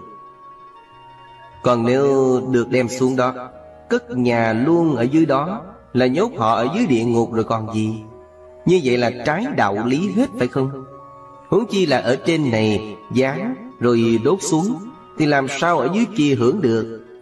Chuyện đó rất là vô lý, phải không? Như vậy, quý vị Phật tử thì chính nghiệp lành, nghiệp dữ của mình mới dẫn mình đi. Còn tất cả cái gì mà người khác mà thương mình, Muốn giúp đỡ cho mình thì khó mà giúp được lắm. Mình làm thì mình phải chịu, Chứ người khác làm sao thế? Đó là cái chủ yếu của nghiệp. Như vậy quý vị thì cái nghiệp là cái thường trực theo chúng ta. Thì chúng ta phải nhớ luôn luôn tu ba nghiệp của mình. Đừng có tạo ác, Thì đó là chúng ta sáng suốt biết tu. Lại nữa, Bây giờ quý vị nghĩ, Người lỡ tạo nên nghiệp ác rồi, Bây giờ giả sử có tu, Thì cái nghiệp đó Nó có hết không? Bây giờ sẽ có một số người Có những thắc mắc, Không biết mình tạo nghiệp ác lỡ rồi, Vì ngày xưa mình chưa biết đạo. Bây giờ mình biết đạo mình tu Thì không biết nghiệp ác Nó có giảm hay không Hoặc là trước kia mình tu, Mình biết đạo, mình tu, Mà lỡ có lúc mê lầm, Mình tạo những điều ác, Thì phước mà có lúc trước mình tu, Bây giờ có còn không? Như vậy, đó là cái mà quý vị đang có những thắc mắc Bây giờ tôi nhắc lại trong kinh Phật có nói như thế này. Phật dạy rằng, Cái nghiệp của chúng sanh đó, Tuy mình tạo thì mình chịu, Nhưng mà Nó không có quyết định, Không có cố định. Nếu mình tạo nghiệp Mà hồi xưa mình đã làm phước, Làm lành, Mà bây giờ lỡ tạo nghiệp ác, Thì cái nghiệp ác đó Có thể nhẹ đi, Giảm bớt đi. Còn người không biết làm phước lành, Bây giờ tạo nghiệp ác Thì phải lắng trọn. Trong kinh Phật nói ví dụ, Cũng như đem một nắm muối bỏ vô tô nước, Thì tô muối nước đó có uống được không? Nếu đem nắm muối này bỏ vô lưu nước, Thì quý vị có uống được không? Được Thì nó cũng lờ lợ một chút, Nhưng mà có thể xài được Một nắm muối này mà để vô một hồ nước, Cả ngàn đôi, Thì quý vị có uống được không? Được thì như vậy cũng một năm muối Mà tùy lượng nước nhiều hay ít Thì cái giá trị nó khác nhau. Như thế thì Phật cũng nói vậy Người nào biết từ thân Tu giới, tu tâm, tu huệ Thì cũng giống như một cái hồ nước vậy đó. Dù có tạo một cái nghiệp nhỏ như một năm muối Để vô nó loãng đi cho. Còn người nào chỉ biết tu thân, tu giới, tu tâm Thì giống như cái lu nước năm mươi đo đổ vô Thì nó cũng lợt đi, Có thể dùng được. Nếu người nào không biết tu gì hết Mà tạo cái nghiệp ác Thì nó lãnh đủ Như là một tô nước đổ nắm muối vào vậy. Phật lại ví dụ cái khác Như cùng một việc ăn trộm dê. Một người dân thường lại nhà người ta ăn trộm dê, Bị chủ nhà bắt được thì làm sao? Họ đánh đập và đưa đi tù nữa, phải không? Rồi cũng việc đó. Nhưng người đi ăn trộm Là người ở nhà quan. Họ lên đi ăn trộm dê Khi chủ nhà bắt được, Nhưng họ nói là tay chân của quan. Thì liệu chủ nhà có dám đánh đập thậm tệ không? Có ở tù hay khỏi?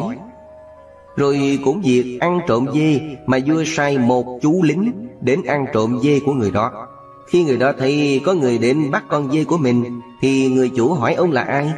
Chủ lĩnh đáp, Tôi là lính của vua tới bắt con dê của ông. Thì người đó nói làm sao?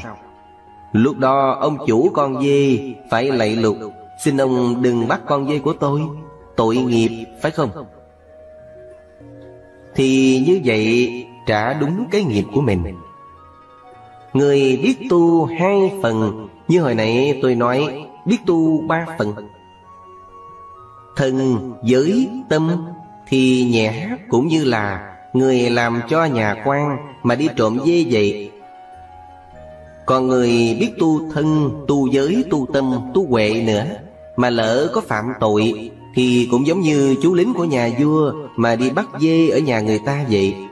Như vậy quý vị mới thấy rằng Nghiệp nó không có sai biệt nhưng vì phước của con người, Nó có khác nhau. Bởi vậy cho nên, Nhiều khi quý vị Phật tử Nhìn trên nhân gian này, Rồi có cái vẻ như bất bình. Nói, tại sao cái ông đó, Ông làm ác quá, Chưa bị tai nạn gì hết? Như vậy coi như là luật nhân quả bất công Còn tại sao người kia, Họ không làm ác? Mà nếu có thì cũng chút xíu thôi vậy. Mà thấy nhân quả hiện tiền liền có phải vậy không? Cũng như thấy có người hiền lành hết sức Mà cứ thấy khổ hoài vậy. Còn có người thấy hiền một chút Là thấy phước tới liền. Thì như vậy là tại sao? Bởi vậy cho nên, Chính trong Kinh Phật cũng có vậy Nếu ai nói làm nghiệp thiện Thì sẽ được cái phước báo lành, Làm nghiệp ác thì sẽ bị cái quả báo khổ.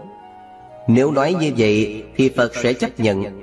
Nếu ai nói rằng Làm nghiệp ác khi chết rồi sẽ đọa địa ngục liền, Làm nghiệp thiện Thì đời này sẽ sanh về quải trời, Thì điều đó Phật không chấp nhận. Nghe như vậy, quý vị có thấy khó hiểu không? Tại sao nói làm nghiệp ác Thì chịu quả báo ác Thì Phật chịu, Làm nghiệp lành sẽ được hưởng phước lành Thì Phật chịu. Mà nói làm nghiệp ác chết sẽ sanh về địa ngục Thì Phật không chịu, Làm nghiệp lành chết sẽ sanh về quái trời Thì Phật không chịu.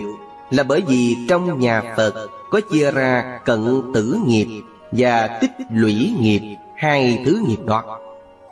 Tích lũy nghiệp và cận tử nghiệp. Tích lũy nghiệp là cái nghiệp mình chứa từ trước đến giờ, Nó dồn chứa. Ví dụ từ xưa đến giờ, Nó dồn chứa những cái nghiệp lành Mà bây giờ bất thần một lúc mê muội nào đó, Ai xúi dục mình làm điều ác làm điều ác thì đáng lẽ phải đọa địa ngục. Nhưng cái nghiệp lành mình tích lũy còn nhiều, Cho nên chưa có đọa địa ngục liền. Nếu nói rằng người đó chết, đọa địa ngục liền là trái rồi. Bởi vì họ còn có cái tích lũy trước. Còn có người làm nghiệp ác mà phải đọa địa ngục liền. Nhưng mà tới gần chết, Họ lại hướng về điều lành, Gọi là cận tử nghiệp lành.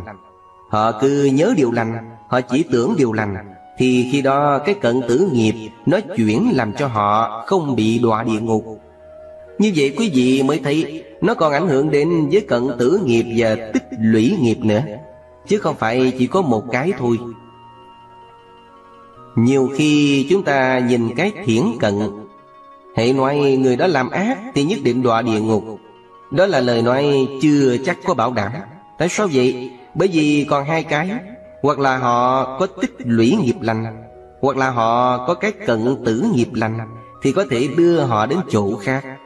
Còn người đó tuy thấy họ làm việc thiện, Nhưng mà gần chết họ nổi sân, Họ hung dữ quá, Thì lúc đó là cận tử nghiệp ác. Nó có thể đưa đến các đường xấu. Như vậy quý vị thấy chúng ta tu Không phải chỉ tu khi sắp chết thôi, Mà phải tu hồi lúc mình biết đạo tích lũy. Chứa từ từ gọi là tích lũy nghiệp. Nhưng mà, đừng nghĩ rằng Hồi đó tới giờ làm lành, Rồi đến khi gần chết, Buông xuôi không thèm nghĩ. Ai làm cái gì, Tức thì mình la, Mình hung dữ nữa. Đó gọi là cận tử nghiệp ác. Vì vậy chúng ta cần phải dè dặt. Ngày xưa có ngài Ma Ha Nam Tức là người em, Có dòng họ thích đối với Đức Phật. Thích Ma Ha Nam Ông tu bình thường. Tu bình thường là giữ năm giới Tu thập thiện Thọ bát quan trai Dân dân đủ hết. Rồi khi đó Ông hỏi Đức Phật rằng Bạch Thế Tôn Bình thường thì con tu như vậy Giả sử như khi nào đó con ra ngoài đường Gặp xe đụng chết Hoặc gặp những con voi, cọp dữ Nó rượt giết con Liền khi đó lúc con hoảng hốt Bạch Thế Tôn như vậy Lúc đó con chết, Thân con về đâu? Đó, quý vị thấy thân về đâu? Đức Phật liền ví dụ. Như cái cây nó nghiêng như vậy. Ông cưa nó ngã xuống, Nó nghiêng về đâu? Nếu nghiêng chiều nào mình cưa, Thì nó ngã xuống theo chiều đó. Thì cũng vậy, Thường ông làm những điều lành, điều tốt. Giả sử trong khi ông sắp chết, Bị những cái khủng hoảng đó nhưng mà cái nghiệp tích lũy của ông nó nhiều, Thì nó cũng muốn ông đi đường đó, Chứ không sao mà sợ. Như vậy, quý vị thì Cái chủ yếu tu hành của chúng ta Là làm sao mình tạo những nghiệp lành, Chẳng những tạo trong lúc còn sống, Mà còn trong lúc gần chết, Mình cũng nhớ hướng về lành, Thì mới bảo đảm Mình mới đi đến quải lành. Còn nếu bình thường Mình tạo lành, Mà đến khi gần chết, Mình tạo dữ thì nó chưa bảo đảm. Cũng như bình thường, Nếu mình lỡ dữ Thì đến lúc gần chết Cũng nên hướng về lành, Thì nó cũng chuyển được phần nào. Nghiệp là cái không phải cố định Mà luôn luôn chuyển biến. Hiểu được như vậy Thì quý vị mới thấy Cái nghiệp nó có giá trị cụ thể. Ai cũng có thể chuyển được, Chứ không phải cố định nói rằng, Tôi lỡ tạo nghiệp ác rồi, Làm sao tôi tu được? Phải không? Hoặc là nói rằng, Tôi ỷ, tôi tạo nghiệp lành, Khỏi lo, tôi cũng được về quải lành, Chưa chắc. Thì như vậy, quý vị mới thấy, Cái tu về nghiệp là hết sức quan trọng. Đó là tôi dẫn cho quý vị thì Cái nghiệp nó quan trọng như vậy. Như vậy, nghiệp quan trọng Rồi mình tu có hết nghiệp được không? Chỗ này tôi nói hơi xa một chút. Bởi vì trong nhà thiền, Có một thiền sư là Ngài Trường Sa Cảnh Sâm. Có một người học trò đến hỏi thế này. Học trò đó là thiền sư Hạo Nguyệt. Hỏi rằng, Theo lời trong chứng đạo ca của Ngài Quyền Giác, Liệu tức nghiệp chướng bền lai không dị liêu ưng tu hoàng túc trai? Nói rằng, nếu mình liễu ngộ thì nghiệp chướng xưa nay là không. Còn nếu mình không liễu ngộ, Thì mình phải đền nợ trước. Ông Hạo Nguyệt mới hỏi Ngài Cảnh Sâm rằng, Như vậy thì tổ sư tử ở Ấn Độ có liễu chưa Mà bị vua kế tâm chặt đầu? Tổ Huệ Khả ở Trung Hoa có liễu chưa Mà chết ở trong khám? Không liễu, làm sao gọi là tổ? Ngài Trường Sa Cảnh Sâm đáp rằng Đại Đức chưa hiểu nghiệp chướng. Hỏi, thế nào là nghiệp chướng? Thì Ngài trả lời rằng, Bổn lai không. Như vậy quý vị hiểu chưa? Chắc cũng chưa hiểu luôn. Bây giờ tôi nói thế này Thì quý vị hiểu. Thí dụ như có người từ trước đến giờ Chưa có học đạo, Chưa có hiểu đạo, Cho nên tạo nghiệp ác, Gây oán thù với người. Thí dụ như, Hồi trước mình làm cho họ khổ tâm Chửi mắng họ. Bây giờ họ hận ở trong lòng. Hồi đó thế lực của họ yếu Không dám nói gì Hoặc làm trả lại. Rồi 10 năm, 20 năm qua Mình quên đi Và đến giờ này mình thất thế. Trái lại thế lực của họ cao hơn mình Nên lúc gặp lại mình Họ chửi mắng mình thậm tệ hơn hồi xưa Mình chửi họ nữa. Thì quý vị có thấy nghiệp có mắt không? Nhưng bây giờ họ chửi lại mình, Thì mình coi những lời chửi đó, Những lời nói đó như gió ngoài tay Họ chửi om sòm mà mình cười, Mình không giận cái gì hết trơn. Như vậy có trả hay là không có trả? Quý vị trả lời thử coi. Như vậy trường hợp đó có trả nghiệp hay không? Mình chửi người ta, Bây giờ người ta chửi lại mình Còn thậm tệ hơn trước nữa, Tức là rõ ràng có trả rồi chứ gì? Nhưng ngày xưa mình chửi người ta Người ta giận. Bây giờ người ta chửi lại mình Mình cười trả lại ở chỗ nào? Quý vị mới thấy cái chỗ đó là cái chỗ đặc biệt của nhà Phật. Biết rằng nghiệp tạo thì không mất phải không? Có tạo mà không mất, Tức là tạo ra thì phải có trả. Nhưng mà mê thì trả đủ, Còn ngộ thì thấy như không có trả gì hết phải không? Bởi vì người mê thì thấy cái lời nói cho là thiệt Nên chấp những tiếng nói nặng. Mình cho nó là làm khổ mình. Rồi bây giờ họ chửi mình, Coi như họ nói với hư không vậy thôi. Qua rồi thôi, Coi như không có dính cái gì hết, Thì trả ở chỗ nào? Phải vậy không? Bởi vậy cho nên Nhiều người cứ thắc mắc thế này. Họ nói, giả sử mình tu thành Phật Hay chứng A-la-hán rồi, Thì nghiệp còn trả nữa, Thì tu làm gì Nhưng mà sự thật trong nhà Phật nói, Phật còn bị cái nạn kim thương mã mạch, Tức là phải mấy tháng ăn lúa mạch, Rồi còn bị cái thương nó đâm vô bàn chân Thì như vậy, thấy như Phật phải trả, phải không? Dưới con mắt mình thì thấy Ngài trả, Còn dưới con mắt Phật Ngài có trả không? Thí dụ như bây giờ tôi nói, Đừng có nói cái hạng tu cao. Tu soàn soàn như tôi, Mà giả sử có người nào ngày xưa Do cái ân oán phở đó mà không biết, Bây giờ bất thần họ kêu tên tôi họ chửi. Quý vị tự nghĩ coi, Có phải tôi nổi giận đùng đùng? Tôi đòi ăn thua đủ với họ không? Thì tôi cũng cười thôi. Như vậy bỗng dưng họ đâu dám chửi tôi. Mà họ chửi tôi thì họ cũng hận tôi Từ hồi nào rồi, phải không? Hận Tức là mình phải làm cái nghiệp gì đối với họ. Nên bây giờ họ gặp mình, Họ mới chửi mình. Họ chửi mình, bây giờ Mình thấy cái lời nói, Lời chửi nó không có thiệt Thì thôi. Để họ nói cho đã rồi thôi, Phải vậy không? Bởi vậy cho nên trong kinh nói, Tôi nhắc lại, Có một lần Đức Phật đi khất thực. Trong một vùng nọ Mà vùng đó là vùng Bà La Môn Đã được nghe giáo pháp của Ngài nên họ phát tâm hướng về đạo. Có một ông thầy Bà La Môn kia Ông tức quá Thế nên một hôm Đức Phật đi khất thực ngang qua. Ông thầy Bà La Môn này cứ đi theo Phật Phật đi trước, ông đi sau Cứ kêu tên Phật mà chửi hoài. Phật vừa đi, ông vừa chửi. Phật đi mãi và im lặng mà đi dài theo con đường Một cách chậm rãi. Ông cứ đi theo sau lưng chửi hoài Và chửi tới đầu đường. Ông tức quá Vì không thấy Phật trả lời. Ông bèn chạy tới trước mặt Phật, Chặn đường hỏi, Ngài cô đàm, Ngài có biết không? Phật nói, không. Rồi hỏi tiếp, Ngài không biết, Mà tại sao Ngài nghe tôi chửi Mà Ngài không nói gì? Lúc đó Phật mới dừng lại và hỏi, như ngày dỗ ở nhà của ông Ông có mời bà con thân quyến lại ăn dỗ Vì quà bánh còn nhiều, Ông đem tặng cho những người thân quyến Ông đem tặng quà cho họ, Mà có người họ không nhận, Thì gói quà đó thuộc về ai? Lúc đó ông trả lời, Nếu họ không nhận thì gói quà đó thuộc về tôi chứ về ai?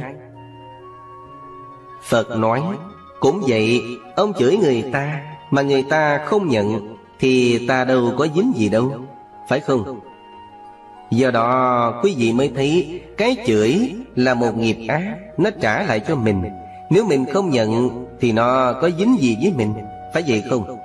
Bởi vậy, trong kinh Phật thường dạy, Người ác mà mắng người lành, Cũng như ngửa mặt lên trời Mà phun nước bọt, Thì nước bọt có tới trời không?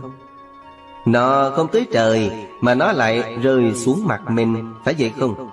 Cũng vậy, Chính không nhận Thì quay như không có trả, phải không? Nghĩa là mình nhận, Mình mới trả, phải vậy không?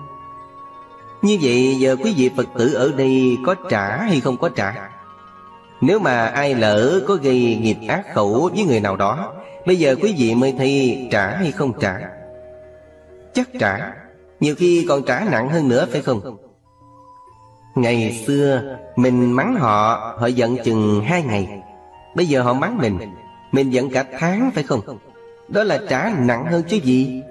Bởi vì trình độ Phật tử chúng ta thâm nhập Phật Pháp Thật là cạn.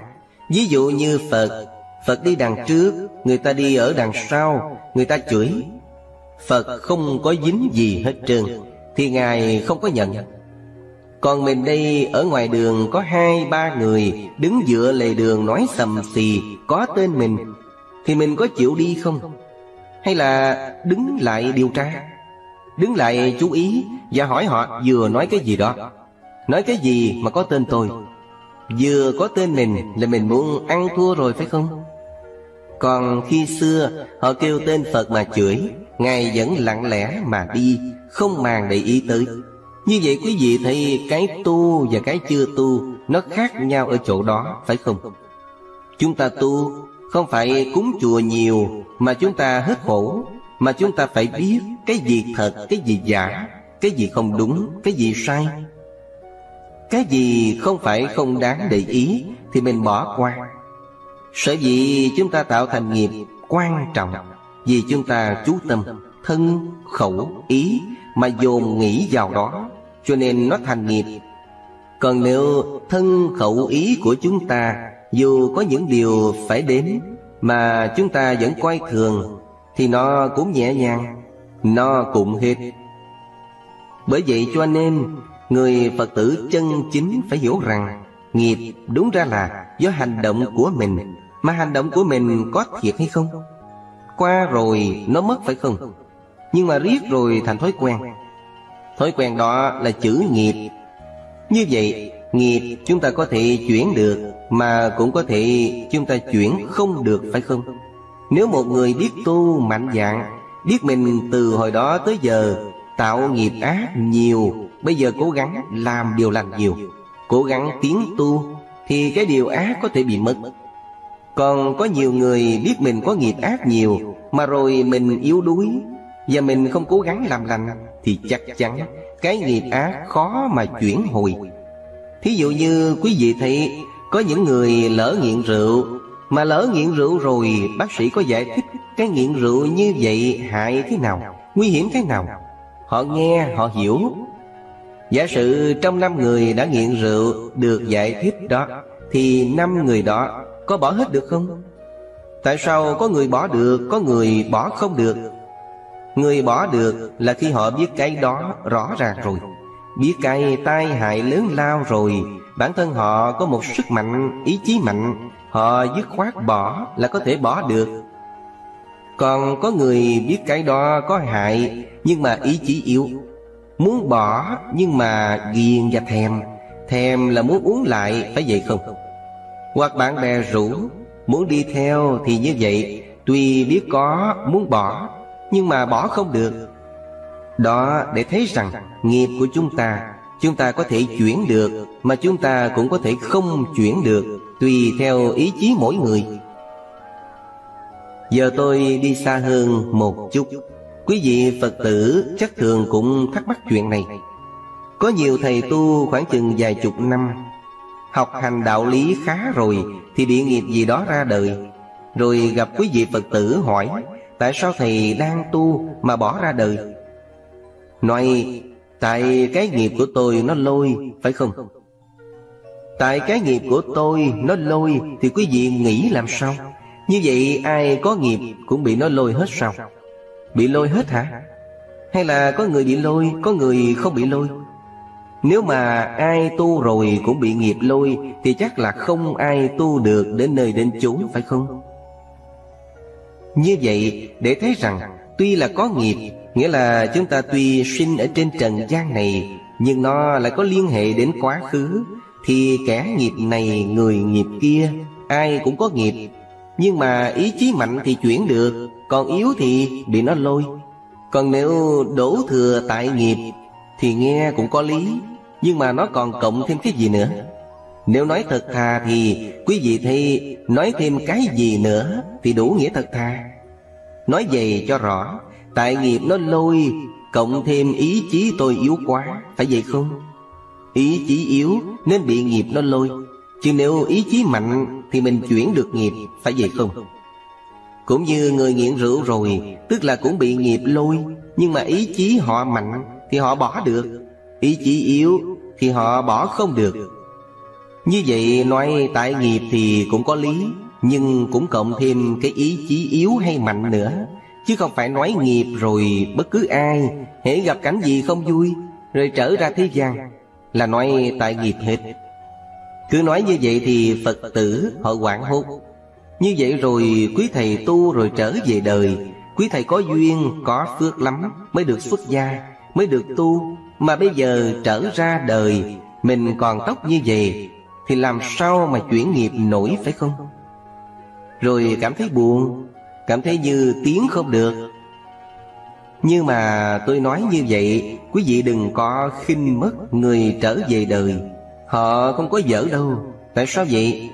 Như hồi xưa lúc Phật còn tại thế Có bà tỳ kheo liên hoa sắc. Khi bà tu chứng quả A-la-hán Rồi trên đường bà đi Bà gặp các cô gái 15, 17 tuổi. Bà rủ các cô đi tu, Đi xuất gia. Thọ tỳ kheo ni. Mấy cô gái thưa Thưa bà, Tụi con tu không có nổi, Tụi con còn tham ăn, tham ngủ lắm, Tu không có được. Bà nói, không sao, cứ tu đi. Rồi họ nói, Lỡ tụi con thọ tỳ kheo rồi, Tụi con phạm giới, đọa địa ngục rồi sao? Bà nói, không sao, Lỡ đọa địa ngục rồi, lên tu tiếp, Lên tu nữa. Đó, Như vậy quý vị nghe cái đó, Quý vị hiểu làm sao? Bởi vì giả sử có tu Tu rồi phạm giới, Phải đọa, Nhưng đọa hết cái nghiệp Ở dưới địa ngục thì lên, Chủng tử cũ nó còn Nó còn nhắc mình đi tu nữa. Chứ bây giờ chưa có, Thì lỡ mình có đọa địa ngục, Mình lên cũng không có cái chủng tử đó, Rồi chừng nào mình tu được. Đó, Thành ra dưới con mắt của bà thì bà cũng không bi quan. Lỡ có rơi xuống địa ngục đó, Tạo nghiệp ác, Phải đọa. Nhưng mà khi bộ đọa hết nghiệp rồi, Thì mấy mươi năm tu cũ đó, Chủng tử nó còn gặp cái duyên tốt, Nó phát lại, Thì có cơ hội họ tu. Còn người chưa bao giờ tu, Thì đâu có chủng tử. Mà chưa có chủng tử, Thì khó mà tiến tới được. Thì như vậy, Mình cũng dám khinh quý vị đó đây, phải không? Bây giờ quý vị đó có rơi, Có thua người ta đi. Nhưng mà chủng tử còn, Cũng có ngày họ phát tâm lại, Không đến nỗi nào. Đó là ý nghĩa mà tôi nói cho quý vị thấy rõ ràng. Như vậy thì trên cái nghĩa nghiệp, Thì chúng ta không những là biết để tránh, Mà chúng ta còn phải biết Và phải mạnh dạn chuyển nó, phải không? Nghĩa là trên phương diện tu Thì trước hết phải tránh nghiệp ác làm nghiệp lành. Nghiệp ác chúng ta tránh, Nghiệp lành chúng ta làm, Đó là tu. Rồi kế đó chúng ta phải làm sao? Nếu lỡ chúng ta đã tạo nghiệp ác rồi, Chúng ta phải mạnh dạng chuyển nó. Chuyển cái ác thành cái thiện, Đó là sức mạnh của người tu. Thì như vậy hai trường hợp mà chúng ta luôn luôn nhớ Là phải tránh cái dữ, Làm cái lành và nếu lỡ tạo nghiệp ác rồi, Thì phải mạnh dạng chuyển nó. Bởi vậy cho nên tôi nhắc câu chuyện này Để kết thúc cái ý nghĩa của nghiệp. Như hồi xưa ở Trung Hoa đời đường, Ông Lý Bạch là một nhà thơ nổi tiếng. Ông nghe thiền sư ô sào đang tu ở trên cây, Ông mới tìm tới hỏi đạo. Khi tìm tới thiền sư ô sào, Ông đứng dưới hỏi, Bạch Hòa Thượng Hòa Thượng dạy cho tôi phương pháp tu thế nào cho gọn, ngắn Mà tôi có thể tu được. Ngài ô sào ngồi trên ổ quạ Là chỗ ở của Ngài Ở trên chánh ba của cây Làm giống như ổ quạ. Ở là quạ Sào là cái ổ đó. Ngài mới nói giọng xuống. Chư ác mạt tác Chúng thiện phụng hành. Tự tịnh kỳ ý Thị chư Phật giáo. Ông về tu đi. Ông Lý Bạch nghe xong, Ông cười và nói, Hòa thượng nói câu đó, con nít 8 tuổi nó cũng thuộc rồi, Mà đem dạy tôi chi? Thiền sư ô sào nói, Phải, Con nít 8 tuổi cũng thuộc, Nhưng mà ông già 80 tuổi, Làm cũng chưa xong. Đó, quý vị thấy, Chư ác mạt tá, Tức là đừng làm những điều ác, phải không? Chúng thiện phụng hành, Dân làm tất cả nghiệp lành. Tự tịnh kỳ ý Tức là Khéo lóng lặng tâm ý mình cho thanh tịnh. Thị chư Phật giáo Đó là lời dạy của chư Phật Đó là tu ba nghiệp thân khẩu ý. Bỏ ác làm lành Và giữ tâm ý thanh tịnh Đó là gốc của sự tu. Mà quý vị có những vị 70, 80 tuổi làm được chưa? Như vậy thì cái điều đó Nói con nít 8 tuổi cũng thuộc mà thực tình, Ông già 80 tuổi, làm cũng chưa rồi. Như vậy thì quý vị cũng thấy rằng, Cái chủ yếu của Đạo Phật dạy là tránh ác làm lành. Mà tránh ác tức là bỏ nghiệp ác. Làm lành tức là làm tất cả nghiệp lành Và giữ tâm ý mình được thanh tịnh. Đó là cái gốc của sự tu, phải không? Mà tu được như vậy đó, Thì chúng ta mới thực tu như vậy thì mới mong đời chúng ta được an vui, hạnh phúc.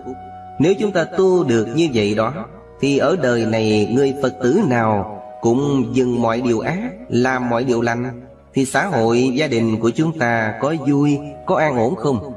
Trong một gia đình mà chỉ làm lành, Không làm ác, Thì gia đình đó an ổn, Vui hòa phải không? Như vậy một xóm, Một làng Chỉ làm lành, không làm ác thì xóm làng đó rất vui vẻ, hạnh phúc phải không? Như vậy thành ra cái tu là cái then chốt để xây dựng một cuộc đời tươi đẹp Mà cũng là cái then chốt để tại cái cơ hội mai kia chúng ta còn trở lại Và cũng trở lại trên đường lành Đó, như vậy thì cái chủ yếu của cái tu không phải để dành riêng cho ai Không phải người rảnh rỗi đi chùa mới tu Người có nhiều tiền mới tu, Mà ai ai cũng tu được. Bận thì ta tu theo bận, Rảnh thì ta tu theo rảnh, Giàu thì tu theo giàu, Nghèo thì tu theo nghèo, phải không? Nghèo thì đem công sức ra giúp, Còn giàu thì có của, đem của giúp. Thì như vậy, tùy mỗi người, Ai ai cũng có thể làm việc thiện, Ai cũng có thể tu được hết. Còn giả sử mình không làm được thiện, Thì bỏ điều ác thì cũng là tu rồi, phải không? Như vậy, cái tu là cái chung cho tất cả, chứ không phải riêng cho một cá nhân hay của một hai người nào. Mà quý vị xét kỹ trên thế gian này, nếu là người biết hướng thiện, thì có người nào nói rằng tôi không muốn tu không? Không cần tu không? Nếu biết hướng thiện đều là người phải tu hết phải không?